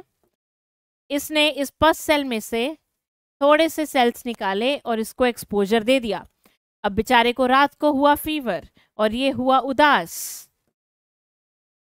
ये हुआ उदास। हो गया? इसको क्योंकि फीवर वीवर आया। इसको क्या आया बेटा? फीवर आया। अब इस पैथ एंटीजन के आने से इसके शरीर ने एंटीबॉडी बना ली। क्या बना ली? आई थिंक फिप्स था इस लड़के का नाम है। इसने क्या बना ली बेटा? एंटी बॉडी बना ली। बना ली? ठीक है। अब यहाँ पे इसने एंटीबॉडी बनाई। अब इसने क्या किया? इस बच्चे को किससे एक्सपोजर किया? स्मॉल पॉक्स वायरस से। दिया? पर इसको स्मॉल पॉक्स नहीं हुआ। क्यों? क्योंकि अब बॉडी के अंदर ऑलरेडी एंटीबॉडी है। अब जो रिस्पॉन्स शुरू होगा, वो सेकेंडरी इम्यून रिस्पॉन्स होगा। हुआ? यस बताओ। चिंटू और रामलाल का हाय हाय। तुम सब टीचर्स का मिक्स कर दो, है ना? काओ ये ये बिल्ली नहीं है। मैम काओ ऐसे नहीं होती। देखो, इसके सींग है बेटा, दो ऊपर। दो सींग है। काओ है ये। बोलो, ये काओ है। ठीक है? ये हमारे यहाँ ऐसी काओ होती है। मैम एक किस एंगल से काओ काओ ओपी। ठीक है ना यार I try to make cow. ठीक है बस, बढ़िया काओ है देखो, काओ है ये, घास खा रही है। ये लो, घास भी खिला दी इसको। क्यों तंग कर रहे हो बेचारी काओ को? तो इस तरह से बेटा फ़र्स्ट वैक्सीन बनी स्मॉल पॉक्स से, और काफ़ी पुरानी बनी हुई है, इसलिए अब सब लोग वैक्सीनेटेड है इससे, और लोगों को कोई भी स्मॉल पॉक्स नहीं होता। एक बच्चा कह रहा है, मैम काउ को पोलियो हो गया। डोंट हा? बहुत शैतान हो तुम लोग। चलो तो बेटा how the vaccination is different from immunization मतलब एक इम्यूनाइजेशन भी होता है। इम्यूनाइजेशन में हम क्या करते हैं? उसमें हम वैक्सीन नहीं देते, उसमें हम क्या करते हैं? एंटीबॉडीज देते हैं। तो वैक्सीन ट्रू सेंस में है क्या चीज़? क्या है? वैक्सीन के अंदर क्या डालते हैं हम? क्या होगा इस वैक्सीन में? बताओ। इस वैक्सीन में क्या होता है? बेटा, वैक्सीन में या तो लाइव या तो लाइव बट वीक जिसे हम कहते हैं अटेन्यूएटेड क्या कहते हैं? अटेन्यूएटेड मतलब या तो पूरा लाइव ज़िंदा, एकदम ज़िंदा, पर पर निहत्था पैथोजन होगा, वो कुछ नहीं कर सकता, ठीक है? या फिर डेड होगा। मरा हुआ पैथोजन होगा या फिर पैथोजन का कोई पार्ट होगा। पर जो भी चीज़ हम यूज़ करेंगे, वो एंटीजन होगा। मतलब उसके पास दो प्रॉपर्टी होनी चाहिए। एक, कि वो इम्यून रिस्पॉन्स जनरेट करे दैट इज़ इम्यूनोजेनिसिटी और दूसरा रिएक्ट भी करे रिएक्टिविटी ठीक है, वो ट्रू एंटीजन होना चाहिए। ऐसे नहीं, आप उसका कोई और पार्ट डाल दो और वो बीमारी नहीं करता। राइट? right? जैसे अगर मैं बोलूँ जो टेटनस होता है ना? टेटनस वाला बैक्टीरिया का टॉक्सिन है जो परेशान करता है। यही बताया था मैंने, पर अगर उसका कोई और हमने कोट डाल दिया, जो बीमारी नहीं करता तो वैक्सीन का तो कोई फ़ायदा ही नहीं ना हुआ बेटा। तो इसलिए जो भी पार्ट डालते हैं, वो एंटीजन होना चाहिए। उसके पास एंटीजेनिक प्रॉपर्टी होनी चाहिए, वो कोई काम करे, इम्यून सिस्टम उसे पहचाने। अदरवाइज़ वो हमारे काम का बिल्कुल भी नहीं है। ठीक है? आई बात समझ में? आई बात समझ में? बोलो। बोलो बोलो बोलो। Yes yes yes yes yes all right तो ये हुआ बेटा वैक्सीन क्या होती है? अब वैक्सीन कितने प्रकार की हैं? सब बच्चे बहुत ध्यान से सुनना, क्योंकि इसमें बहुत बच्चे कंफ्यूज होते हैं। First generation second generation third generation vaccine में, ठीक है? चलिए बेटा तो वैक्सीन की जनरेशन होती हैं। एक होती है फ़र्स्ट जनरेशन एक होती है सेकेंड जनरेशन एक होती है थर्ड जनरेशन ठीक है? सुनो बच्चे हेलो जरा ध्यान दीजिए भाई इधर। थोड़ा जा गौर करो जी इतने चलो चलो। हाँ जी। हाँ बिल्कुल एकदम, इधर। हम्म। चलो। बेटा first generation second third generation हमने किस बेसिस पे कहा है कि हम कौन सा पार्ट यूज़ करें? उनको बना कैसे रहे हम? हम उनको बना कैसे रहे हैं फ़र्स्ट जनरेशन वैक्सीन वो जनरेशन है जिसमें हम पूरा का पूरा पैथोजन यूज़ करते हैं। अगर बैक्टीरिया तो वो पूरा होगा। अगर वो वायरस है, वो भी पूरा होगा। पर या तो वो ज़िंदा होगा अगर तो निहत्था होगा, जिसे हम कहते हैं लाइव एंड अटेन्यूएटेड अटेन्यूएटेड मतलब वीक पैथोजन जैसे हमने स्मॉल पॉक्स में काउ पॉक्स वायरस यूज़ किया तो वो ज़िंदा किया था ना, पर वो वीक था हमारे लिए। ठीक है? या फिर हम उसे डेड डेड यूज़ करेंगे, उसको हमने हीट हूट करके किल कर दिया। पर जब हम उसको हीट करके किल कर रहे हैं, ध्यान ये रखेंगे पैथोजन मर जाए, ऐसे ना हो हीट करके उसका प्रोटीन डीनेचर हो जाए। क्योंकि बेटा अगर ग्लाइकोप्रोटीन डीनेचर हो गया ग्लाइकोप्रोटीन ही तो एंटीजन बनाता है तो फिर तो कोई फ़ायदा हुआ ही नहीं। तो फ़र्स्ट जनरेशन वैक्सीन में बेटा वो जनरेशन आती है फ़र्स्ट जनरेशन में वो जनरेशन या वो वैक्सीन आती है, जिसमें हम कंप्लीट पैथोजन यूज़ करते हैं। Complete pathogen is used. Is used. ठीक है? अब बेटा ये जो पैथोजन है, ये जो पैथोजन है, ये पैथोजन लाइव भी हो सकता है, पर वीक होगा, जिसके लिए हम क्या अंग्रेज़ी में वर्ड यूज़ करते हैं? अटेनुएटेड या फिर वो डेड होगा हीट किल्ड ठीक है? अब हमारे पास एक वैक्सीन है एमएमआर एमएमआर में हम ज़िंदा यूज़ करते हैं, पर वो वीक होते हैं। और एक होती है ओपीवी ओरल पोलियो वैक्सीन, दो बूंद ज़िंदगी के। ये भी, इसमें भी पैथोजन लाइव होता है अटेनुएटेड होता है राइट इसका जो दूसरा नाम है, वो है सेबिन्स वैक्सीन और क्या कहते हैं इसे? और सेबिन्स वैक्सीन तो इन इन वैक्सीन को बनाने के लिए ना हमें बड़ा ध्यान रखना पड़ता है कि तुम ना एक लाइव पैथोजन दे रहे हो इंसान को। भाई, अगर तुमने इसको ढंग से नहीं बनाया, अगर तुमने इसको अच्छे से वीक नहीं किया तो कल को ये परेशान कर सकता है। ऐसा एक बार हुआ था, पोलियो वैक्सीन बनाई, ठीक नहीं बनी और जिसको वैक्सीन मिली, बेचारों को पोलियो हो गया। हुआ था एक बार, है ना, कहीं पे। डेड और हीट किल्ड, डेड और हीट किल्ड आईपीवी आईपीवी क्या है बेटा? इंजेक्टेबल पोलियो वैक्सीन ये इंडिया में नहीं लगाते इंडिया में ओरल पोलियो वैक्सीन ज़्यादा देते हैं, इसे सॉल्क्स वैक्सीन कहते हैं। ठीक है? अगर मैं दोनों में कंपेयर करूँ तो दोनों में से ओरल पोलियो वैक्सीन बेटर है, इसलिए हमें देते हैं। क्यों? क्योंकि ये जो वायरस है ना, मैंने बताया ये फीको ओरल ट्रांसमिशन से जाता है। तो अगर आप गट से ले रहे हो थ्रू माउथ तो ये आपके अंदर गट की इम्यूनिटी भी बना देगा। और वो जाता तो वायरस गट से है, वो तो वहीं खराब हो जाएगा, सब उसको खत्म कर देंगे, है ना? पर अगर हम सिर्फ़ इंजेक्टेबल लेंगे तो हमारी गट की इम्यूनिटी नहीं बनेगी, सिर्फ़ अंदर बॉडी में बनेगी राइट इसीलिए this one is better OPV oral polio vaccine ठीक है? यस यस यस यस चलो, आगे चलते हैं। सेकेंड जनरेशन में क्या करते हैं? सेकेंड जनरेशन में part of pathogen is use पूरा पैथोजन नहीं यूज़ कर रहे, सिर्फ़ उसका कुछ हिस्सा यूज़ कर रहे हैं। अब ये पार्ट क्या होंगे? ये पार्ट एक टॉक्सॉइड भी हो सकता है या कोई सेलुलर फ्रेगमेंट भी हो सकता है। मतलब आप टॉक्सॉइड किसे कहते हैं? इनएक्टिव टॉक्सिन को। अब मान लो, मानना पड़ेगा। मान लो टेटनस वाला जो बैक्टीरिया है, वो टॉक्सिन सिक्रीट करता है, जिससे आपको बीमारी होती है, ठीक है? तो अगर मैंने इस टॉक्सिन को इनएक्टिव कर दिया, ठीक है? और उसको टॉक्सोइड बना दिया, पर वो अभी भी एंटीजन की तरह काम कर रहे हैं तो क्या मैं उसे इंजेक्ट कर सकती हूँ? कर सकती हूँ। तो जब हम इन पार्ट्स को यूज़ करते हैं तो वो आपकी आती है सेकेंड जनरेशन ठीक है? जैसे कि टेटनस टीटी टीटी सुना होगा ना? टीटी का इंजेक्शन लगता है। This is tetanus toxoid. ठीक है? फिर आते है सेलुलर फ्रेगमेंट मतलब आप उसका कोई एलपीएस लेयर यूज़ कर रहे हो, कोई ग्लाइकोप्रोटीन यूज़ कर रहे हो ग्लाइकोलिपिड यूज़ कर रहे हो, कोई भी एंटीजन यूज़ कर रहे हो it should be an antigen तो यहाँ पे एग्ज़ाम्पल है बेटा hepatitis hepatitis B vaccine hepatitis B vaccine is a recombinant vaccine आपने सुना होगा, ठीक है? थर्ड जनरेशन में बेटा हम क्या यूज़ करते हैं? हम R D T recombinant DNA technology और वेक्टर्स को यूज़ करते हैं और इससे हम एक पैथोजन रेडी करते हैं जो आपका एज अ वैक्सीन यूज़ होता है। इसमें भी एग्ज़ाम्पल है हेपेटाइटिस बी अब आप बोलोगे कि मैम अरे, ये क्या है? ये तो आपने दोनों एग्ज़ाम्पल लिख दिया, है ना? ये क्या बात है?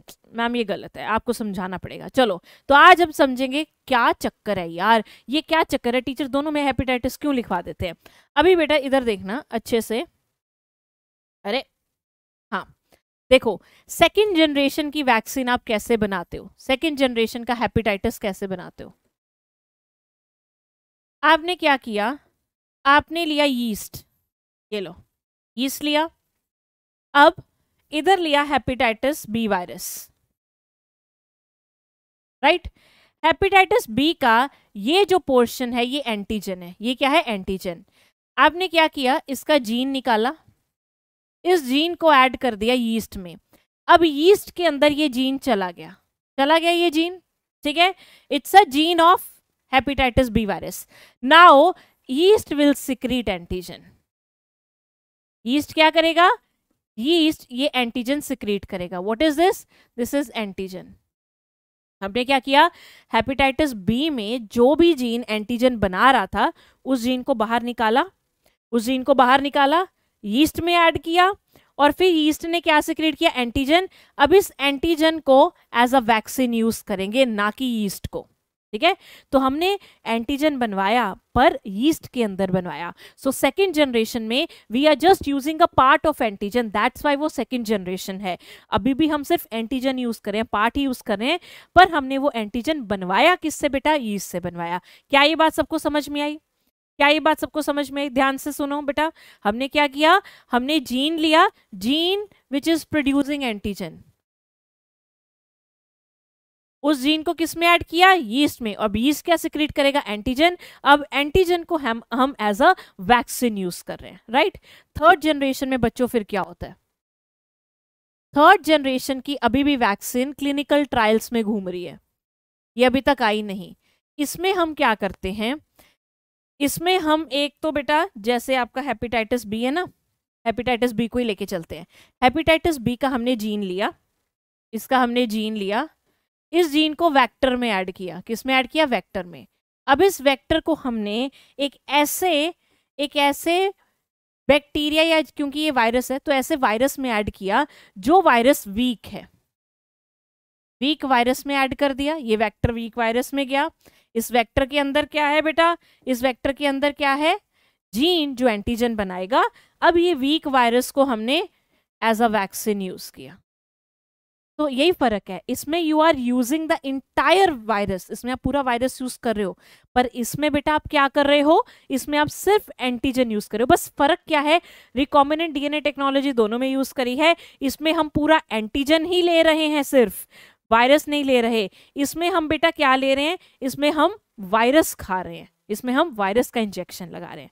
ठीक है? आई बात समझ में सबको? यस yes, तो थर्ड जनरेशन में एक तो हेपेटाइटिस बी भी एग्ज़ाम्पल आता है स्मॉल पॉक्स भी अभी क्लिनिकल ट्रायल्स में चल रही है। सो so ये है बेटा तीनों का फंडा।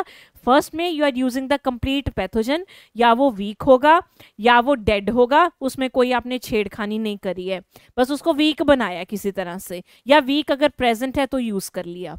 सेकेंड जनरेशन में आप सिर्फ़ पैथोजन का पार्ट यूज़ करते हो जैसे टेटनस का टॉक्सॉइड बना दिया टॉक्सिन को इनएक्टिव कर दिया या फिर सेल का कोई फ्रेगमेंट ले लिया। पर हम इसमें एक और चीज़ यूज़ करते हैं कि हम यीस्ट में भी उस एंटीजन को सिक्रीट करवा सकते हैं। वायरस को क्योंकि ग्रो हम करवा नहीं सकते क्यों? क्योंकि वो ऑलरेडी बहुत खराब है। खराब बनता है ना वो तो उसको ग्रो करा के क्या करोगे? तो उसका हमने जीन लेके उसको ग्रो कराया यीस्ट में। सो so, ये रिकॉम्बिनेंट वैक्सीन है secreted in yeast third generation में हम क्या करते हैं? थर्ड जनरेशन में हम एक वीक वायरस लेते हैं, उसमें वेक्टर लगा देते हैं, जिसके अंदर एंटीजन वाली वैक्सीन है, अब उस वायरस को हम खाते हैं। क्या ये बात समझ में आई? थम्स अप दे दो बेटा, अगर ये बात समझ में आई आपको। हरिया हरिया हरिया हरिया जल्दी बता दो बेटा, जल्दी से जल्दी से। हम्म। बताओ बताओ। मैम, आपकी सैलरी कितनी है? खुद तो बेरोजगार हो भाई तुम। नाम तुम्हारा बेरोजगार है। तुम टीचरों की सैलरियाँ पूछ रहे हो आके यहाँ पे। हम्म? क्या करोगे जान के? हाय हाय हाय हाय। क्या बात है, क्या बात है। मैम, आपकी शादी हुई है? ए, भाई यही तो पूछने आए हो तुम यहाँ लाइव चैट में है ना? है नहीं? है नहीं? ऐसा करते हैं क्लास से पहले ना इन बच्चों के लिए स्पेशली एक सीवी खोल दिया करेंगे।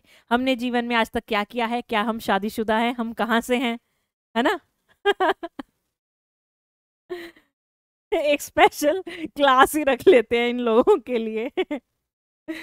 चलो। All right all right very nice बेटा very nice I hope that's pretty clear to everyone अब आपका माइंड इन चीज़ों में ज़्यादा नहीं घूमेगा। तो इसमें से एक प्रीवियस क्वेश्चन आया हुआ है अबाउट दिस वन ओपीवी और आईपीवी का, कि इनमें से कौन सी लाइव एंड अटेनुएटेड है, कौन सी हीट किल्ड है। सो माइंड इट इसको अच्छे से याद करना ओके okay? चलो। और हेपेटाइटिस बी का तो ऑलरेडी इट्स मैंशनड मेंशन किया गया है एनसीआरटी में भी तो इसीलिए आपको करना पड़ेगा, ठीक है? चलो चलो वेरी गुड बच्चे, अब हम शुरू करते हैं एलर्जीज वैसे तो एलर्जी किसी चीज़ से भी हो सकती है, कईयों को तो लोगों से भी होती है। होता है ना? होता है नहीं? होती है नहीं? मैं नहीं देखूँगी इसको। ऐसे करते हैं ना कई लड़कियाँ? करती है नहीं? चलो, बेटा एलर्जी का दूसरा नाम क्या है? एलर्जी का दूसरा नाम है हाइपर सेंसिटिविटी हम कहते हैं ना, यार तू बड़ा सेंसिटिव है, यार तू बड़ी जल्दी बीमार हो जाता है। होता है नहीं? होता है ना? है नहीं हाइपर सेंसिटिविटी मतलब बड़े सेंसिटिव हो आप। जैसे मैं, मेरी स्किन बड़ी सेंसिटिव है, बहुत बच्चे कहते हैं, मैम मेकअप लगा के आती है। अगर आप पास से देखोगे ना I already have this redness why because my skin is thin और मेरे यहाँ पे, मेरे जल्दी रिएक्शंस हो जाते हैं तो इसीलिए। सो so, ये भी एक तरह की hypersensitivity have allergy have allergies from some things that's I can't apply anything on it any तो मेरे ब्यूटी टिप्स हम बाद में देखेंगे। हम बात करते हैं एलर्जीज या हाइपर सेंसिटिविटी पे। बेटा एलर्जी क्या है? एलर्जी एक वो कहते हैं ना एक वो विलन ही होती जो सीरियल्स में होती है। या कह लो यार आजकल सीरियल्स में सीरियल्स में कितना कुछ आ रहा है ना, सीरियल में क्या आता है कि वो उसको धक्का देता है और वो लड़की पर्दे से ऐसे हो जाती है और मर जाती है। कितना फ़ेमस हो रहा है ना वो आजकल। तो यही है आपकी इम्यूनिटी भी। इम्यूनिटी में भी एक ऐसी कोई हीरोइन है, उसका नाम है एलर्जी फालतू में किसी एक छोटी सी चीज़ का एग्जैजरेशन कर दिया मतलब बड़ा चढ़ा दिया उस चीज़ को। तो एलर्जी में भी यही होता है it's an exaggerated immune response बड़ा चढ़ाकर दिया हुआ इम्यून रिस्पॉन्स एक पर्टिकुलर चीज़ के लिए, एक छोटी सी चीज़ के लिए। जैसे तुम घर पे करते हो ना, मेरे को फ़ोन लेके दो, मेरे को फ़ोन लेके दो, मेरे को तो वो कैमरे वाला फ़ोन लेना, मेरे को तो आईफोन लेना है ना? ऐसे करते हो ना, या मेरे को वो बड़ी स्क्रीन वाला फ़ोन लेके दो, रोते रहते हो, खाना नहीं खाते, करते हो ऐसे? हम तो हमारे यहाँ तो यार हम जिद ही नहीं करते थे ऐसे ही। हमें पता था यार कहाँ से ला देंगे हमारे पेरेंट्स, है ना? तुम भी हो गए कई ऐसे सियाने बच्चे, है या नहीं? तो ये भी हमारा जो इम्यून रिस्पॉन्स है, वो भी ऐसे कई बार जिद्दी हो जाता है। तो एलर्जी को अगर हम डेफिनेशन में बोले ना तो ये क्या है? एग्जैजरेटेड एग्जैजरेटेड का मतलब है बढ़ा चढ़ा के। तो एक अंग्रेज़ी वर्ड बता दिया, देखो कितना मस्त exaggerated why are you exaggerating things हम बोलते हैं ना, तुम चीज़ों को क्यों बढ़ा चढ़ा रहे हो? तो बोलना किसी को है ना, अंग्रेज़ी सीख लो थोड़ी बहुत। तो exaggerated immune response to a pathogen और टू एन एंटीजन बेटर से एंटीजन ये जो एंटीजन होगा बेटा, ये जो एंटीजन होगा, ये क्या हो सकता है? ये कोई फ़ूड भी हो सकता है, जैसे पीनट्स ये पोलन भी हो सकता है ये डस्ट भी हो सकता है। जैसे एस्थमा के केस में डस्ट होता है बेटा, ठीक है? पोलन के केस में लोगों को हे फीवर होता है। ये कोई ड्रग भी हो सकती है। ये कोई ड्रग्स भी हो सकती है, जैसे पेनिसिलिन जैसे पेनिसिलिन ठीक है? जैसे कि पेनिसिलिन। तो यहाँ पे, अरे कोई बोल रहा है हिंदी में, बेटा देखो, अब आप क्या सोचोगे? मैम ने कहा इंग्लिश सीख लो। तो इसका मतलब ये नहीं है कि बाकी लैंग्वेज अच्छी नहीं होती। मैं ये बोल रही हूँ वेन यू नो इंग्लिश ना तो आप ग्लोबली किसी से भी कोई भी बात कर सकते हो। ये तो नहीं है आपको एक ही जगह पे रहना है। You have to expand your wings ना। अगर आप बड़ा सोचते हो लाइफ में डॉक्टर बनने का, कल को तुम किसी मीट में जा रहे हो और वहाँ पे सारे गोरे आए हुए हैं, उनसे हिंदी में नहीं ना बात कर सकते। या आपको ट्रांसलेटर चाहिए। तो it's not like something is good और bad I am fluent in English I am fluent in Hindi I can read and write Punjabi as well तीनों लैंग्वेज रीड एंड राइट इसका मतलब ये नहीं है कि मुझे किसी लैंग्वेज से कुछ ऐसा मेरे लिए हर लैंग्वेज हर कल्चर के लिए रिस्पेक्ट है, ठीक है, ऐसी बात नहीं है तो आधे बच्चे यहाँ पे जो बोल रहे हैं ना तुम तुम लोग चुप रहो राइट चलो तो बेटा ये एक बड़ा चढ़ा के बनाया हुआ इम्यून रिस्पॉन्स है एक एंटीजन को लेके। वो एंटीजन कुछ भी हो सकता है। कई लोगों को कैश्यू या पीनट से एलर्जी होती है। कई लोगों को पोलन से होती है, जैसे ही फीवर हे फीवर कईयों को एस्मा होता है डस्ट से एलर्जी होती है, वो भी एक तरह की। और कईयों को किसी ड्रग से। जैसे बेटा ये पोलन वाली जो एलर्जी है हे फीवर इसमें लोगों को रनी नोज़ होता है। जब कई बार पोलन उड़ते हैं ना एक मौसम आता है तो वहाँ पे आ, लोगों को ना आँखों में पानी और फीवर ये सब चलता है। ये ऐसी एलर्जी से आपकी जान नहीं जाती पर हाँ आपको दिक्कत होती है। पर जो कई एलर्जी होती है ना कई एलर्जीज में इतना बुरा हाल हो जाता है कि आपकी जान भी जा सकती है। जैसे एक बार तुम्हारी दीक्षा मैम तुम्हारी दीक्षा मैम मरते हुए बची थी हाँ। और ऐसे हम चीज़ को बोलते हैं एनाफाइलेक्टिक शॉक। तो मुझे एक बार एनाफाइलेक्टिक शॉक हुआ था, मैं छोटी थी तो मुझे पता है मुझे किस चीज़ से अब एलर्जी है, मैं बताऊँगी नहीं पर आपको। राइट? तो क्या होता है बेटा एलर्जी में बेसिकली? अब इमेजिन करो, तुमने फ़र्स्ट टाइम फ़र्स्ट टाइम कोई ऐसी चीज़ खाई जिससे मान लो तुम, तुमको एलर्जी है। फ़र्स्ट टाइम में तुम्हें पता ही नहीं चलेगा, क्यों तुम्हारी body primary immune response show कर, शो करेगी, ठीक है? तो फ़र्स्ट टाइम में बेटा क्या होता है? ऑल राइट फ़र्स्ट टाइम में क्या होता है? आपका ये एंटीजन आया बॉडी में? फ़र्स्ट टाइम में आपका ये एंटीजन आया बॉडी में, ये मान लो आपकी बॉडी है। और आपकी बॉडी ने एंटीबॉडीज बना दी। बना दी? पर यहाँ पे कुछ नहीं हुआ नो इफ़ेक्ट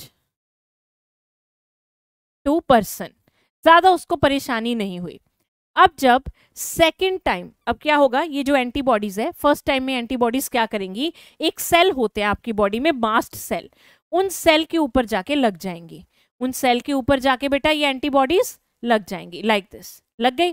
ठीक है? ये सेल क्या है बेटा? ये है मास्ट सेल याद है मास्ट सेल आपको? टिश्यूज में होते हैं। और बेजोफिल होते हैं ब्लड में। दोनों क्या सिक्रेट करते हैं? Histamine serotonin and heparin and histamine का काम होता है वेजोडाइलेशन और एलर्जी में बड़ा इंपॉर्टेंट रोल प्ले करता है, ठीक है? तो ये एंटीजन जब आया एंटीजन के आने से क्या बनी? एंटीबॉडी बंदे को कोई इफ़ेक्ट नहीं हुआ, बस ये एंटीबॉडी मास सेल के ऊपर लग गई। अब सेकेंड एक्सपोजर हुआ। अब मान लो सेकेंड एक्सपोजर हुआ। मैंने अपना जो वो एंटीजन है, जिसको हम एलर्जन कहते हैं। क्या कहते हैं? एलर्जन क्योंकि एलर्जी कर रहा है। अब सेकेंड टाइम एक्सपोजर हुआ मुझे इस एलर्जन से। तो इस टाइम में बेटा मेरे को क्या होगा?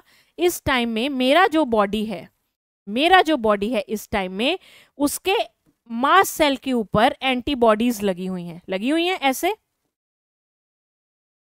अब ये एंटीजन क्या करेगा? ये एंटीजन आके लग जाएगा यहाँ पर। ये एंटीजन यहाँ पे लग गया। लग गया?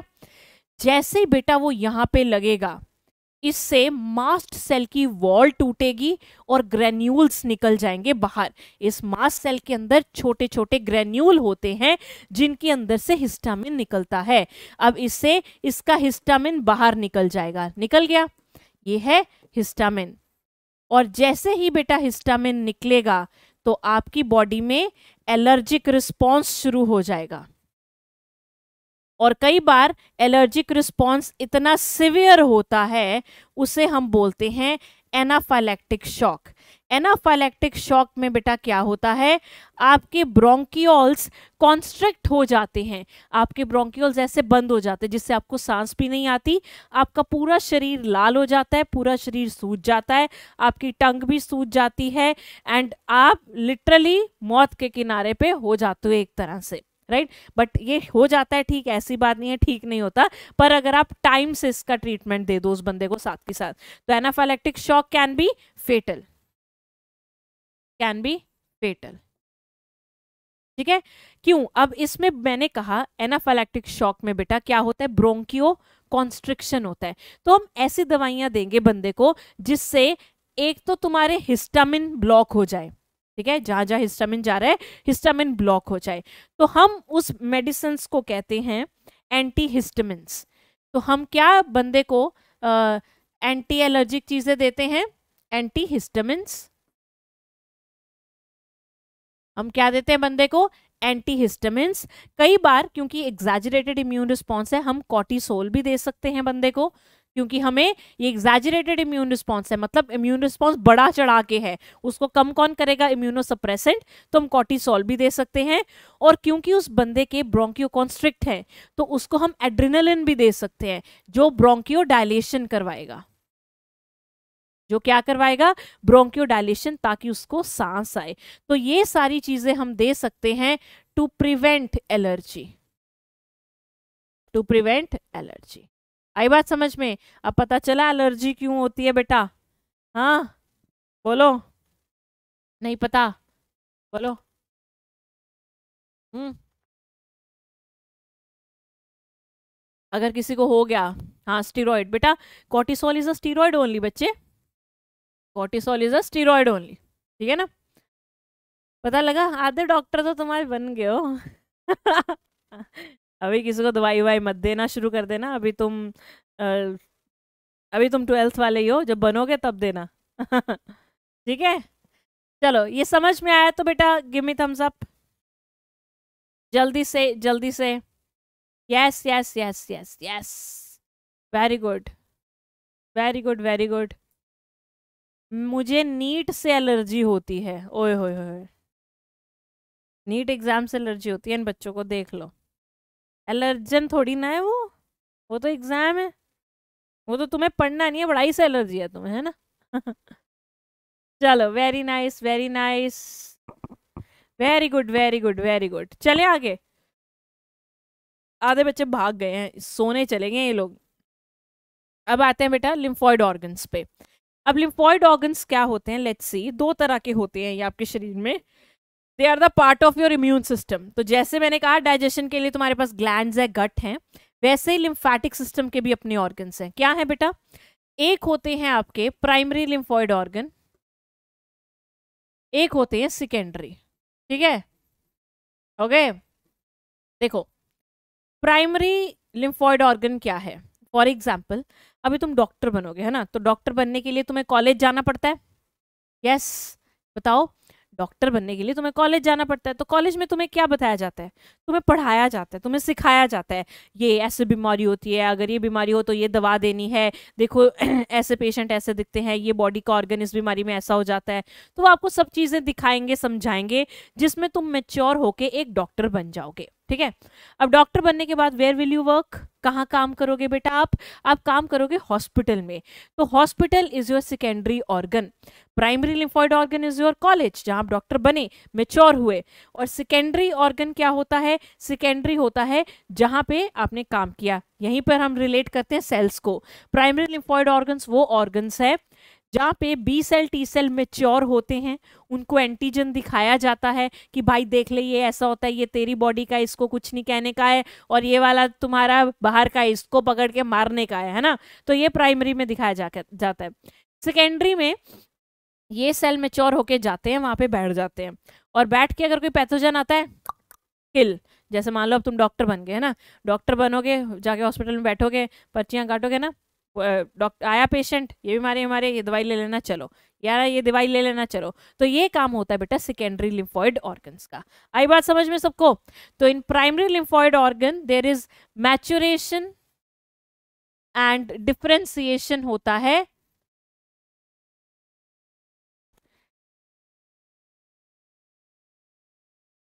बी एंड टी सेल्स का। ठीक है? आई बात समझ में सबको? बोलो।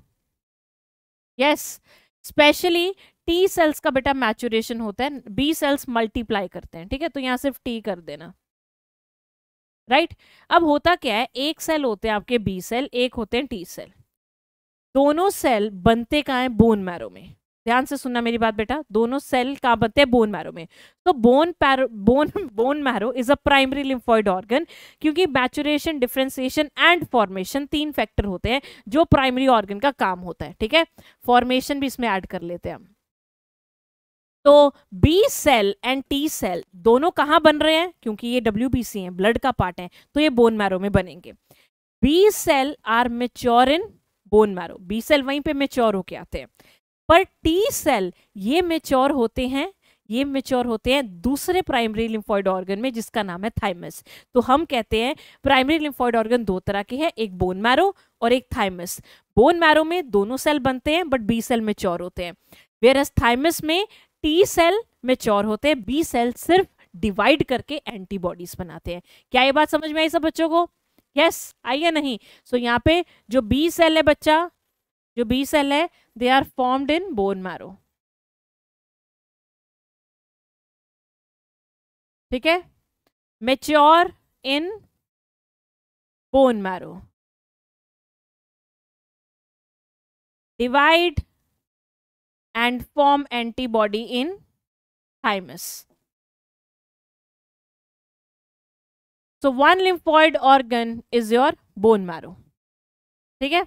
अब दूसरा T cell formed in bone marrow so I am using B M for bone marrow ठीक है? बोन मैरो के लिए बी एम वर्ड यूज़ कर रही हूँ। और मेच्योर कहाँ होते हैं? थाइमस में। तो दूसरा लिम्फॉइड ऑर्गन है बेटा आपका प्राइमरी थाइमस तो यहाँ पे इनको सिखाया जाता है, बनाया जाता है, और इनको तैयार कर दिया जाता है ना वॉरियर्स बना दिया जाता है। एंटीजन प्रेजेंटेशन होती है बेसिकली कि इनको दिखाया जाता है, भाई ये देख लिया एंटीजन है, ठीक है? आगे, अगला। सेकेंडरी में क्या क्या आते हैं? सेकेंडरी में क्या क्या आते हैं बेटा? सेकेंडरी में अपेंडिक्स आता है। लिवर आता है। स्प्लीन आता है। लिम्फ नोड्स आते हैं। माल्ट आता है। और पियर्स पैचेस ठीक है? और साथ में एक टॉन्सिल्स जो ये आप चित्र देख रहे हैं ये लिम्फेटिक वेसल्स है, पूरा लिम्फेटिक सिस्टम है बेटा इसमें। लिम्फेटिक सिस्टम में यहाँ पे आपको छोटे छोटे जो बिंदु दिखेंगे, ये सारे लिम्फ नोड्स हैं इधर। तो लिम्फ नोड यूजुअली आपके नेक अराउंड यहाँ पे और आर्म पिट्स में यहाँ होते हैं। और इधर ग्रोइन रीजन के पास। इधर। नेक में और इधर आर्मपिट्स के राउंड और नीचे ग्रोइन रीजन में होते हैं और लेग्स की तरफ़ इधर जाते हैं। इस एरिया में आपके लिम्फ नोड्स होते हैं। ये आपको थाइमस दिख रहा है प्राइमरी लिम्फॉइड ऑर्गन है, ये लिम्फेटिक वेसल्स है, ठीक है? इन सब में सबसे ज़्यादा जो आपका नंबर में लिम्फॉइड या सेकेंडरी लिम्फॉइड ऑर्गन है, वो है माल्ट फिफ्टी परसेंट ये तुमने डाइजेशन में किया होगा बेटा। इसका फुल फॉर्म है म्यूकोजल एसोसिएटेड लिम्फोइड टिश्यू ये आपके म्यूकस लाइनिंग में होता है। तो म्यूकस लाइनिंग चाहे गट की हो, चाहे रेस्पिरेटरी ट्रैक की हो, चाहे यूरिनोजेनाइटल ट्रैक की हो, उन सब में होगा और इसमें एंटीबॉडी होगी आईजीए तो आईजीए एंटीबॉडी जहाँ जहाँ म्यूकस मेम्ब्रेन होती है, चाहे रेस्पिरेटरी ट्रैक चाहे जीआईटी चाहे आपका यूरिनोजेनाइटल सिस्टम उन सब में आपको मिलेगा। ठीक है? आई बात समझ में सबको? ओके, आगे चलते हैं। पियर्स पैचेस ये कहाँ मिलते हैं? इलियम में। ये भी गट में होते हैं। ठीक है? टॉन्सिल्स तो आपको पता ही है कहाँ होते हैं। यहाँ होते हैं ना टॉन्सिल्स। देखें आपने सबने? ये गोलियाँ सी नहीं बन जाती जब आप बीमार होते हो, सोर थ्रोट होता है उस टाइम पे। आगे है बेटा आपके पास स्प्लीन और लिम्फ नोड। इसको थोड़ा सा हम डिटेल में पढ़ेंगे, ठीक है? तो शुरू करते हैं बेटा स्प्लीन से। अगर मैं स्प्लीन की बात करूँ, बहुत से बच्चों को ये थोड़ा वो रहता है कि स्प्लीन कहाँ है मैम? स्प्लीन कहाँ है? जैसे कहते हैं ना, टेस्ट कहाँ है? स्प्लीन कहाँ है? कहाँ है स्प्लीन? कौन बताएगा? बोलो। हम्म। यस रोहित लिवर भी थोड़ा लिम्फॉइड ऑर्गन की तरह काम करता है, उसमें मैक्रोफेजेस होते हैं इसलिए, ठीक है? यस यस यस बताओ बताओ। बताओ बेटा। बोलो बोलो बोलो। ये क्या लिख रहे हो तुम लोग चैट में? वेरी गुड अंजलि बोल रही है ग्रेवयार्ड ऑफ़ आरबीसी बिल्कुल ठीक बेटा। It's also reserve very nice very nice I have so smart kids है। वेरी गुड और लोकेशन भी बता रहे हैं। यार, सही है यार। देखो, बेटा यहाँ पे हमारे पास स्टमक होता है। स्टमक के पीछे पीछे तो देखो, पीछे तो देखो। हमारे पास क्या है? स्प्लीन है। ये जो स्प्लीन होता है ना बच्चे, ये स्टमक होता है बच्चे। ये स्प्लीन जो होता है स्प्लीन में दो तरह के एरिया होते हैं, एक व्हाइट पोर्शन एक रेड पोर्शन ठीक है? एक व्हाइट पोर्शन होता है इसमें, एक रेड वाला होता है। जो रेड पोर्शन है, इसमें आरबीसी स्टोर होते हैं और ग्रेव यार्ड भी आरबीसी का यही होता है। मतलब आरबीसी डिस्ट्रॉय होंगे। ऑल राइट समझ में आई बात? रेड वाले रीजन में आरबीसी डिस्ट्रॉय भी होंगे स्टोर भी होंगे। व्हाइट वाले में WBCs होंगे। So it will work as lymphoid organ होता क्या है?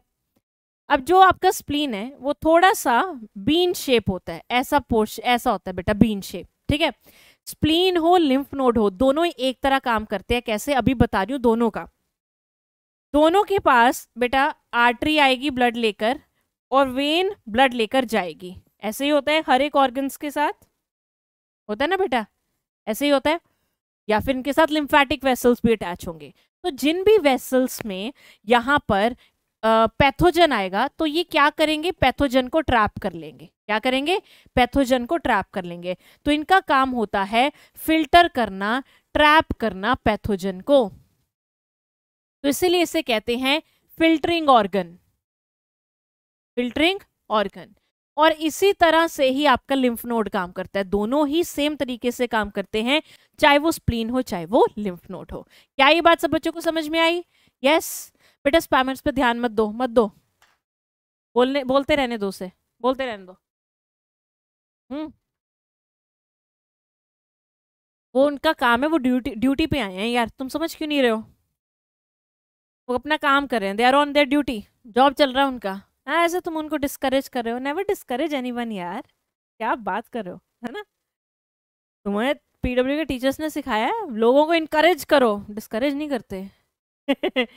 बी पॉजिटिव हमें देखा है कभी? देखा पीडब्ल्यू के टीचर को ऐसे डिमोटिवेट होते हुए, ऐसे, ना जी, ना, बिल्कुल नहीं। हमारे बच्चे हैं हमारे पास, है या नहीं? चलो बेटा, हो जाते हैं शुरू, आगे चलते हैं। ये थे बेटा आपके लिम्फॉइड ऑर्गन्स अब करेंगे कुछ question which one of the following statement is correct with respect to immunity preformed antibodies need to be injected to treat the bite by a viper snake the antibodies against smallpox pathogen are produce by T lymphocyte antibodies are protein molecules each of which has four light chains rejection of a kidney graft is the function of B lymphocyte correct ढूँढने, बता दो यार जल्दी से. 2012 में आया है question 12 के मेन्स में. सिंपल है यार, तुम कर लोगे।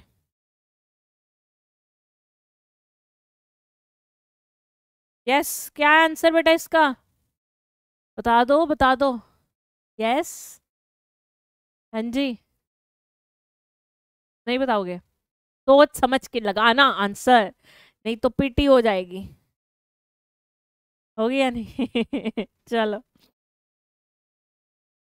तो बेटा ये कह रहे हैं, सही बताओ भाई। सही से लगा लो। कह रहे सही से लगा लो। Preform antibodies need to be injected to treat the bite of a viper snake viper snake vipera poisonous snake है ना?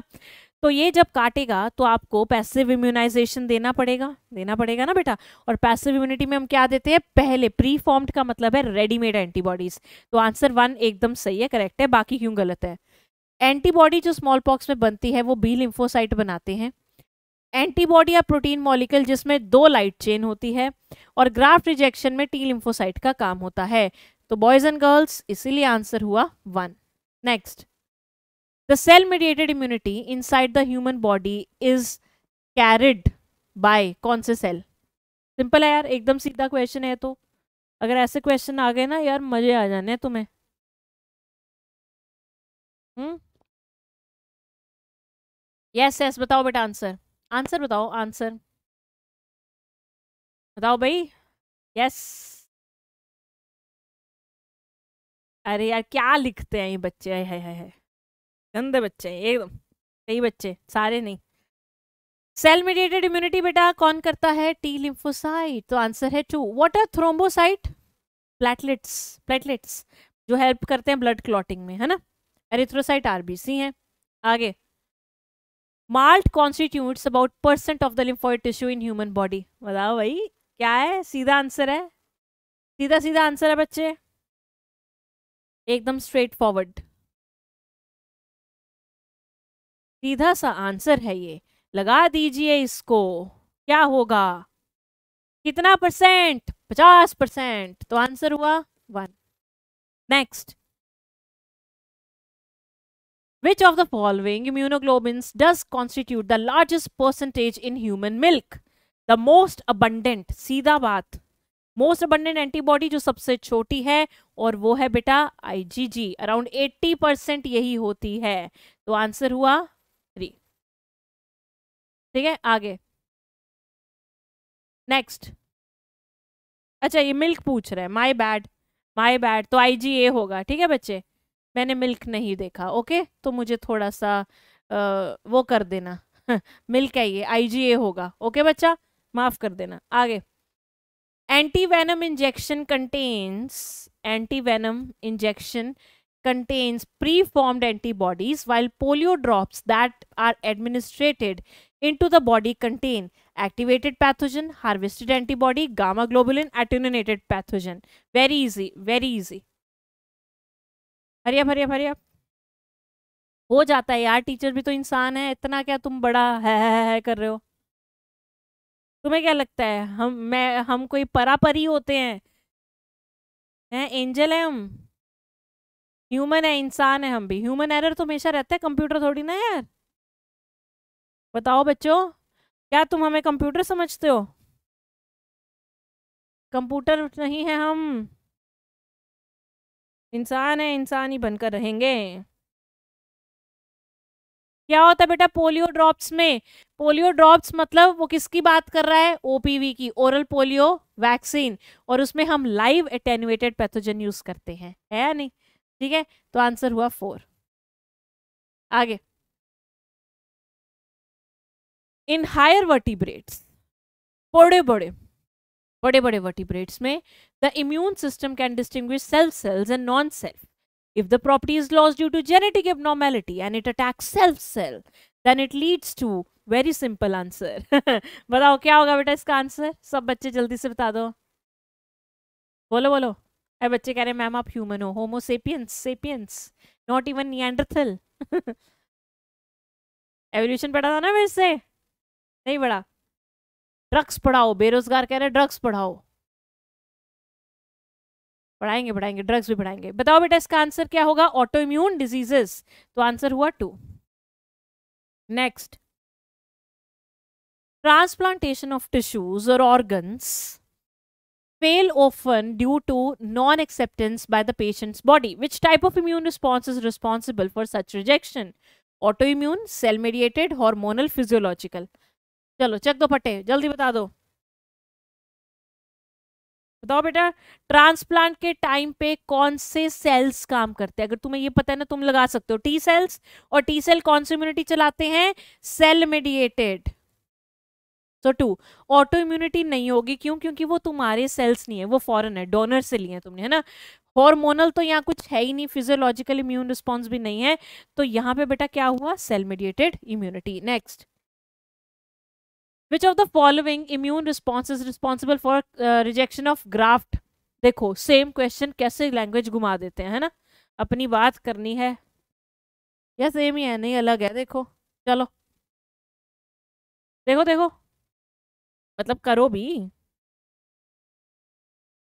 हरिया हरिया हरिया क्या होगा बेटा इसका answer same graft rejection four cell mediated next find the incorrect statement चलो virus infected cells secrete proteins called interferons which protect non-infected cells the t lymphocyte mediates cmi bone marrow and thymus are secondary lymphoid organs spleen has large reservoir of erythrocytes बता दो बच्चों answer जल्दी से बता दो क्या होगा my dear students what will be the answer yes incorrect पहला सही है, पहला कह रहा है कि जब वायरस इन्फेक्टेड सेल होते हैं, वो इंटरफ्रॉन सिक्रीट करते हैं, जिससे नॉन इन्फेक्टेड सेल बच जाते हैं ना? T lymphocyte cell mediated immunity चलाते हैं। कई बार ऐसे वर्ड भी आ जाते हैं H M I C M I तो याद रखना। बोन मैरो और ये प्राइमरी लिम्फॉइड ऑर्गन है स्प्लीन के पास रिजर्वोयर होता है तो आंसर हुआ थ्री एरिथ्रोसाइट दूसरा नाम है आरबीसी का पता है ना आपको? चलो, अब आएगा बेटा एड्स एड्स, फिर कैंसर, फिर आएँगे आपके ड्रग्स। सो डोंट वरी, तब तक बने रहिए। तो एड्स की फुल फॉर्म क्या है बच्चों? What's the full form of AIDS? Acquired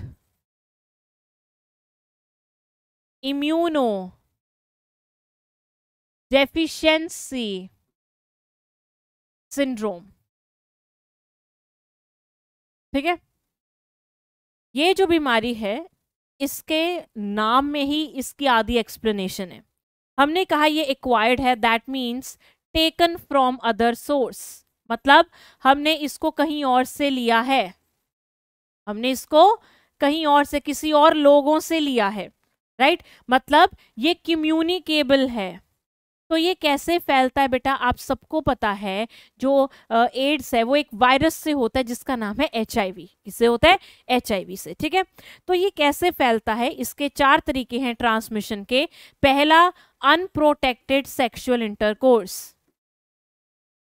अगर एक बंदे को एड्स है और दूसरे पार्टनर को नहीं है and they are undergoing unprotected मतलब without using any barrier method वो सेक्शुअल इंटरकोर्स कर रहे हैं तो दूसरे बंदे को भी हो सकता है। क्योंकि ये फैलता है फ्लूड्स के कॉन्टैक्ट के, के आने में राइट तो यहाँ पे फ्लूड क्या होगा? Like semen of male okay आगे। अगला है बेटा। नेक्स्ट है ब्लड ट्रांसफ्यूजन कि आप किसी का ब्लड ले रहे हैं और बाद में उस पता चला उस बंदे को क्या है? एड्स है। तो कई बार ऐसे होता है, कई बार जल्दी जल्दी में लोग ब्लड ट्रांसफ्यूजन करते हैं चेक ही नहीं करते। पर आजकल होता है, ऐसी बात नहीं है। पर कभी कोई ऐसे कर दे कि अच्छे से ना कर पाए तो that's really a very bad thing but most of the times सब चेकिंग होती है, फिर ब्लड चढ़ाया जाता है राइट उसके बाद मदर टू फीटस भी जा सकता है। मम्मी को अगर है तो वायरस आगे बच्चे को भी जा सकता है। तीसरा सॉरी चौथा सिरिंजेस नीडल्स इन्फेक्टेड नीडल्स अगर मान लो इंजेक्शन लगाया गया एक इन्फेक्टेड बंदे को और वही इंजेक्शन दूसरे नॉर्मल बंदे को लगा दिया तो बंदे को जो सही है उसको भी हो सकता है, इसीलिए डॉक्टर कभी देखना डिस्पोजेबल सिरिंज यूज़ करते हैं। डिस्पोजेबल सिरिंज यूज़ करते हैं है ना? या फिर स्टेरिलाइज uh, करके वैसे तो आजकल हर कहीं डिस्पोजेबल नई सिरिंज यूज़ होती है। तो इस तरह से बेटा ये uh, फैलता है। अब इसको हम बोलते हैं सिंड्रोम सिंड्रोम होता है ग्रुप ऑफ़ सिम्टम्स और डिज़ीज़ ग्रुप ऑफ़ डिज़ीज़ तो यहाँ पर यहाँ पर सेकंड वर्ड क्या कहता है? कहता है कि आपका इम्यून सिस्टम वीक हो जाएगा। क्या कहता है कि इस बीमारी में आपका इम्यून सिस्टम वीक हो जाएगा। अगर आपका इम्यून सिस्टम बेटा इसमें वीक होगा तो अब जो बीमारियाँ आपको पहले नहीं हो रही थी, क्योंकि आपका इम्यून सिस्टम ठीक था, अब वो बीमारियाँ आपको होगी। जैसे आपको माइकोप्लाज्मा आके माइकोप्लाज्मोसिस कर देगा टोक्सोप्लाज्मा टोक्सोप्लाज्मोसिस कर देगा, ये एक प्रोटोजोन है। आपको टीबी होगा ट्यूबरक्यूलोसिस ठीक है? फंगस से निमोनिया होगा। फंगस से निमोनिया होगा। पहले फंगस से निमोनिया नहीं हो रहा था, ठीक है? क्यों? आपकी इम्यूनिटी बहुत स्ट्रांग थी। या फिर आपको बेटा और क्या हो सकता है? इस कंडीशन में sarcoma that is a cancer cancer भी हो सकता है राइट right? तो ये सारे सिंड्रोम आपको इसमें एड्स में हो सकते हैं। राइट समझ में आई बात? पहला एड्स का केस कब आया था? एड का एड्स का पहला केस आया था in 1981 in USA in homosexuals homosexuals में पहला केस यूएसए में दिखा था 1981 में। माना जाता है ये जो वायरस है एचआईवी पहले मंकीज में था। मंकीज से फिर ये म्यूटेशन करके किसी तरह ह्यूमन में आया। और फिर ह्यूमंस में आगे फैलता गया। क्योंकि जब कोई भी बीमारी आती है, उसका पता तो होता नहीं है। तो वो इतना फैलता है, इतना फैलता है और जब बहुत ज़्यादा हो जाता है, फिर हमें पता चलता है कि यस ये बीमारी है और वो कंट्रोल नहीं हो पाती। जैसे कोविड नहीं पता था, लोग आराम से घूम रहे थे। तो उसको स्प्रेड होने में मतलब बढ़िया इन्वायरमेंटल कंडीशंस भी मिली और लोग भी बिल्कुल सतर्क नहीं थे तो इसलिए वो बहुत ज़्यादा फैल गया था। राइट बेटा? अब ये जो आपका एड्स है, किससे होता है? मैंने कहा वायरस से। चलिए इस वायरस के बारे में जानते हैं। आप मुझे बताइए कि आपको ये समझ में आया? बोलो। हम्म। हाँ ठीक है, गलती से बोला गया आपको, ठीक है? कोई बात नहीं। आगे चलते हैं बेटा।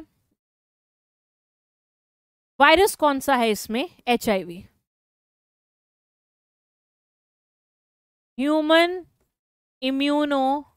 immunodeficiency virus.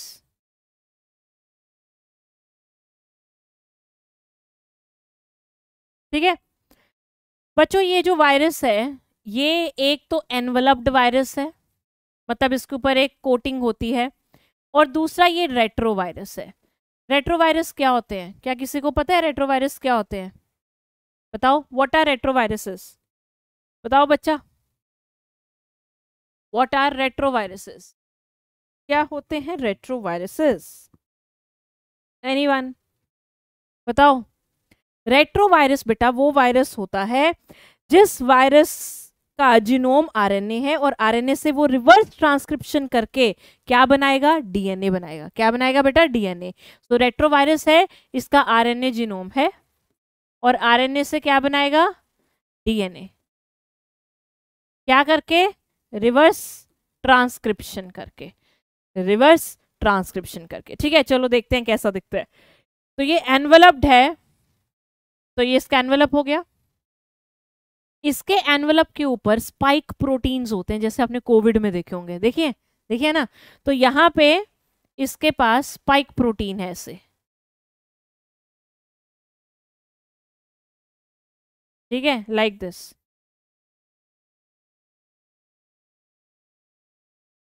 स्पाइक प्रोटीन ये लो।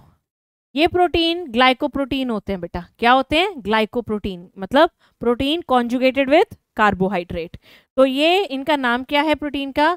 ये वाला है जीपी 120 ग्लाइकोप्रोटीन, क्या होता है बेटा ग्लाइकोप्रोटीन? कौन बताएगा? क्या बातें बातें कर रहे हो तुम? हम्म बोलो। रिवर्स ट्रांसक्रिप्शन जानते हो बेटा सब? मदर टू फीटस कैसे होगा? बड़ा सही पूछा बच्चे आपने। मदर टू फीटस का मतलब होता है प्लेसेंटा से पास करके जाएगा। कैसे जाएगा बेटा? प्लेसेंटा से पास करके जाएगा। ठीक है? यस। बोलो। ऋतुराज ऋतुराज बेटा क्या हो गया? पढ़ लो। हम्म। Ma'am why there is no cure अभी बताऊँगी क्यों क्योर नहीं है। ठीक है? चलो, आगे। इसके बाद यहाँ पे भी एक प्रोटीन है, इसका नाम है जीपी फोर्टी वन फिर बेटा एक प्रोटीन्स का पूरा एनवलप होगा। ये वाला सिर्फ़ प्रोटीन्स है ये। इनका नाम है पी सेवनटीन क्या है पी सेवनटीन अब आप बोलोगे, मैम, ये क्या नंबर क्या है ये? ये डाल्टन किलो डाल्टन्स कितना उसका मॉलिकुलर वेट है प्रोटीन का। ठीक है? ये नंबर है, उसका वेट मॉलिकुलर वेट ओके? आगे। इसके बीच में बेटा एक और प्रोटीन का कोट होगा। P twenty four P twenty four और इसके अंदर होगा इसका जीनोम। जीनोम क्या है बच्चों? ध्यान से सुनना। टू स्ट्रैंड्स ऑफ़ आरएनए दोनों सिंगल स्ट्रैंड है। डबल स्ट्रैंडेड आरएनए नहीं, क्या है? Two strands of RNA single strands of RNA और साथ में लगा है इसके पास इंजाइम्स क्या लगे हैं? इंजाइम तो ये क्या है बेटा इसके? आरएनए आरएनए जीनोम तो इसका जो आरएनए जीनोम है two single stranded RNA strands है. ओके और ये क्या है बेटा? रिवर्स ट्रांसक्रिप्टेस इंजाइम आई बात समझ में? आई या नहीं? Very good very good Krishna क्या बात है। चलें आगे चलें आगे। ओके ओके ओके ओके तो बेटा यहाँ पे ये जो आपका वायरस है, ये जो आपका वायरस है, ये आपके बॉडी में कैसे जाता है? ठीक है? ये आपके बॉडी में कैसे जाता है? अभी देखते हैं। ये सबसे पहले अटैक करता है दो तरह के सेल्स और दोनों के पास कॉमन चीज़ क्या है? C D four protein they both are C D four cells one is a macrophage another is a T दूसरा क्या है? टी हेल्पर सेल एक मैक्रोफैज है और दूसरा बेटा टी हेल्पर सेल ठीक है? अब होगा क्या यहाँ पर? ध्यान से सुनो सब बच्चे। अब होगा क्या यहाँ पर?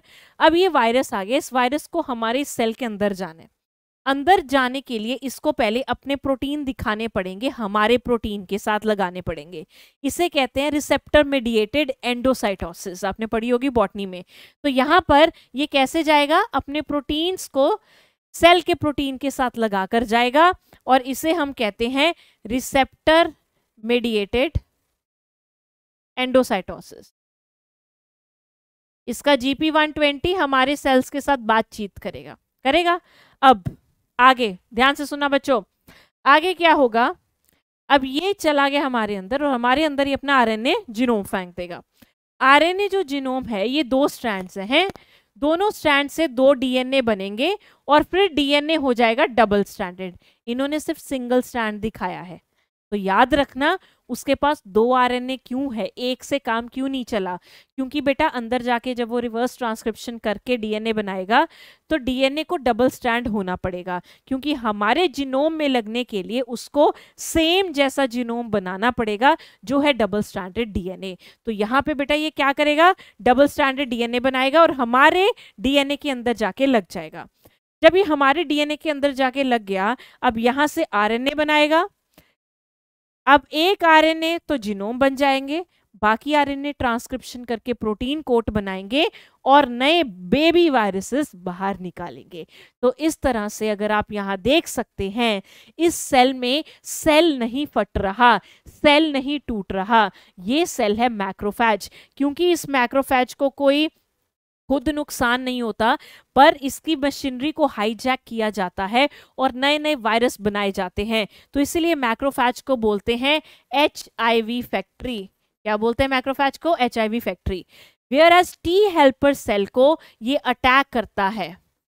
Attacks the H attack by H T helper cell T helper cell को एच आई वी अटैक करता है। और इनका नंबर कम कर देता है reduces number of T helper cell ठीक है? तो हम कहते हैं, जब किसी बंदे में एक बार वायरस आ गया तो हम उस बंदे को कहते हैं एचआईवी पॉजिटिव बट हो सकता है उसको एड्स ना हो. एड्स हम कब कहते हैं? जब उसका टी हेल्पर सेल का काउंट 200 पर एम mm क्यूब से कम हो जाए. एक हेल्दी बंदे में एक हेल्दी बंदे में 1200 टी हेल्पर सेल होते हैं per M M cube of blood ठीक है? तब, ठीक है बंदा। पर अगर उसका अगर उसका टी हेल्पर सेल का count less than 200 per M M cube हो गया तो इस सिचुएशन में हम बोलेंगे the person is now will get AIDS क्यों? क्योंकि अगर टी हेल्पर सेल इतने कम हो गए, बेटा इम्यून रिस्पॉन्स डाउन हो गया, अब उसको अपॉर्चुनिस्टिक बीमारियाँ होंगी।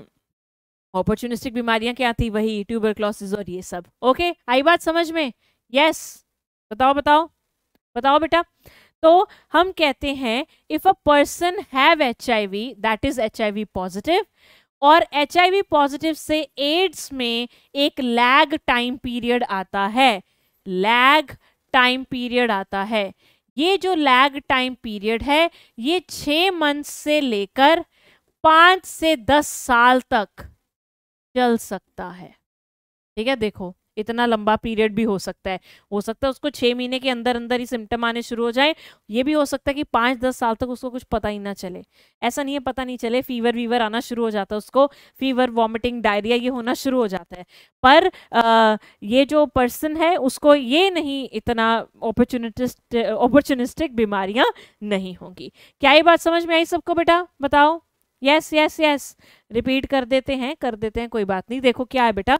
सबसे पहले वायरस आया, वायरस ने अपना आरएनए डाला। आरएनए ने डीएनए बनाया, क्योंकि दो स्टैंड थे आरएनए के तो दो स्टैंड डीएनए के बनेंगे।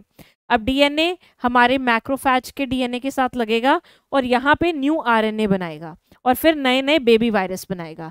यहाँ पे सेल नहीं टूट रहा, बस इस सेल को ये हमेशा ऐसे यूज़ करता है नए नए वायरस बनाने के लिए। तो इसलिए मैक्रोफैज को हम एचआईवी फैक्ट्री कहते हैं। ओए। इसीलिए मैक्रोफैज को हम क्या कहते हैं बेटा? एचआईवी फैक्ट्री कहते हैं, ओके? अब दूसरे सेल जिसको ये अटैक करता है वो है टी हेल्पर सेल पर टी हेल्पर सेल को ये तोड़ देता है, बर्बाद कर देता है, इसलिए टी हेल्पर सेल का काउंट कम हो जाता है। नॉर्मल बंदे में टी हेल्पर सेल होते हैं 1200 per M M cube in a normal person पर जब उसके टी हेल्पर सेल 200 से भी कम हो जाते हैं तो तब उसको अब इम्यून रिस्पॉन्स उसका कम हो गया। अब उसको बीमारियाँ होनी शुरू होंगी, तब हम बोलेंगे उस पर्सन को एड्स हो गया है। जब उसके अंदर एचआईवी आता है, उसे कहते हैं वो एचआईवी पॉजिटिव है। हो सकता है उसको एड्स ना हो। एड्स कब होता है? जब उसके हेल्पर सेल का काउंट बहुत लो हो जाता है और इसमें टाइम लगता है। कितना time around six month to five to ten years लग सकते हैं। अब समझ में आई बेटा सबको? यस ये फ्यूचर में चल रहे हैं बच्चे, पता नहीं क्या क्या बोल रहे हैं। है ना? चलो तो बेटा ये हुआ आपका एड्स किस तरह से आपकी बॉडी को कंट्रोल करता है। अब आगे चलते हैं एड्स की या एचआईवी की डिटेक्शन कैसे करते हैं? डिटेक्शन में बेटा दो टेक्निक है, एक वेस्टर्न ब्लॉट और दूसरा एलाइजा एलाइजा का डिटेल हम करेंगे बायोटेक में। यहाँ हम आपको ये बता देते हैं, इसमें हम एंटीजन एंटीबॉडी इंटरैक्शन देखते हैं। जैसे हम विडाल टेस्ट में देखते हैं बट विडाल टेस्ट से ये थोड़ा अप लेवल का होता है, ठीक है? तो इसमें एंटीबॉडी एंटीजन इंटरैक्शन देखते हैं। वेस्टर्न ब्लॉटिंग में हम प्रोटीन डिटेक्शन करते हैं। Protein detection. तो अगर हमें श्योर शॉट देखना है कि एच ही है और अर्ली डिटेक्शन करनी है तो western blotting is one of the technique जिससे आपको श्योर शॉट हो जाता है कि एच ही है। फाइन। दूसरी बात what are the drugs do we give क्या दवाइयाँ देते हैं? हम देते हैं antiviral drugs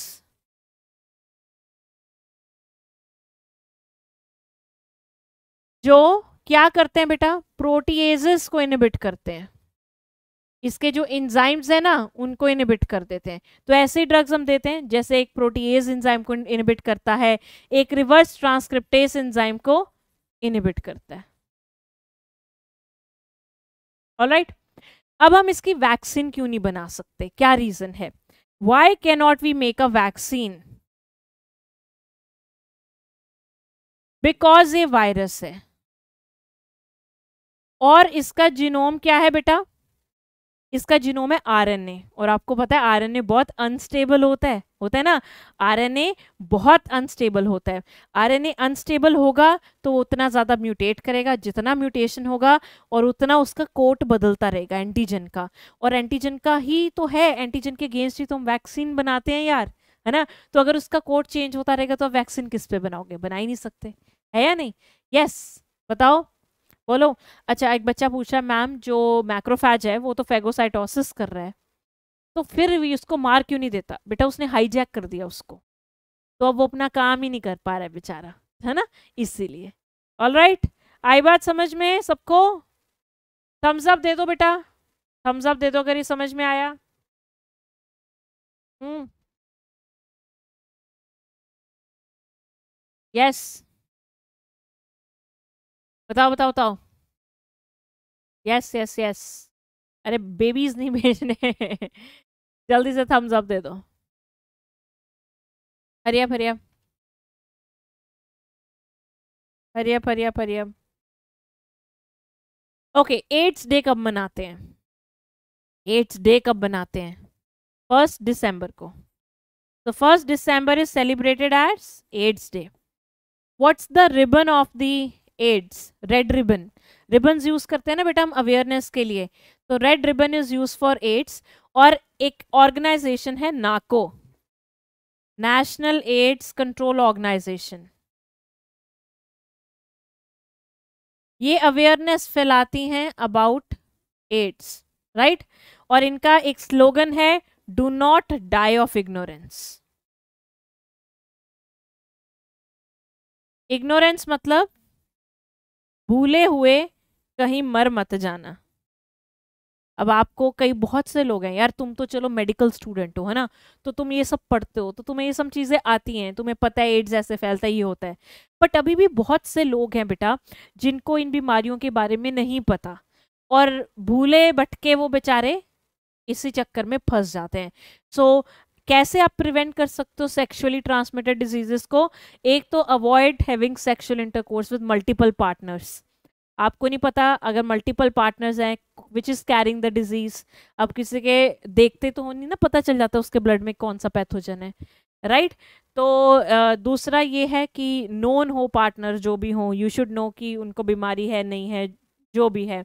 And if you are having that then one should use the barrier method of contraception दूसरा, अगर आप नीडल्स यूज़ कर रहे हो तो मेक श्योर sure कि वो नीडल्स फ्रेश हो न्यू हो या स्टेरलाइज हो। ऑल राइट सो ब्लड भी ट्रांसफ्यूजन हो रहा है तो यू शुड बी अवेयर कि क्या इसके टेस्ट हुए हैं तो आपको सब चीज़ें पता होनी चाहिए। राइट चलो। सो so, ये था बेटा एड्स तो हम आगे बढ़ते हैं। एक वो अगली भयंकर बीमारी के बारे में पता करते हैं, जिसका नाम है कैंसर ओके बट उससे पहले क्वेश्चन कर लो। जल्दी से क्वेश्चन करो। मैं पानी पी रही हूँ तब तक। क्वेश्चन करो बेटा ये वाला।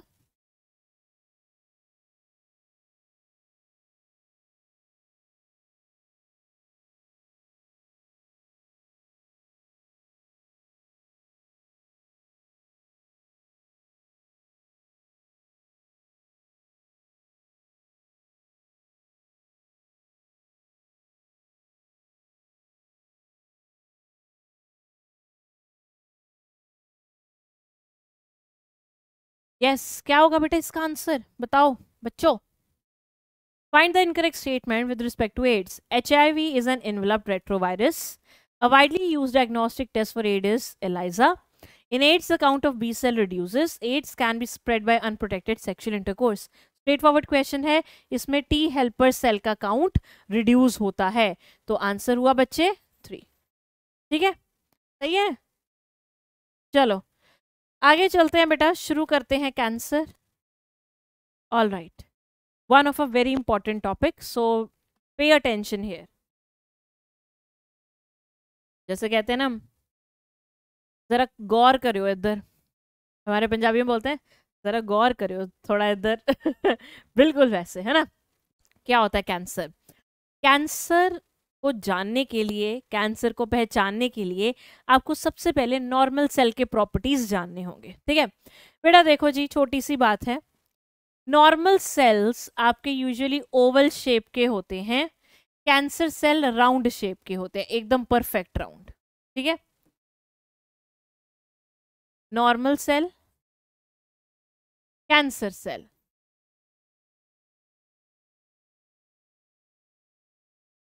ये एकदम ओवल शेप के, वो एकदम राउंड शेप के होते हैं। ये जो सेल्स होते हैं ना नॉर्मल सेल ये सेल्स कंट्रोल डिवीज़न शो करते हैं। मतलब इनको पता है कब रुकना है, कब डिवाइड करना है। कैंसर सेल को नहीं पता। कैंसर सेल को नहीं पता, ये अनकंट्रोल डिवीज़न शो करते हैं। ये बिना रुके देखे धड़ाधड़ धड़ाधड़ डिवाइड होते रहते हैं। क्यों? अभी देखते हैं। नॉर्मल सेल्स के पास एक प्रॉपर्टी होती है कॉन्टैक्ट इनिबिशन की। मतलब इमेजिन करो बेटा, तुम एक टेबल पे बैठे हो, उस टेबल में चार लोगों की बैठने की जगह है, जैसे स्कूल में होते हैं, ठीक है? अब अगर कोई अगर कोई पांचवा बंदा आ गया तो आपको क्या लगेगा? अरे यार टाइट हो रहे हैं, उठ यार, कहीं और बैठ, है ना? भगा दोगे। वैसे नॉर्मल सेल होते हैं। नॉर्मल सेल देखेंगे कि यार अब ज़्यादा हो गए हैं सेल एक दूसरे में बज रहे हैं, हम टच हो रहे हैं कांटेक्ट में आ रहे हैं। तो एक दूसरे को इनिबिट करेंगे, भाई अब हम डिवाइड नहीं करते, ज़्यादा हो जाएँगे फिर, है ना? पर इसमें दे लैक कॉन्टैक्ट इनिबिशन की प्रॉपर्टी इनमें ही प्रॉपर्टी नहीं है तो ये दड़ादड़ दड़ादड़ दड़ादड़ डिवाइड होते जाते हैं राइट आगे। अगली बात, ये जो सेल्स होते हैं, इनको डिवाइड होने के लिए बाहर से ग्रोथ फैक्टर की ज़रूरत होती है। अगर बाहर से ग्रोथ फैक्टर आया तो ये डिवाइड होगा। अगर बाहर से ग्रोथ फैक्टर नहीं आया तो ये डिवाइड नहीं होगा। तो कैंसर सेल कहते हैं, छोड़ो, हम खुद ही बना लेंगे ग्रोथ फैक्टर हमें किसी की ज़रूरत नहीं। तो ये अपने ग्रोथ फैक्टर खुद बना के, खुद ही डिवाइड हो रहे हैं। So they produce their own growth factor own growth factors बेटा, हर एक सेल को ना डिवाइड होने के लिए ग्रोथ फैक्टर चाहिए होते हैं। प्रोटीन होते हैं कुछ। ठीक है? तो ये प्रोटीन ये अपने खुद बनाते हैं, इनको बाहर से लेने पड़ते हैं। ये जो सेल्स हैं, ये डिफ्रेंशिएटेड सेल्स होते हैं, इसीलिए डिवाइड नहीं करते। ये जो सेल्स हैं, ये डी डिफ्रेंशिएटेड सेल हैं, ये वापस आ गए। स्टेम सेल की तरह बिहेव करने लग गए। ठीक है? अब क्या होता है, क्योंकि ये सेल अनकंट्रोल डिविजन शो करेंगे। क्या शो करेंगे? Uncontrol division cancer cells they will show uncontrol division like this तो ये इतनी डिवीज़न करेंगे तो एक क्लस्टर बना देंगे सेल्स का। इस सेल के क्लस्टर को हम बोलते हैं tumour tumour is cluster of cancer cell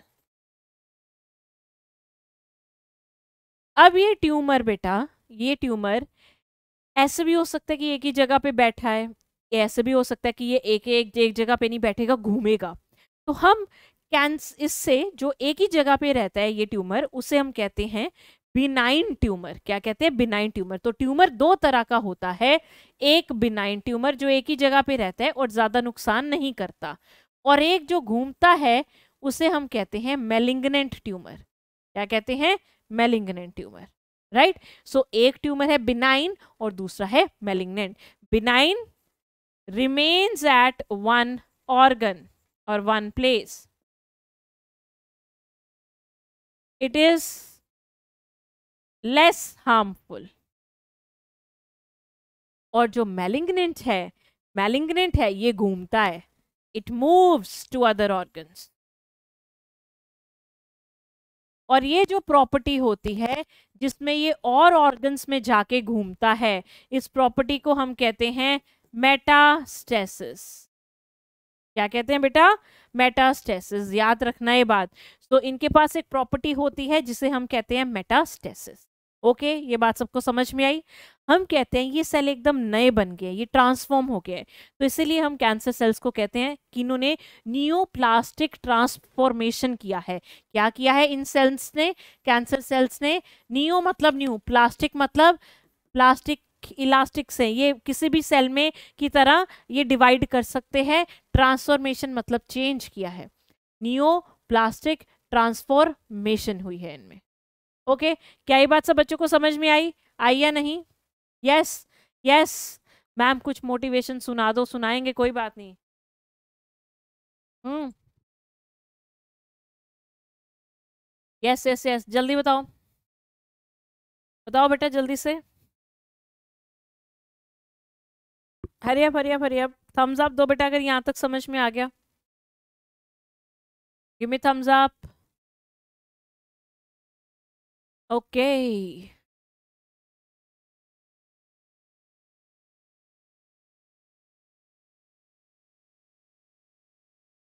done done very good दिल भेज रहे हैं। आए है क्या बात है। चलो। चलते हैं आगे। अब ये क्या कर रहे होंगे? ट्यूमर सेल, ये बड़े खराब हैं ये। ये कैसे घूमते हैं? चलो देखिए ये कैसे घूमते हैं। इमेजिन करो, ये आपकी स्किन है बेटा। ये आपकी स्किन है। इस स्किन में कैंसर हो गया, ट्यूमर हो गया। अब इसके नीचे कनेक्टिव टिश्यू होगा। इसके नीचे कनेक्टिव टिश्यू होगा। तो ये सेल क्या करेंगे?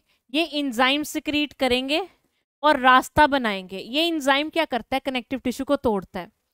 जैसे ही कनेक्टिव टिश्यू टूटेगा, ये यहाँ मूव करना शुरू हो जाएँगे। हो गए? तो इन्होंने क्या किया बेटा? इन्होंने इंजाइम्स बनाए लाइक प्रोटीएसिस और यहाँ पे आना ये शुरू हो गए। इमेजिन करो, यहाँ पे एक ब्लड वेसल जा रही थी खुशी खुशी ब्लड वेसल जा रही थी? ब्लड वेसल ब्लड लेकर जा रही थी और यहाँ पे कि कोई स्पेशल ऑर्गन है और या सेल्स हैं उसको ब्लड दे रही थी। ठीक है? नॉर्मल नॉर्मल सेल्स को ये ब्लड दे रही थी। ठीक है? अब ये क्या करेंगे? बड़े खराब हैं ये। ये बहुत खराब है। ये क्या करेंगे? ये यहाँ पे एक, ये यहाँ पे एक तरह का फैक्टर सिक्रीट करेंगे। एक तरह का फैक्टर सिक्रीट करेंगे जिससे नई ब्लड वेसल्स बन जाएँगी। जिससे क्या बन जाएँगी? नई ब्लड वेसल तो उस फैक्टर का नाम क्या है? Tumour angiogenic factor. Angio word हम यूज़ करते हैं ब्लड वेसल के लिए। तो बेटा ये एक ऐसा फैक्टर सिक्रीट करेंगी जिससे नई ब्लड वेसल बन जाएगी। अब न्यू ब्लड वेसल से इसको फ़ायदा क्या होगा? नई ब्लड वेसल से एक तो ये सारा ब्लड पी लेगा। पी लेगा, ठीक है? और बेचारे नॉर्मल सेल्स को ब्लड मिलेगा नहीं। ये ज़्यादा ब्लड पी ले, पी जाता है। अब इमेजिन करो, तुम्हारे घर पे ना दस चपाती बनी है, दस रोटी। तुम्हारे घर कोई मेहमान आ जाता है, वो तुमसे फास्ट खाना खाता है। तो तुमने जितने में एक रोटी खाई, वो नौ रोटियाँ खा गया। तो तुम तो रह गए ना भूखे। रह गए। यही करता है ये कैंसर सेल ये कैंसर सेल बहुत मेटाबॉलिकली एक्टिव होता है। तो वो क्या करता है? सारा ब्लड भी ले लेगा और इस ब्लड वेसल की हेल्प से घूमेगा भी। ये लो। तो अब ये कहाँ जाएगा? टू अदर ऑर्गन्स इस प्रॉपर्टी को हम कहते हैं बेटा मेटास्टेसिस आई बात समझ में? तो ये क्या कर रहा है बेटा? ये क्या कर रहा है? ये जो कैंसर सेल्स हैं, पहले की इंजाइम सिक्रीट करके नीचे आ गए। नीचे आके एक और चीज़ सिक्रीट करी, जिससे नई ब्लड वेसल बन गई। उस ब्लड वेसल की हेल्प से घूमेंगे भी और सारा नरिशमेंट भी लेंगे। नॉर्मल सेल मर जाएँगे भूखे। They will die of starvation starvation मतलब भूख से मर गए। ठीक है? क्लियर है? आगे चलें। आगे चलें बच्चों। चलो। अब, इनमें जीन्स का क्या रोल है? ऐसा क्या हुआ कि ये कैंसर सेल बन गए? तो कैंसर सेल बनने के लिए बेटा कुछ कुछ जीन्स भी इन्वॉल्व होते हैं। पहली बात, हमारे बॉडी में एक जीन्स होते हैं जिन्हें कहते हैं ट्यूमर सप्रेसर जीन इस जीन को नेचर ने बनाया है कि नेचर को पता था, भाई, ये ट्यूमर जैसा कुछ आएगा। तो सेल के अंदर एक जीन लगा दी कि अगर ट्यूमर बना उसको सप्रेस कर देना। तो अगर किसी वजह से ये ट्यूमर सप्रेसर जीन म्यूटेट हो गया तो कैंसर सेल बन जाएगा। ठीक है? दूसरा, हमारे बॉडी में एक जीन्स होते हैं proto oncogenes these are normal genes of your body normal अपना बढ़िया काम कर रहे हैं। पर अगर गलती से इनमें म्यूटेशन हो गया, या फिर वायरस इन्फेक्शन के टाइम पे जब वायरस अपना जीनोम लगाता है हमारे साथ, गलती से इन पे उसने लगा दिया, इनको ऑन कर दिया, ये कन्वर्ट हो जाएँगे ऑनकोजीन्स में। और ऑनको वर्ड हम यूज़ करते हैं कैंसर के लिए तो दीज आर कैंसर जीन कौन सी जीन्स है बेटा ये?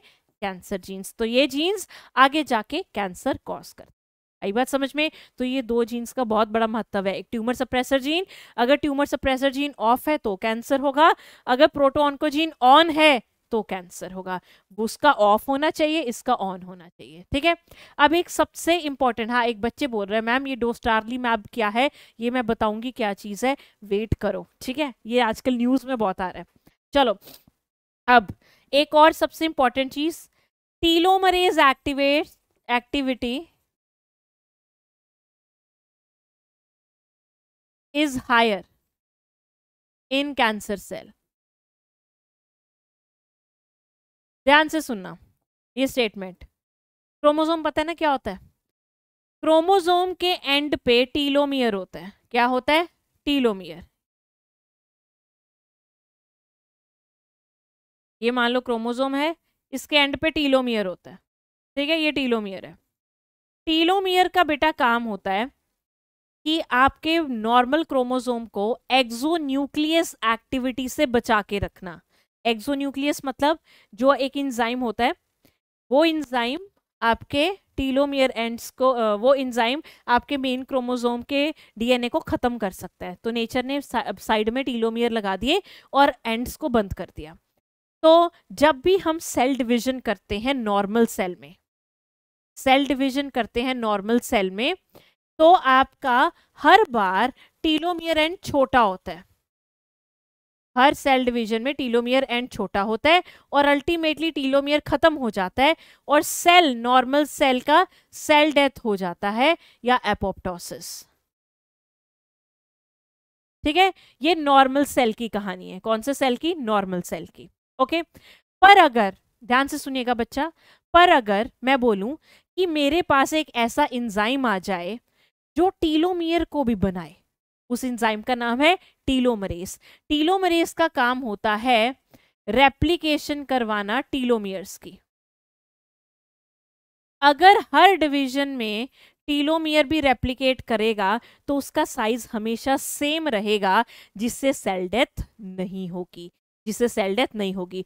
तो नॉर्मल सेल में सेल डेथ होती है क्यों? Because there is no telomerase activity telomerase activity normal cell में नहीं होती तो इसलिए टीलोमियर हर डिवीज़न पे नहीं बनता, वो खत्म हो जाता है। जैसे वो खत्म हुआ, सेल बूढ़ा हो गया, सेल खत्म। तो हम कहते हैं सेल मोटल होते हैं, मरते हैं, बट कैंसर सेल इमोटल होते हैं, वो सेल डेथ नहीं करते। क्यों? उनमें एक तो टीलोमरेज की एक्टिविटी बेटा बहुत ज़्यादा होती है, हर डिवीज़न में टीलोमियर बनेगा, और जब टीलोमियर बनेगा तो मतलब आपका सेल कभी भी मरेगा नहीं तो हमेशा यंग रहेंगे, यंग, है ना? है या नहीं? यंग रहेंगे। वो लाइन है ना, एक गाने की, पंजाबी गाने की। यंगा विच एज आंदी मिठिए ते लै च आंदा तेरा यार नहीं है ना? सुनिए वो। वही है, यही है कैंसर सेल। चलो। चलो बेटा, ये था कि कैंसर सेल कैसा होता है। अब कैंसर कैसे कॉज होता है? कौन कौन कैंसर को कर सकता है? कैंसर कॉजिंग एजेंट्स कौन से हैं? कैंसर कॉजिंग एजेंट्स को हम बोलते हैं कार्सिनोजेंस क्या बोलते हैं? कार्सिनोजन ठीक है? बेटा कैंसर एक बार कंप्लीट कर लो, फिर ब्रेक मिलेगा फॉर श्योर ओके है ना yes yes yes yes yes बताओ। चलो। Carcinogens are cancer causing agents. They can be of different types. They can be physical they can be chemicals. And they can be biological, yes. तो ये जो change है, ये जो mutation है, ये जो ट्रांसफॉर्मेशन है, ये ये तीन एजेंट कर सकते हैं। तो इसीलिए इनको हम कहते हैं कार्सिनोजेंस क्या कहते हैं?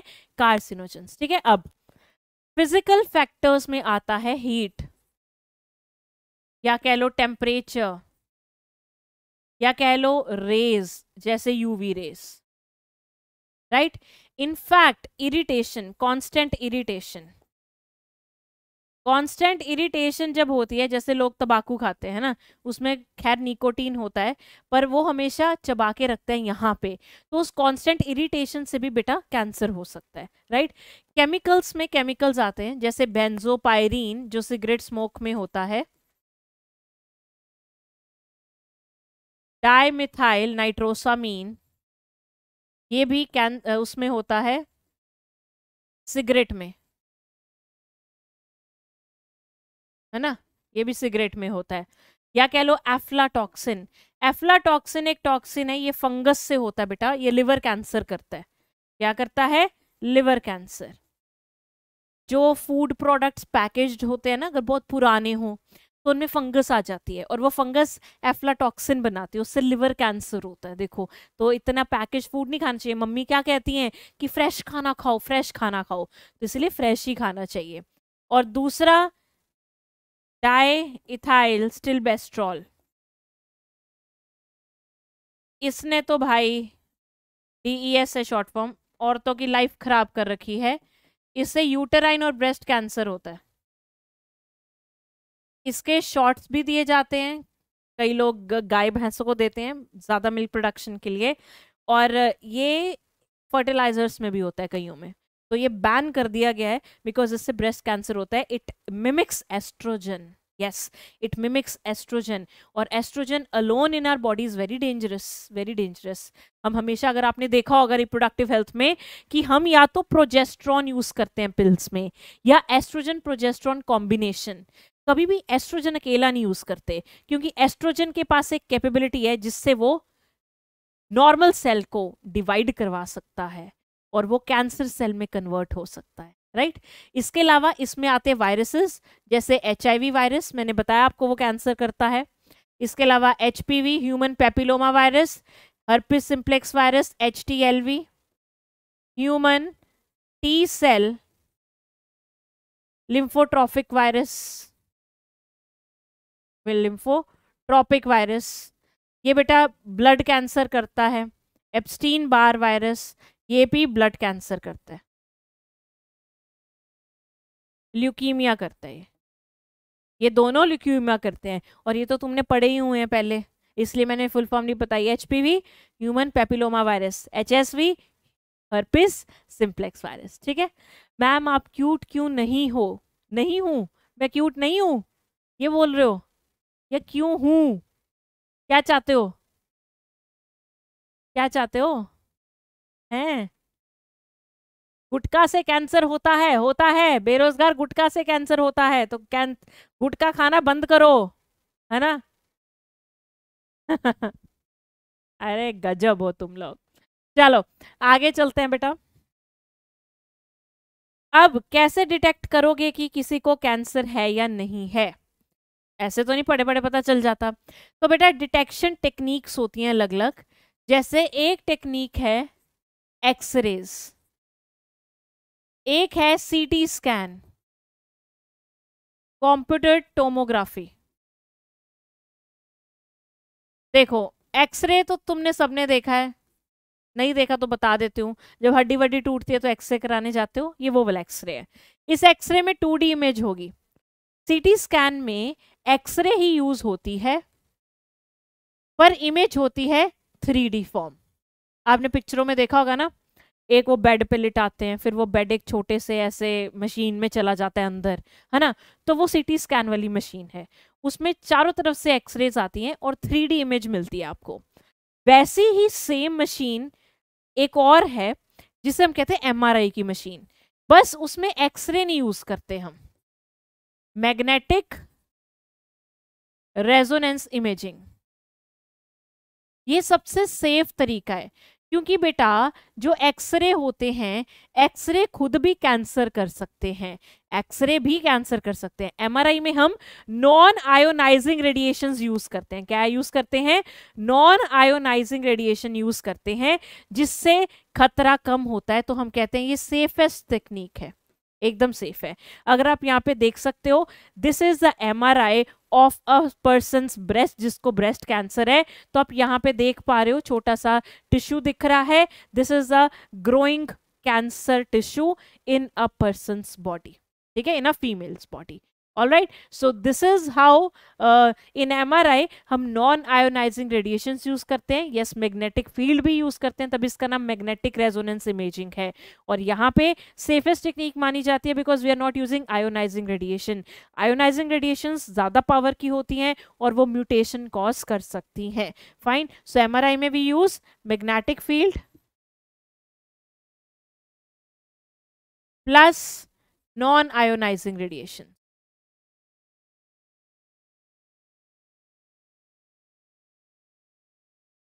चलो।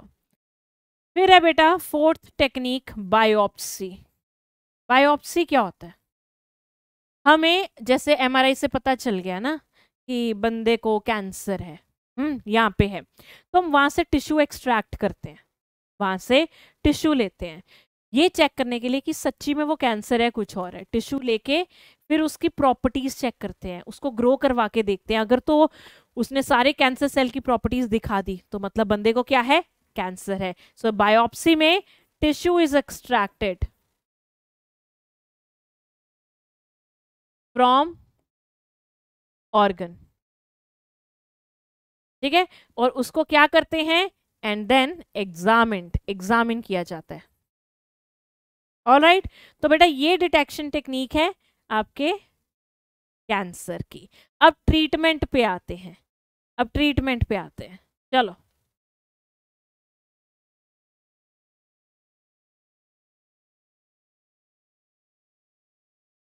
सो ट्रीटमेंट कैसे किया जाता है?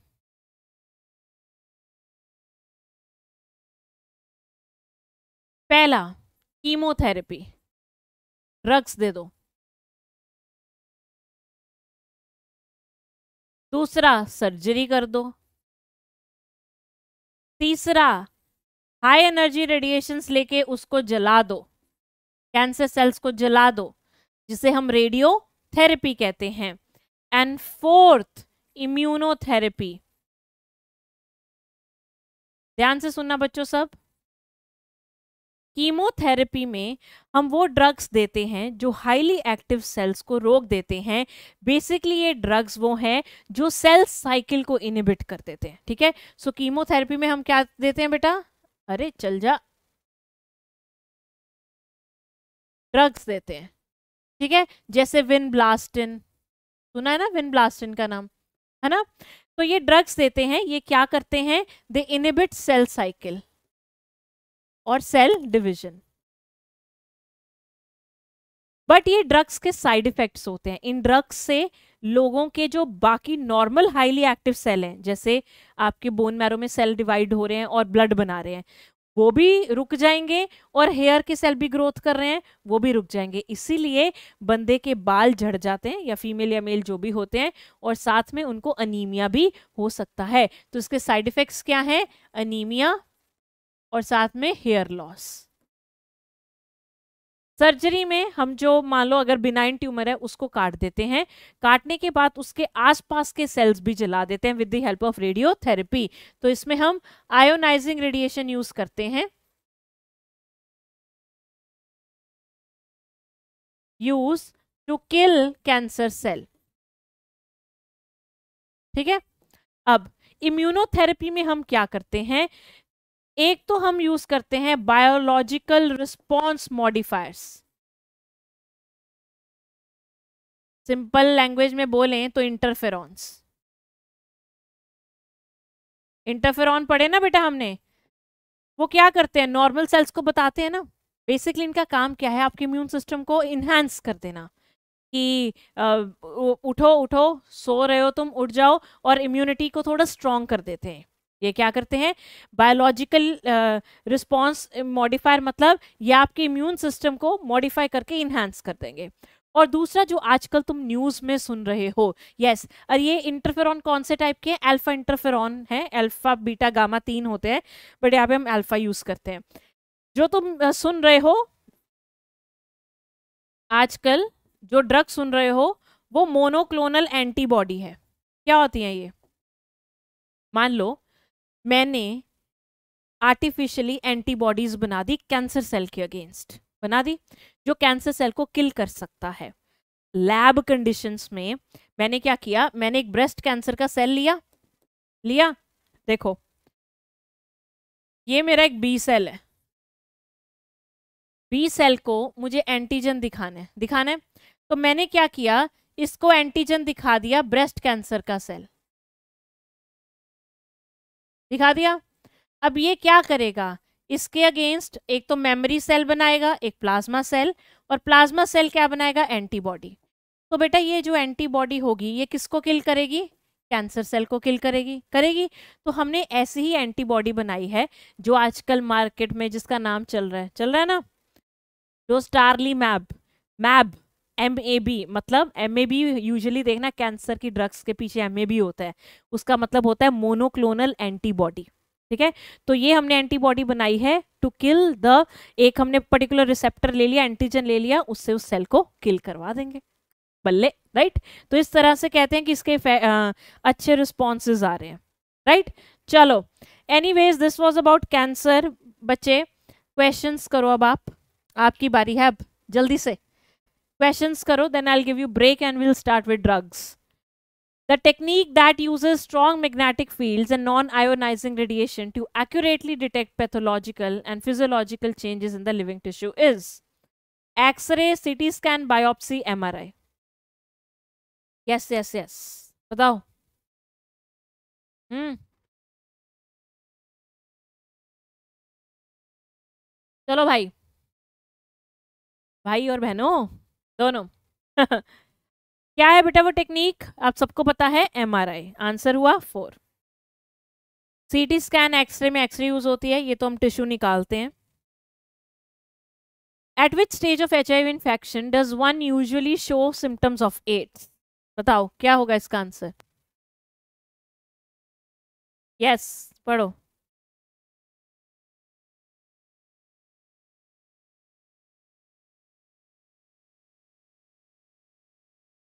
यस बेटा, क्या होगा answer When the viral DNA is produced by reverse transcriptase? नहीं, अभी तो वो अंदर आ रहा है।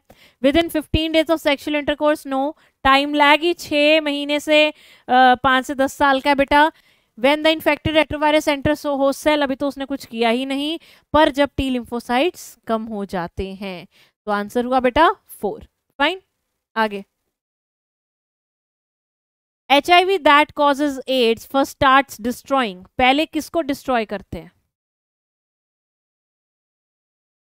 बताओ।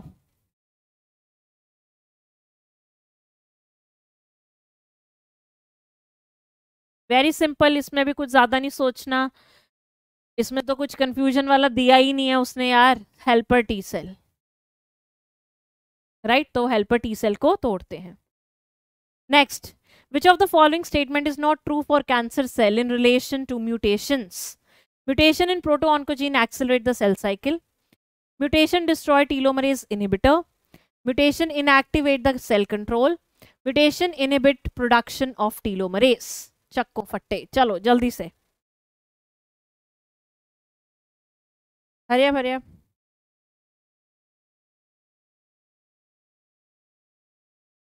Not true, not true. सोच के बेटा, सोच समझ के लगाना बहुत इजी है, कर लोगे तुम। गलत वाला ढूंढना है।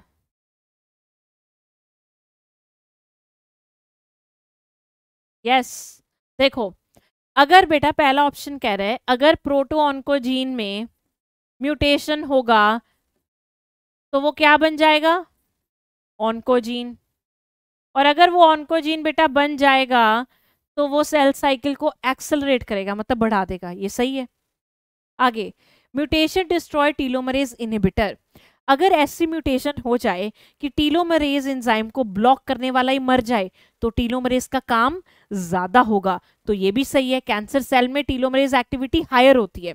तो जो भी चीज़ टीलोमरेज को रोक रही है नॉर्मल सेल में, वो चीज़ म्यूटेट हो रही है, इसलिए टीलोमरेज का एक्टिविटी हायर है। देखो क्या होता है, नॉर्मल सेल में ये टीलोमरेज एंजाइम है, इसको ब्लॉक करके रखता है इसका इनिबिटर, वो तभी नहीं काम कर पाता। अगर ये इनिबिटर हट जाए तो टीलोमरेज आराम से काम करेगा। इनिबिटर हट जाए तो टीलोमरेज काम करेगा, यही होता है कैंसर सेल में तो ये भी सही है। Mutation inactivate the cell control. ये भी ठीक है, सेल का कोई कंट्रोल नहीं रहता but mutation inhibit the production of telomerase नहीं टीलोमरेज एक्टिविटी तो बेटा हायर होती है। तो आंसर हुआ फोर सबको समझ में आई ये बात? आई या नहीं? आई ना? ठीक है ठीक है ठीक है ठीक है। चलो, आगे चलें। ये करो बेटा। Which of the following is correct regarding AIDS positive agent H I V do it हरिया हरिया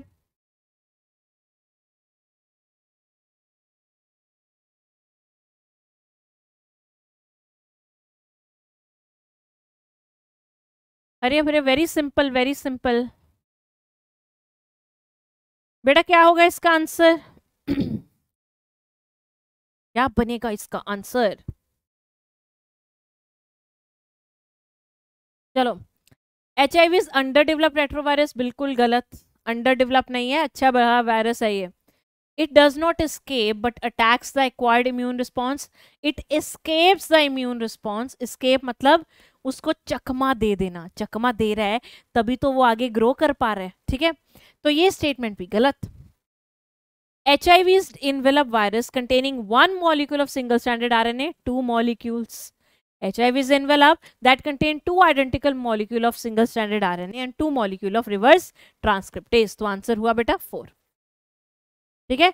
दो मॉलिक्यूल होंगे रिवर्स ट्रांसक्रिप्टेज के, तभी तो दोनों आरएनए डीएनए में कन्वर्ट होंगे। है कि नहीं? है ना? चलो next which of the following statement is not true for cancer cell in relation to mutation ये तो दोबारा आ गया यार, इसको छोड़ दो। आगे बेटा अल्कोहल अब्यूज अभी हम लेते हैं ब्रेक 15 मिनट्स का. Then will start with alcohol abuse and will finish this chapter और आपको एकदम चैप्टर रट जाएगा, है ना? चलो। चलो 16 का हो गया एनीवेज हम आते हैं I be right back so you guys also take rest and will start with that okay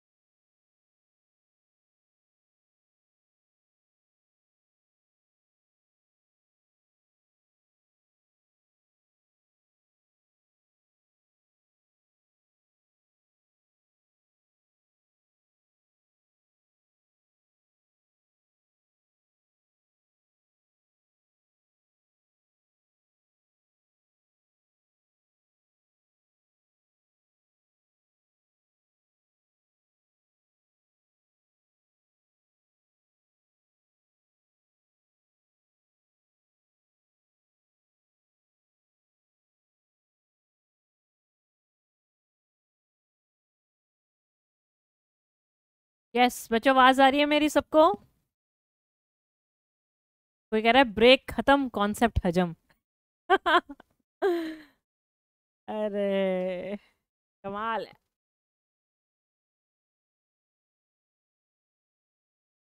भर भर के टैलेंट है है ना?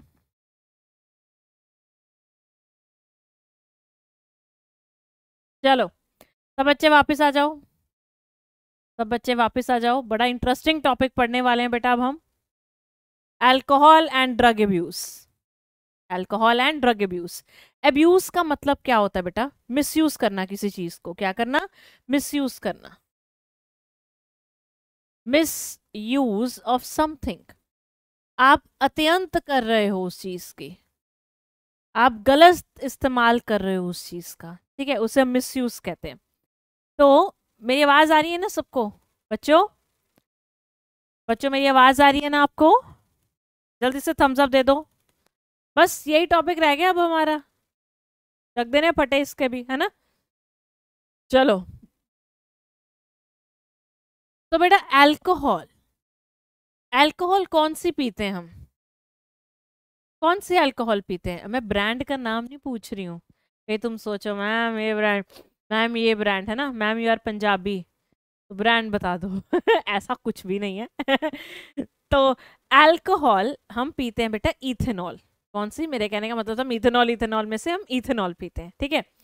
इथेनॉल जो होती है, वो कहाँ जाती है? कौन, कहाँ लगती है? दारू कहाँ लगती है? दारू लिवर पे लगती है, कहते हैं ना लिवर खराब हो जाएगा, कम पिया कर। तो होता क्या है, जब आप दारू पीते हैं, आप अल्कोहल पीते हैं तो अल्कोहल जाती है फ्रॉम योर हिपैटोपोटल सिस्टम मान लो ये आपकी गट है गट से ये जाती है आपके लिवर में। कहाँ जाती है? लिवर में वाया पोर्टल वेन अब लिवर क्या करता है? लिवर के पास है बहुत सारे इंजाइम जैसे डीहाइड्रोजनेस एंजाइम कौन सा एंजाइम डीहाइड्रोजनेस ये क्या करेगा? ये आपके अल्कोहल को which is the ethanol ethanol को कन्वर्ट कर देगा एसिड एसिटेल्डिहाइड में। Acid acetaldehyde will further be converted into fatty acid. और ये फैटी एसिड और ये फैटी एसिड आपके लिवर में जाके चिपक जाएगा, जिससे लिवर मोटा हो जाएगा और तभी आपका पेट मोटा लगेगा। कहते हैं ना कि पेट मोटा लगने लगता है जो बहुत ज़्यादा पीने लगते हैं ना? तो ये फैटी एसिड कहाँ हो जाएगा? डिपॉजिट हो जाएगा इन द लिवर और इस बीमारी को हम कहते हैं फैटी लिवर क्या कहते हैं बेटा? फैटी लिवर इस फैटी लिवर में, अगर आप देखोगे, इस फैटी लिवर की वजह से, इस फैटी एसिड के होने की वजह से आपके हिपैटोसाइट जो मेन सेल्स होते हैं लिवर के, वो डैमेज हो सकते हैं। अगर वो डैमेज होंगे तो उनका काम कौन करेगा? कोई नहीं। और आपको पता है, वहाँ पे लिवर में बाइल बनता है।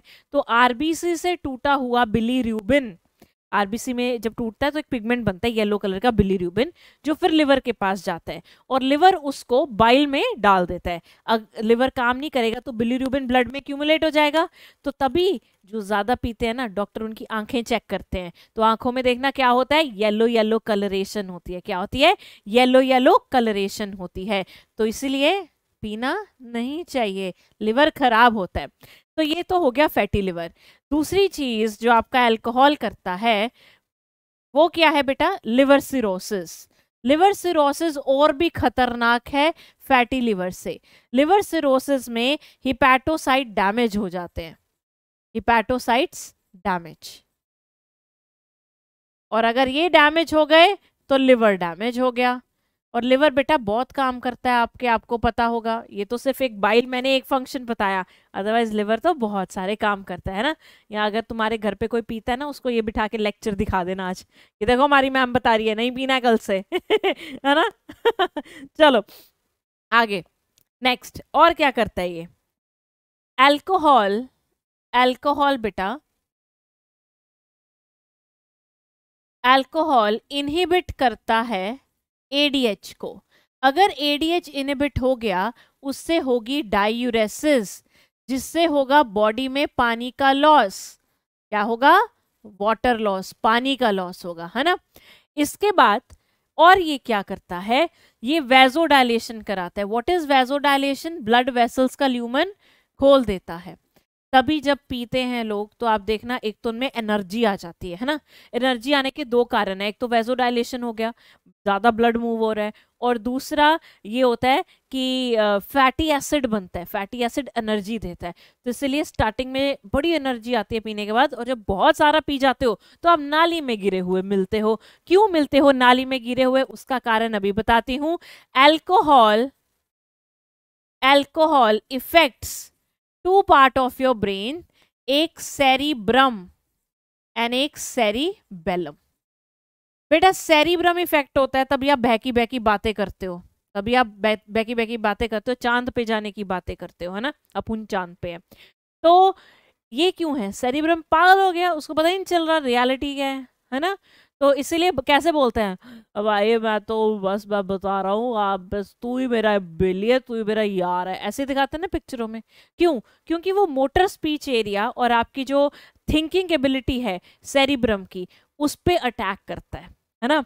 तो इसीलिए सेरिब्रम के इफेक्ट्स खराब कर देता है। सेरिबेलम अगर खराब होगा तो आप कैसे चलोगे? ये बैलेंसिंग में हेल्प करते हैं इक्विलिब्रियम एंड बैलेंस में। इसलिए लोग इधर उधर चल नहीं पाते और गिर जाते हैं। गिर जाते हैं ना? कैसे चलते हैं पिक्चरों में जब वो ऐसे एक्टर करता है, ऐसे ऐसे चलता है ना? क्यों? क्योंकि सेरिबेलम पे आपकी एल्कोहल जाके हिट करती है। राइट इसके अलावा बेटा, जो एल्कोहल होता है, वो आपके गैस्ट्राइटिस भी करता है। मतलब इन्फ्लमेशन इन्फ्लमेशन इन स्टमक, जिससे एसिड बहुत बनता है। जिससे एसिड और ज़्यादा बनता है तो एसिड आपको वॉल पे दिखता है मतलब वॉल पे लगने लगता है और आपको जलन होने लगती है। तो ये गैस्ट्राइटिस भी करता है। ठीक है हैप्पी बर्थडे वाला लग रहा है, कोई अर्जुना 2.0 का बच्चा है।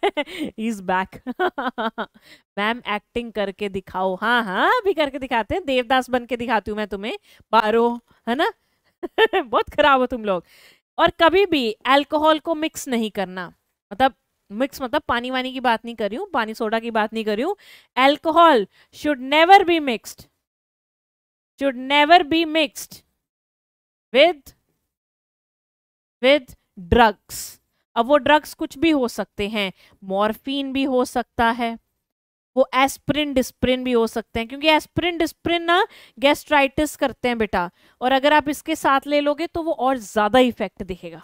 वो और ज़्यादा इफ़ेक्ट दिखेगा। तो देखो अच्छी चीज़ नहीं है तो दारू को ख़त्म करो। दारू हमें खत, दारू क्या है? दारू बुरी चीज़ है। दारू समाज को ख़त्म करती है है ना? दारू हमारे आ, लोगों को ख़त्म करती है। तो इसीलिए आज प्रण लो कि हम दारू को खत्म करेंगे। मतलब वो वाला दारू को खत्म नहीं करना है। मतलब कभी भी दारू नहीं पियेंगे और अगर पीते हो तो आज ही छोड़ देंगे। गलत चीज़ होती है। पता क्या है? तुम्हारी एज में क्या होता है कि हम ना एक वो होते हैं बड़े कूल बनने की कोशिश करते हैं। या फिर हमसे ना हमारा स्ट्रेस और ये चीज़ें एंगजाइटी ये हैंडल नहीं होती क्योंकि हमें इस एज में इतना सेल्फ डाउट होता है कि आ, अरे यार मैं अच्छा नहीं दिखता हूँ अरे यार मेरे पिंपल हो गए अरे यार वो मुझसे अच्छा दिखता है। ओ वो लड़का मुझे रोज़ देखता है ओ वो लड़की मुझे रोज़ देखती है। तो हमें अपनी अपियरेंस हमारे बॉडी चेंजेस और आसपास के लोग क्या कहते हैं इन चीज़ों से बहुत इफ़ेक्ट पड़ता है। ये एज ही ऐसी होती है। हमें पड़ता था है ना? तो ये एज में आप ऐसे कई बार कदम उठा लेते हो जो कदम ठीक नहीं होते हैं। तो कभी भी आ, किसी के प्रेशर में आके या पिक्चरों को देखकर जैसे अब कबीर सिंह आई है ना? अब तुम क्या हो तुम तो नीट एस्पिरेंट हो तुम तो सोचोगे भाई हाँ ऐसा ही होता है। बिल्कुल भी ऐसा नहीं होता मेडिकल कॉलेज में मैं बता रही हूँ बिल्कुल भी ऐसा नहीं होता। सिर्फ़ पढ़ाई होती है और उनको टाइम ही नहीं मिलता इन चीज़ों में।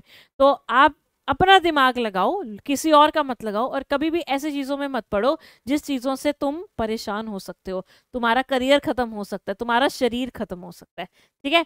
तो इसलिए आज से नो टू नो टू दारू, हमेशा ड्राई डे। चलो तो बेटा ये था अल्कोहल का अब्यूज आगे चलते हैं। हाँ एक्सपेरिमेंटेशन के चक्कर में कभी भी गलत गलत कदम नहीं उठाते कभी भी। जब तुम बड़े हो गए कुछ अचीव कर लिया जब तुम्हें सही और गलत का मतलब पता चल गया जस जिस एज में आकर उस एज में तुम्हें कोई रोकेगा भी नहीं राइट? उस एज में तुम्हें बेटा कोई रोकेगा भी नहीं। बट इस एज में तुम्हें अभी सही और गलत का मतलब आ, नहीं पता। आपको नहीं पता आपके सामने वाला बंदा जो आपको फोर्स कर रहा है वो किस मकसद में कर रहा है। लिटरली कई कई जगह पर ऐसे होते हैं वो अपने मकसद के पीछे भी तुम्हें इन चीज़ों में लगा सकते हैं। तो आप ये समझो उसके पीछे का मोटिव क्या है? वो आपको क्यों अच्छा फील करवाना चाहता है? Right right? क्यों वो खुद भी तो कर रहा है? खुद भी कर रहा है ना? तो वो कहेगा आ, मैं तो कूद रहा हूँ तू भी आके कूद जा। ऐसी बात थोड़ी ना होती है। तो कभी भी किसी के कहने पे नहीं सोचना अपना दिमाग लगाओ भगवान ने तुम्हें क्रेनियल कैपेसिटी उतनी दी है। And do what is right not what is wrong okay चलो एनीवेज एनीवे अच्छा मिस यू इन लक्ष्य ओ कोई बात नहीं बेटा, पढ़ाई करो लक्ष्य में भी। चलो, अब पढ़ते हैं बेटा drug abuse abuse again misuse of something अब जो ड्रग्स हैं, वो कितने टाइप्स के होते हैं और उनका एडिक्शन कितने टाइप का होता है? एडिक्शन समझते हो? लब तो आदत सी है मुझको, है ना? बस वही वही। तो जो ड्रग है, बेटा ड्रग कितने टाइप के होते हैं? ड्रग्स दो तरह के होते हैं।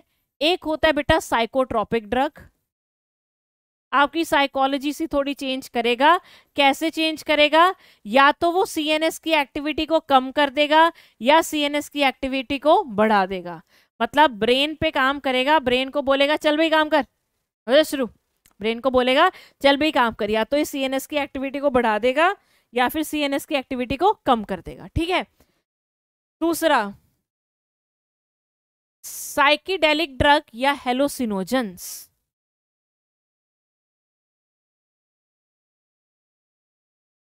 ये आपको ये आपको हेलुसिनेशन देंगे। हेलुसिनेशन क्या होता है? संजू देखिए। नहीं देखी, बता देती हूँ। मूवी है। आपको वो दिखता है जो होता नहीं। जैसे आप खेत में जा रहे हैं, आप चल रहे हैं। आप आप नहीं कोई आदमी, आपको नहीं करना है ये सब, ठीक है? तो अब आपको लग रहा है पत्ते तुमसे बात कर रहे हैं, पेड़ तुमसे बात कर रहे हैं। हाँ ऐसे लगता है लोगों को। या फिर जो गाय, भैंस है वो तुमसे बात कर रही हैं they are talking to you yes तो ये हेलोसिनेशन है बट ऐसा होता तो नहीं है ना बेटा? ऐसा होता तो नहीं है। तो हेलोसिनेशन का मतलब होता है ऑल्टर दी परसेप्शन और रियलिटी मतलब आपकी रियलिटी को ही उसने चेंज कर दिया। आपकी रियलिटी को ही उसने बेटा चेंज कर दिया। वाह भाई वाह, है ना?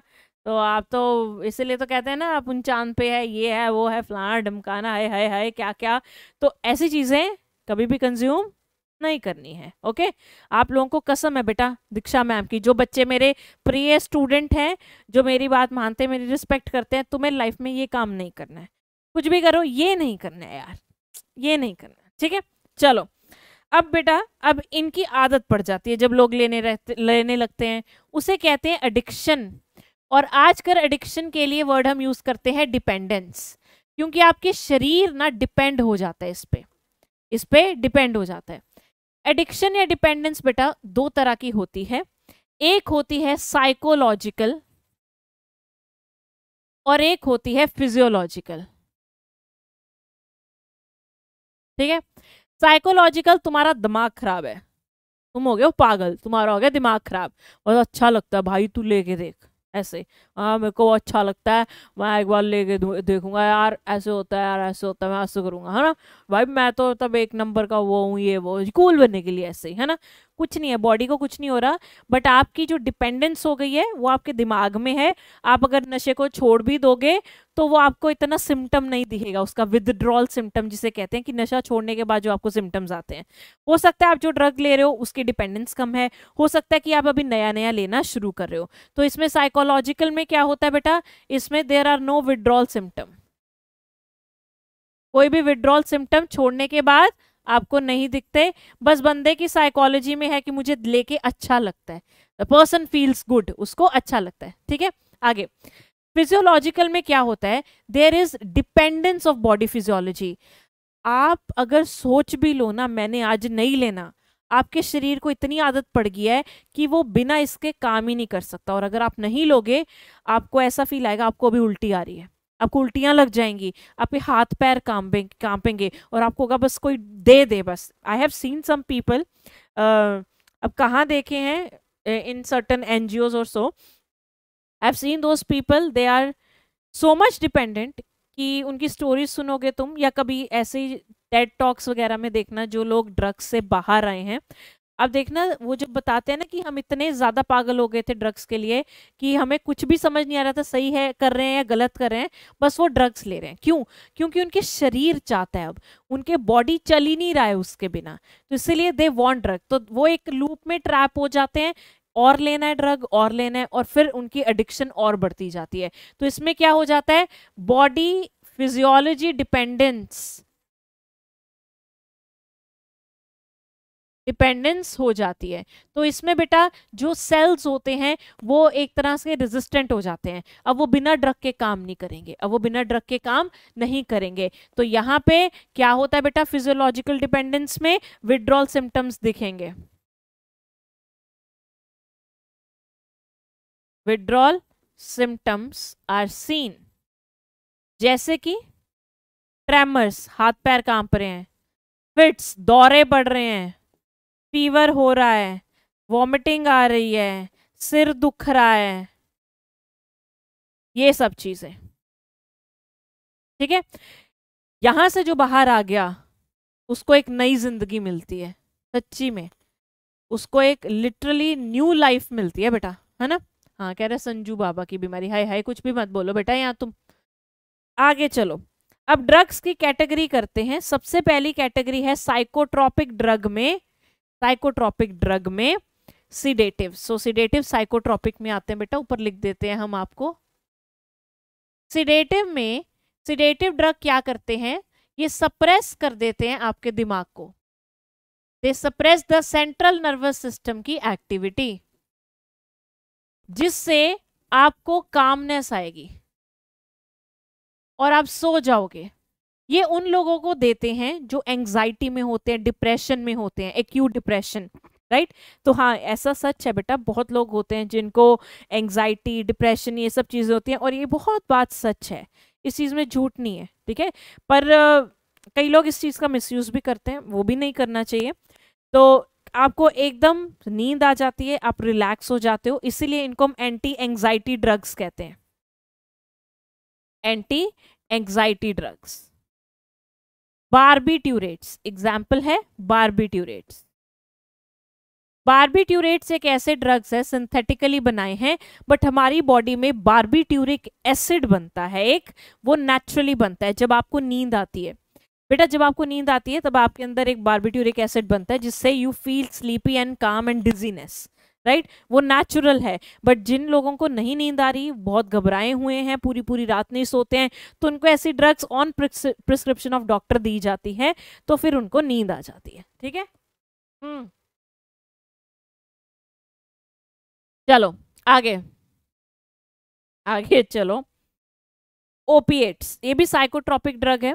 ओपीएट को नारकोटिक्स भी कहते हैं। सबसे ज़्यादा ये नारकोटिक डिपार्टमेंट वाले ये पकड़ते हैं। है ना? चलो। ये बेटा तीन तरह के होते हैं ओपिएट्स और नारकोटिक्स इनके रिसेप्टर कहाँ होते हैं सबसे पहले? ये काम करते हैं बेटा आपके सीएनएस एंड गट पे, या GIT what is GIT gastrointestinal tract पे इसके रिसेप्टर्स होते हैं। ये तीन तरह के होते हैं। एक है नेचुरल जो आप एक प्लांट से लेते हैं। आपको ये प्लांट दिख रहा होगा। कौन है ये प्लांट दिख रहा है प्लांट नहीं दिख रहा। कौन सा प्लांट है? अरे, गंदी बातें मत करो यहाँ पे। कौन सा प्लांट है बेटा, बताओ? नहीं बताओगे? अरे, बता दो। कौन सा प्लांट है? हाँ हमको नींद नहीं आने वाली बता दो। मैं डॉक्टर हूँ क्या? मैं कैसे दवाई बता दू? तो बेटा, ये है पॉपी पैपिवर सोमनीफेरम तो पॉपी प्लांट की लेटेक्स से ये ड्रग निकाला जाता है। क्या निकाला जाता है बेटा? ये ड्रग निकाला। वेरी गुड बहुत बच्चे सही बता रहे हैं। पॉपी प्लांट है। तो ये है बेटा मॉर्फिन का स्ट्रक्चर तो नेचुरली हम पॉपी प्लांट से दो ड्रग्स निकालते हैं। एक मॉर्फिन और एक कोडीन ठीक है? जो मॉर्फिन होती है it's a very powerful analgesic analgesics होती हैं पेन किलर और ये डॉक्टरों के पास ही होती है। इससे अगर कोई बहुत बड़ी सर्जरी होती है, तब ये डॉक्टर दे देते हैं ताकि दर्द कम हो। और codeine is a very good bronchodilator bronchioles को डायलेट कर देता है, इसीलिए इसको कफ सिरप्स में डालते हैं। तो अब शायद कफ सिरप्स में इसको थोड़ा बैन कर दिया है, और ये ये कफ सिरप जिनमें होता है, वो डॉक्टर की प्रिस्क्रिप्शन पे ही मिलते हैं। अदरवाइज़ लोग इनका भी मिसयूज करने लग गए थे, है ना?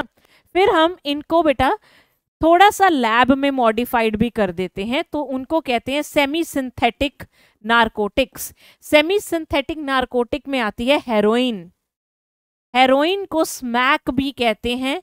इसको हमने कैसे बनाया है? इसी मॉर्फिन को थोड़ा मॉडिफाई कर दिया है। डाई एसिटाइल मॉर्फिन बना दिया है। ठीक है?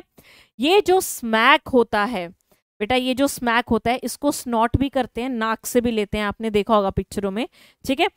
ये जो होता है, ये वाइट कलर का होता है पिक्चरों में ज़्यादा जो दिखाते हैं, यही दिखाते हैं वाइट कलर का होता है, कड़वा होता है, कोई भी स्मेल नहीं होता ऑर्डरलेस होता है, और क्रिस्टल होते हैं छोटे छोटे क्रिस्टलाइन होता है, ठीक है? फिर आता है जो हम लैब में बनाते हैं, पूरा का पूरा सिंथेटिक सिंथेटिक में दो ड्रग्स आते हैं बेटा पैथाडिन एंड मेथाडायोन ये जो ड्रग्स हैं ये क्यों यूज़ करते हैं हम लैब में क्यों बना रहे हैं? ये उनको देते हैं जिनको बहुत ज़्यादा एडिक्शन होती है नारकोटिक्स की। जिन आ, लोगों को इन आ, इन नारकोटिक्स की बहुत ज़्यादा एडिक्शन होती है उन लोगों को ये ड्रग्स बेटा दिए जाते हैं ठीक है? ताकि ये ड्रग्स लेके उनकी बॉडी एक बार काम करती रहे बट दूसरे ड्रग्स की एडिक्शन ना हो, क्योंकि they are non addictive they are non addictive ये लैब में बनते हैं. इन लैब आर्टिफिशियली ठीक है?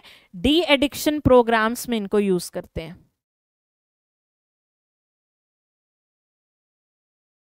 चलो.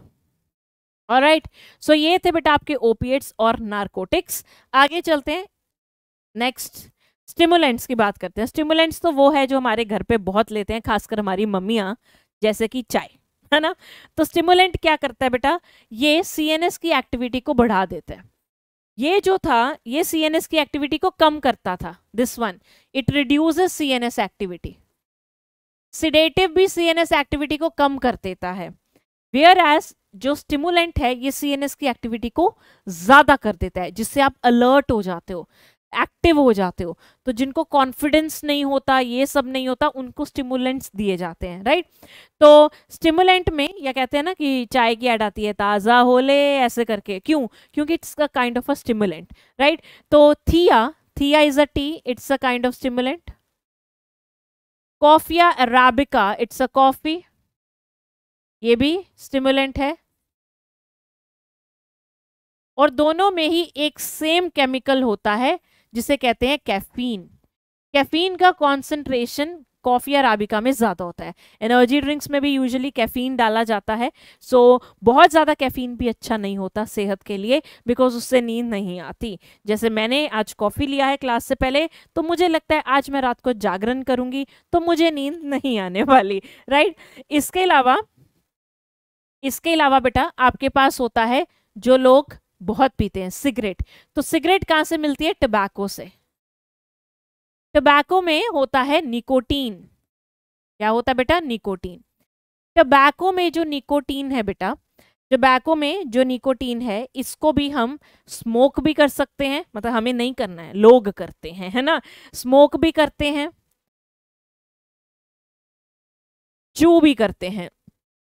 ये जो निकोटीन है, ये क्या करता है? आपके एड्रीनल ग्लैंड पे काम करता है।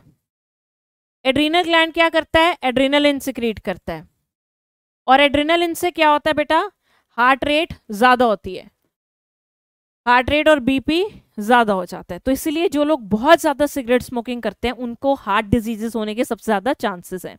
इसके अलावा टबैको से आपको कैंसर भी हो सकता है। कैंसर सिर्फ़ लंग का नहीं, प्रोस्टेट का भी हो सकता है ऑरल भी हो सकता है, माउथ का भी हो सकता है यस माउथ का कैंसर भी हो सकता है इससे। ऐसे लोगों को लगता है कि वो उसमें जा रहे हैं, लंग में तो सिर्फ़ लंग का होगा यूरिनरी ब्लैडर का भी हो सकता है थ्रॉट का भी हो सकता है। गला काटना पड़ सकता है, गला काटना मतलब वोकल कोड तक लोगों के निकल जाते हैं तो यूरिनरी ब्लैडर का भी हो सकता है। Okay okay? और क्या होता है? हार्ट डिजीजेस हो सकती हैं। दिल की बीमारी काहे इतना कुछ करना, अगर इतनी बीमारियाँ हो रही हैं, है ना? अगर इतनी बीमारी हो रही है, क्यों करना? रेस्पिरेटरी बीमारियाँ याद है तुम्हें? ब्रीदिंग एंड एक्सचेंज की। कौन सी थी? ब्रोंकाइटिस इन्फ्लेमेशन इन ब्रोंकियोल्स तभी खांसते रहते हैं ना ये, जो ज़्यादा पीते हैं। और इम्फाइजीमा भी हो सकता है। याद है इम्फाइजीमा जो एल्वेलाई होती है बेटा एल्वेलाई वो खराब हो जाती है एल्वेलाई खराब हो जाती है और दूसरा आप धुआँ पी रहे हो तो कार्बन मोनोऑक्साइड ज़्यादा होगी होगी ना? तो कार्बन मोनोऑक्साइड का कंटेंट भी बॉडी में ज़्यादा हो सकता है राइट तो चलिए, ये था आपका स्टिमुलेंट स्टिमुलेंट में एक और पढ़ना है बेटा हमें। एक और पढ़ना है। करें? स्टिमुलेंट एक। कौन सा है? थोड़ा गैस मारो। कोकेन कोकेन, कोक और क्रैक। ये मिलती है एरिथ्रोजाइलन कोका। तो कोका के नाम से ज़्यादा मशहूर होती है। इस प्लांट से मिलती है साउथ अमेरिका का प्लांट है। इसलिए साउथ अमेरिका में ये सब बहुत होता है। अगर आपने एक शो देखा होगा ब्रेकिंग बैड देखा नहीं देखा? अरे कैनाबिनॉइड नहीं है। अभी आएगा और, अभी आएगा आएगा। रुक जाओ। हाँ। तो एरिथ्रोजाइलन कोका, ये डोपामीन ट्रांसपोर्टर मतलब आपका जो न्यूरो है, उसके ट्रांसपोर्ट में इंटरफेयर करता है, रोक देता है। इंटरफेयर बड़ा इंटरफेयर करता है, गलत बात है। जिससे ये सीएनएस की एक्टिविटी को बढ़ा देता है।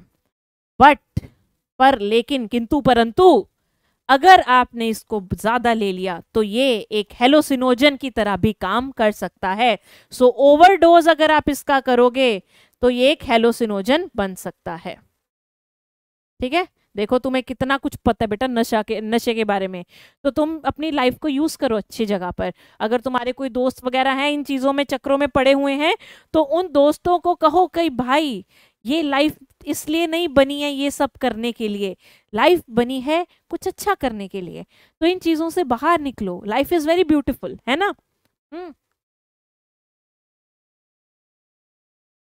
क्यों अपना जीवन ऐसे व्यर्थ जाने देना? चलो अब बेटा पढ़ेंगे हेलोसिनोजन। हेलोसिनोजन में सबसे पहले हम पढ़ेंगे ये वाला। क्या नाम है इसका? कैनाबिनोइड्स कैनाबिनोइड्स एक प्लांट से मिलता है cannabis sativa cannabis sativa cannabis और कैनाबिस सटाइवा इसके पत्ते दिखते हैं ऐसे और इसके पत्तों को यूज़ करते हैं हम और बनाते हैं भाँग। क्या बनाते हैं? भाँग। है ना? तो भाँग बनाते हैं, कहते हैं ना, बोले का प्रसाद। ऐसा कुछ नहीं है। तो ये भी हेलोसिनोजन है इसको खा के पी के लोग फिर हँसते रहते हैं ना?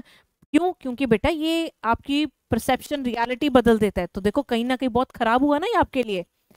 कहीं ना कहीं ये बहुत खराब हुआ।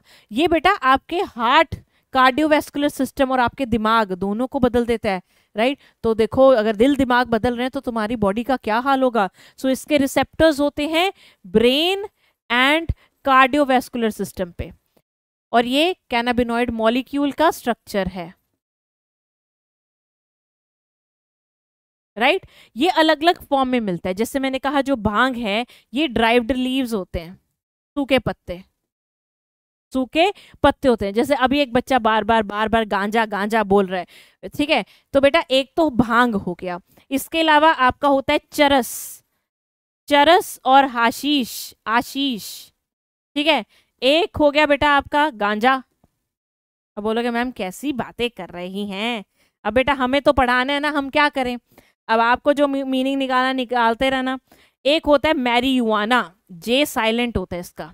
एक होता है मैरी युआना जे साइलेंट। तो चार फॉर्म में मिलता है। भाँग, चरस, गांजा, मैरियोना और हर फॉर्म में जैसे स्नोटिंग या फिर कई लोग इसको स्मोक करते हैं, कई वैसे ही ओरली इंजेस्ट भी कर लेते हैं, हर फॉर्म में इसको यूज़ करते हैं। जैसे जो चरस होता है बेटा, वो रेजिन होती है इसकी। तो इसके अलग अलग पार्ट्स को हम यूज़ करते हैं। जो इसका गांजा होता है, वो फीमेल इन्फ्लोरेसेंस होती है ड्राई करी हुई। ड्राइड फीमेल इन्फ्लोरेसेंस ठीक है? तो मतलब इस पौधे के कितने पार्ट को अलग अलग फॉर्म में यूज़ करते हैं। और जो ये होता है मैरीवाना ये होता है ड्राइड फ्लावर्स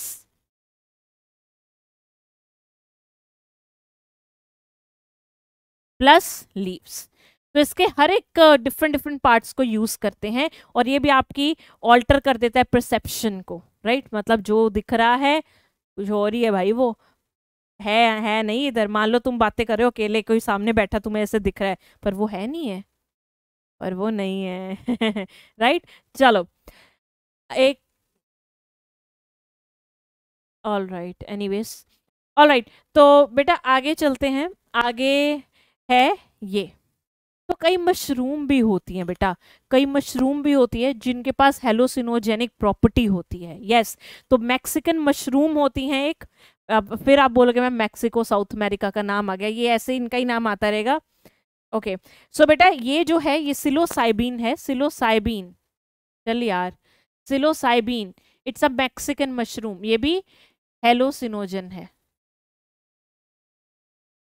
मैक्सिकन दिख रहे हो आपको? ये वो मशरूम नहीं है जिसके घर पे सब्ज़ी बनती है, वो वाली नहीं है ये राइट इसके अलावा एलएसडी है। एलएसडी का नाम सुना होगा तुमने अभी पिक्चरों में? Lysergic acid lysergic acid diethylamide lysergic acid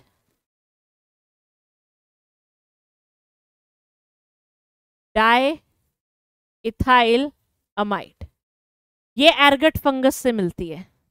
एर्गट fungus से। ठीक है? तो कई फंगस भी होती हैं। वैसे एक दतूरा है। एंड एट्रोपा बेलेडोना ये भी प्लांट है। इनके इनके पार्ट्स जो हैं, वो भी एज हेलोसिनोजन यूज़ किए जाते हैं। इसके अलावा एज अ ड्रग और क्या चीज़ें भी अब्यूज करी जाती हैं? तो जो स्पोर्ट्स मैन होते हैं स्पोर्ट्स पर्सन होते हैं, जो स्पोर्ट्स खेलते हैं, वो किस किस चीज़ों को अब्यूज करते हैं? एक तो नारकोटिक्स को करते हैं बेटा ओपीएट्स को एनलजेसिस को करते हैं पेन किलर्स क्योंकि ज़्यादा खेलेंगे तो दर्द नहीं होगा अगर पेन किलर ले लेंगे। डायूरेटिक्स होते हैं। डायूरेटिक्स में क्या आते हैं? आपको पता होगा, आपने एक्सक्रीशन में पढ़ा होगा कॉफ़ी टी इससे आप स्टिमुलेंट की तरह बोलते हैं इनको। एनाबॉलिक स्टीरोइड यूज़ करते हैं। एनाबॉलिक स्टीरोइड हॉर्मोन्स और कैनाबिनॉइड कैनाबिनॉइड्स जो बेटा स्टीरोइड्स होते हैं, ये क्यों नहीं लेने चाहिए? आपने देखा होगा ना जिम में मारते हैं, लोग स्टीरोइड खाते हैं। क्यों करते हैं? ऐसे नहीं करना चाहिए।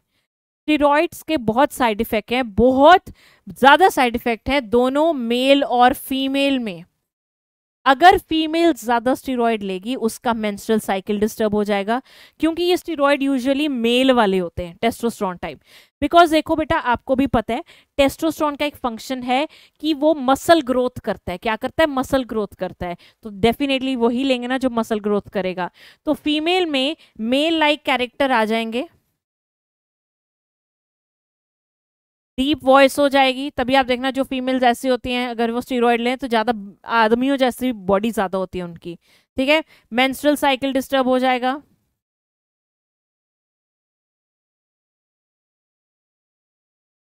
राइट मूड स्विंग्स आएँगे इरिटेशन रहेगी उनको। मेल में क्या होगा? मेल में ब्रेस्ट बनने लगेंगे। ब्रेस्ट फॉर्मेशन होगा मेल्स में। टेस्टीज का साइज़ छोटा होगा। सिर के बाल चले जाएँगे बॉल्डनेस कहते हैं जिसको राइट right? इनको भी मूड स्विंग आएगा इरिटेशन सी होने लगेगी। तो ये कुछ साइड इफेक्ट्स होते हैं। अब आप बोलोगे, मैम, ये तो टेस्टोस्टेरोन है तो बेस्ट क्यों बन रही है मेल में? क्यों फीमेल जैसे कैरेक्टर हैं? बेटा मेल में अगर टेस्टोस्टेरोन बहुत ज़्यादा हो जाता है तो excess amount of testosterone is converted into estrogen in males yes, it's true. There is an enzyme for that reaction. That's why male में नेगेटिव फीडबैक मैकेनिज्म होता है कि ज़्यादा टेस्टोस्ट्रॉन ना हो। फाइन तो इस, ये सब चीज़ें हैं जो बहुत नुकसान देती हैं और लोगों को नहीं करना चाहिए। आज आई एम फीलिंग ब्लेस कि मैं ये पढ़ा रही हूँ और यूथ को पढ़ा रही हूँ, जिससे मैं तुम लोगों को बता सकती हूँ कि these things can really take away the joy of your life तुम्हारे लाइफ की हैप्पीनेस ले जाती हैं ये सब चीज़ें, तुम्हारे पेरेंट्स की हैप्पीनेस ले जाती हैं, तुम्हारा करियर तुम्हारे पैसे, तुम्हारी शरीर, तुम्हारी ज़िंदगी सब खराब हो जाता है। जब सब खराब ही हो रहा है तो तुम क्यों करते हो ये, है ना? तो नहीं करना चाहिए।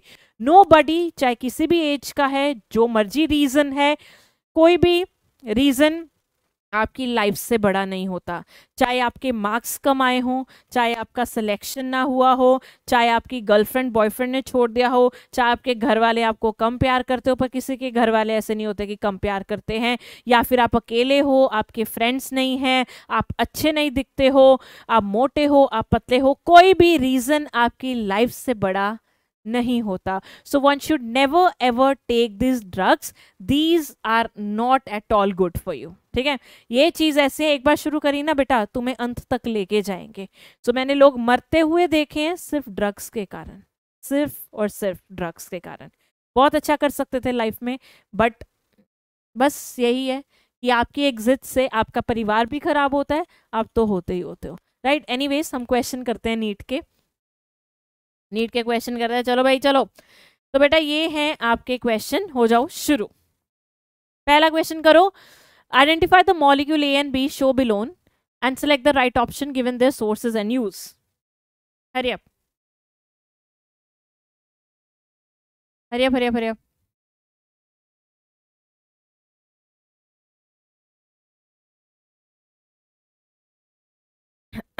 read करो बेटा। Tell me the answer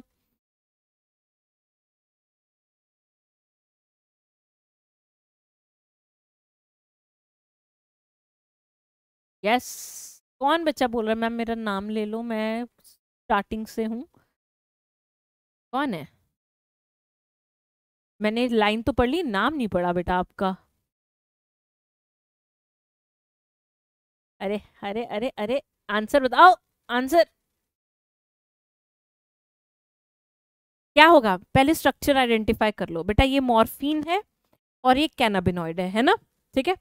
तो यहाँ पर A is not cocaine B is not heroin it's not heroine it's always said as heroin okay cannabinoid है बट ये एट्रोपा से नहीं कैनबिस से आता है. मॉर्फिन सही है पैपेवर से आता है सिडेटिव भी है और पेन किलर भी है. तो आंसर हुआ बेटा फोर सिडेटिव कैसे हुआ? क्योंकि ये सीएनएस की एक्टिविटी को कम करता है ओके तो यहाँ से थोड़ा दिमाग लगा लेना. Next which is the particular type of drug that is obtained from the plant? Whose one flowering branch is shown below. Painkiller depressant hallucinogen, stimulant. ये कौन है? बता दो। तुम्हें एक प्लांट तो दिखा दिए है, दूसरा थोड़ा गैस कर लो कौन है ये। कौन है ये? एनसीआरटी में है। एनसीआरटी में है बच्चों। हम्म। अच्छा ये बताओ कौन सा है? कौन सा है ये? ये है दतूरा। और दतूरा हमने किसमें पढ़ा है? हेलोसिनोजन में। तो आंसर हुआ बेटा टू। ठीक है नेक्स्ट देखो ड्रग्स से भी बहुत क्वेश्चन आते हैं सो मेक श्योर आप ड्रग्स अच्छे से पढ़ के जाना, ठीक है? Which part of poppy plant is use to obtain the drug smack अरे सिंपल है कर लोगे तुम? स्मैक बताया मैंने, अभी लिखा भी है। बोर्ड पे भी लिखा था। लेटेक्स तो आंसर क्या हुआ? Two next which of the following is not an autoimmune disorder okay तो ये ऑटोम्यून का एक क्वेश्चन रहता था हमारा। सोरियोसिस मैंने आपको बताया। सोरियोसिस में स्किन सेल के अगेंस्ट एंटीबॉडीज बनती हैं।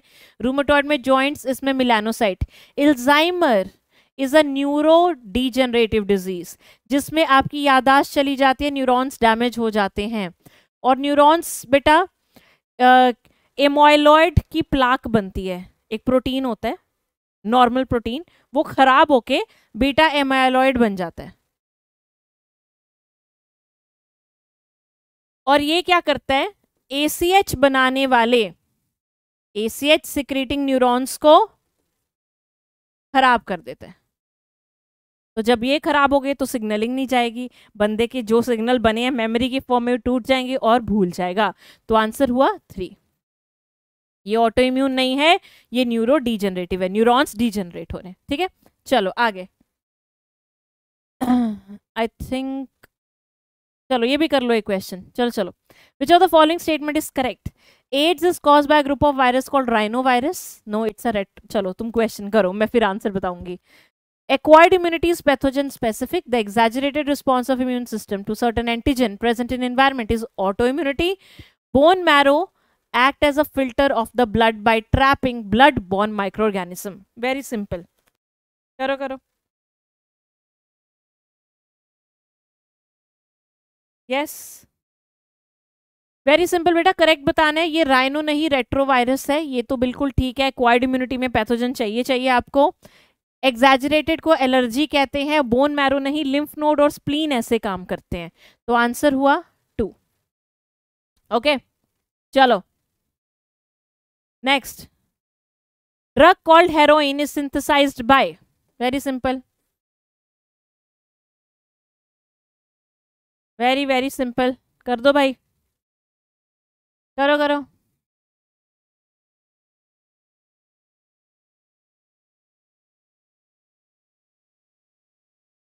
यस वेरी इजी बेटा. एकदम सिंपल सा है ये.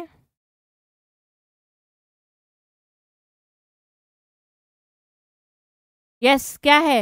हेरोइन एसिटाइलेशन ऑफ़ मॉर्फिन तो आंसर हुआ two next which part of poppy plant is use to obtain the drug smack same latex answer two right okay so that's it about this chapter मुझे आज पता ही नहीं चला है class कब खत्म हो गई। ये क्या हो गया आज? आज तो पता ही नहीं चला यार। हाँ? सो टेल मी आज आपका ह्यूमन हेल्थ एंड डिज़ीज़ अच्छे से हुआ या नहीं? टेल मी जल्दी से जल्दी से। Live chat yes yes yes जा रहे हैं बच्चे, जा रहे हैं, जा रहे हैं। बताओ बताओ। मज़ा आया मैम प्लीज़ नाम ले लो। यार, इतनी फास्ट चैट चल रही है, मुझे दिख ही नहीं रहा नाम। ओके ओके तो बेटा नेक्स्ट चैप्टर ऑब्वियसली बायोटेक होगा और uh, कोई कह रहा है तेलुगु में बोलो भाई यार मेरे को नहीं आती तेलुगु मेरे हस्बैंड को आती है मेरे को नहीं आती. सो so, हाँ थोड़े टाइम में मैं सीख जाऊँगी क्यों उसका रीज़न आपको पता चल जाएगा। सो so, बेटा ये क्लास आज यहीं पर समाप्त करते हैं और आज हमने ह्यूमन हेल्थ एंड डिज़ीज़ किया जिसमें से जैसे कि मैंने आपको पहले भी बताया तीन पोर्शन है जहाँ से क्वेश्चन आता आता है एक इम्यूनिटी दूसरा ड्रग्स और पहला आपके डिजीजेस तो इसको करना ही करना है, ठीक है? है या नहीं? पंजाबी में बोलो मैम पंजाबी में क्या बोलूँ बेटा? समझ आ जाएगा आप लोगों को? आएगा, नहीं आएगा नहीं आएगा। आएगा। नहीं आएगा। पंजाबी में क्या बोलूँ? बताओ, क्या बोलूँ? मेरे को खुद बता दो तो मैं वही बोल दूँगी। बताओ बताओ बताओ बताओ। पंजाबी गाना गा दो। अरे यार, गाना गाना तो मुश्किल है। गाना यार, मैंने कभी गाया ही नहीं है। तुम लोग गवा दोगे और बाद में तुम वीडियो वायरल कर दोगे इतने खराब आवाज़ में मेरा तो मज़ाक ही बनेगा, है या नहीं? उसमें तो एकदम तुम मेरा मज़ाक बनवा दोगे। अच्छे वाला मज़ाक बनवाओगे फिर। है या नहीं? चलो, फिर एक लाइन बोलते हैं। बड़े फेमस सिंगर की आजकल बहुत फेमस है तुम समझ जाओगे पंजाबी में तो मैं ट्रांसलेट कर दूंगी तुम्हें बाद में ਨਿਗਾਹਾਂ ਕਾਤਿਲ ਨੇ ਤੇ ਦਿਲਾਂ ਨੂੰ ਠੱਗਦੇ ਆ ਸਾਡਾ ਦਿਨ ਵਿੱਚ ਨਾਮ ਬੋਲੇ ਰਾਤਾਂ ਨੂੰ ਜਗਦੇ ਆ ਕੋਈ ਕਿੱਥੇ ਮਾਰ ਕਰੂ ਪੇਤੀ ਰਗ ਰਗਦੇ ਆ ਉਹ ਤੇਰੀ ਜਿੱਥੇ ਸੋਚ ਮੁਕੇ ਅਸੀਂ सोचन लगते हैं पता चल गया ना तुम्हें किसकी लाइन है ये अब तो पता चल गया होगा किसकी है इसका मतलब है कि हमारी निगाहें बहुत कातिल है और ऐसे हम दिल ठग जाते हैं। हमारा दिन में नाम चलता है, रातों को हम जागते हैं, मेहनत करते हैं बहुत। हमारे, हमें कोई कहाँ पे मार दे देगा, हम तो सबकी रग रग जानते हैं और जहाँ पर इन लोगों की सोच खत्म होती है, वहाँ से हम सोचना शुरू करते हैं। राइट? हाँ सबको पता चल गया बच्चों को किसकी लाइन है ये। All right so I'll meet in the next class probably in the biotechnology if yes और अदरवाइज़ कोई और टीचर और anyways so it was so nice meeting you all guys all the very best for your exam human health and disease को lock कर देना। P Y Qs आपको मैंने करा दी है। एनसीआरटी e को बहुत अच्छे से देखना। ये चैप्टर बहुत स्कोरिंग है। बहुत अच्छे मज़ेदार क्वेश्चन आते हैं और तुम लगा भी लोगे। Right So this was Diksha Sharma, your zoology teacher. So here I wind up the class. Bye bye. Take care. All the best and a very good night.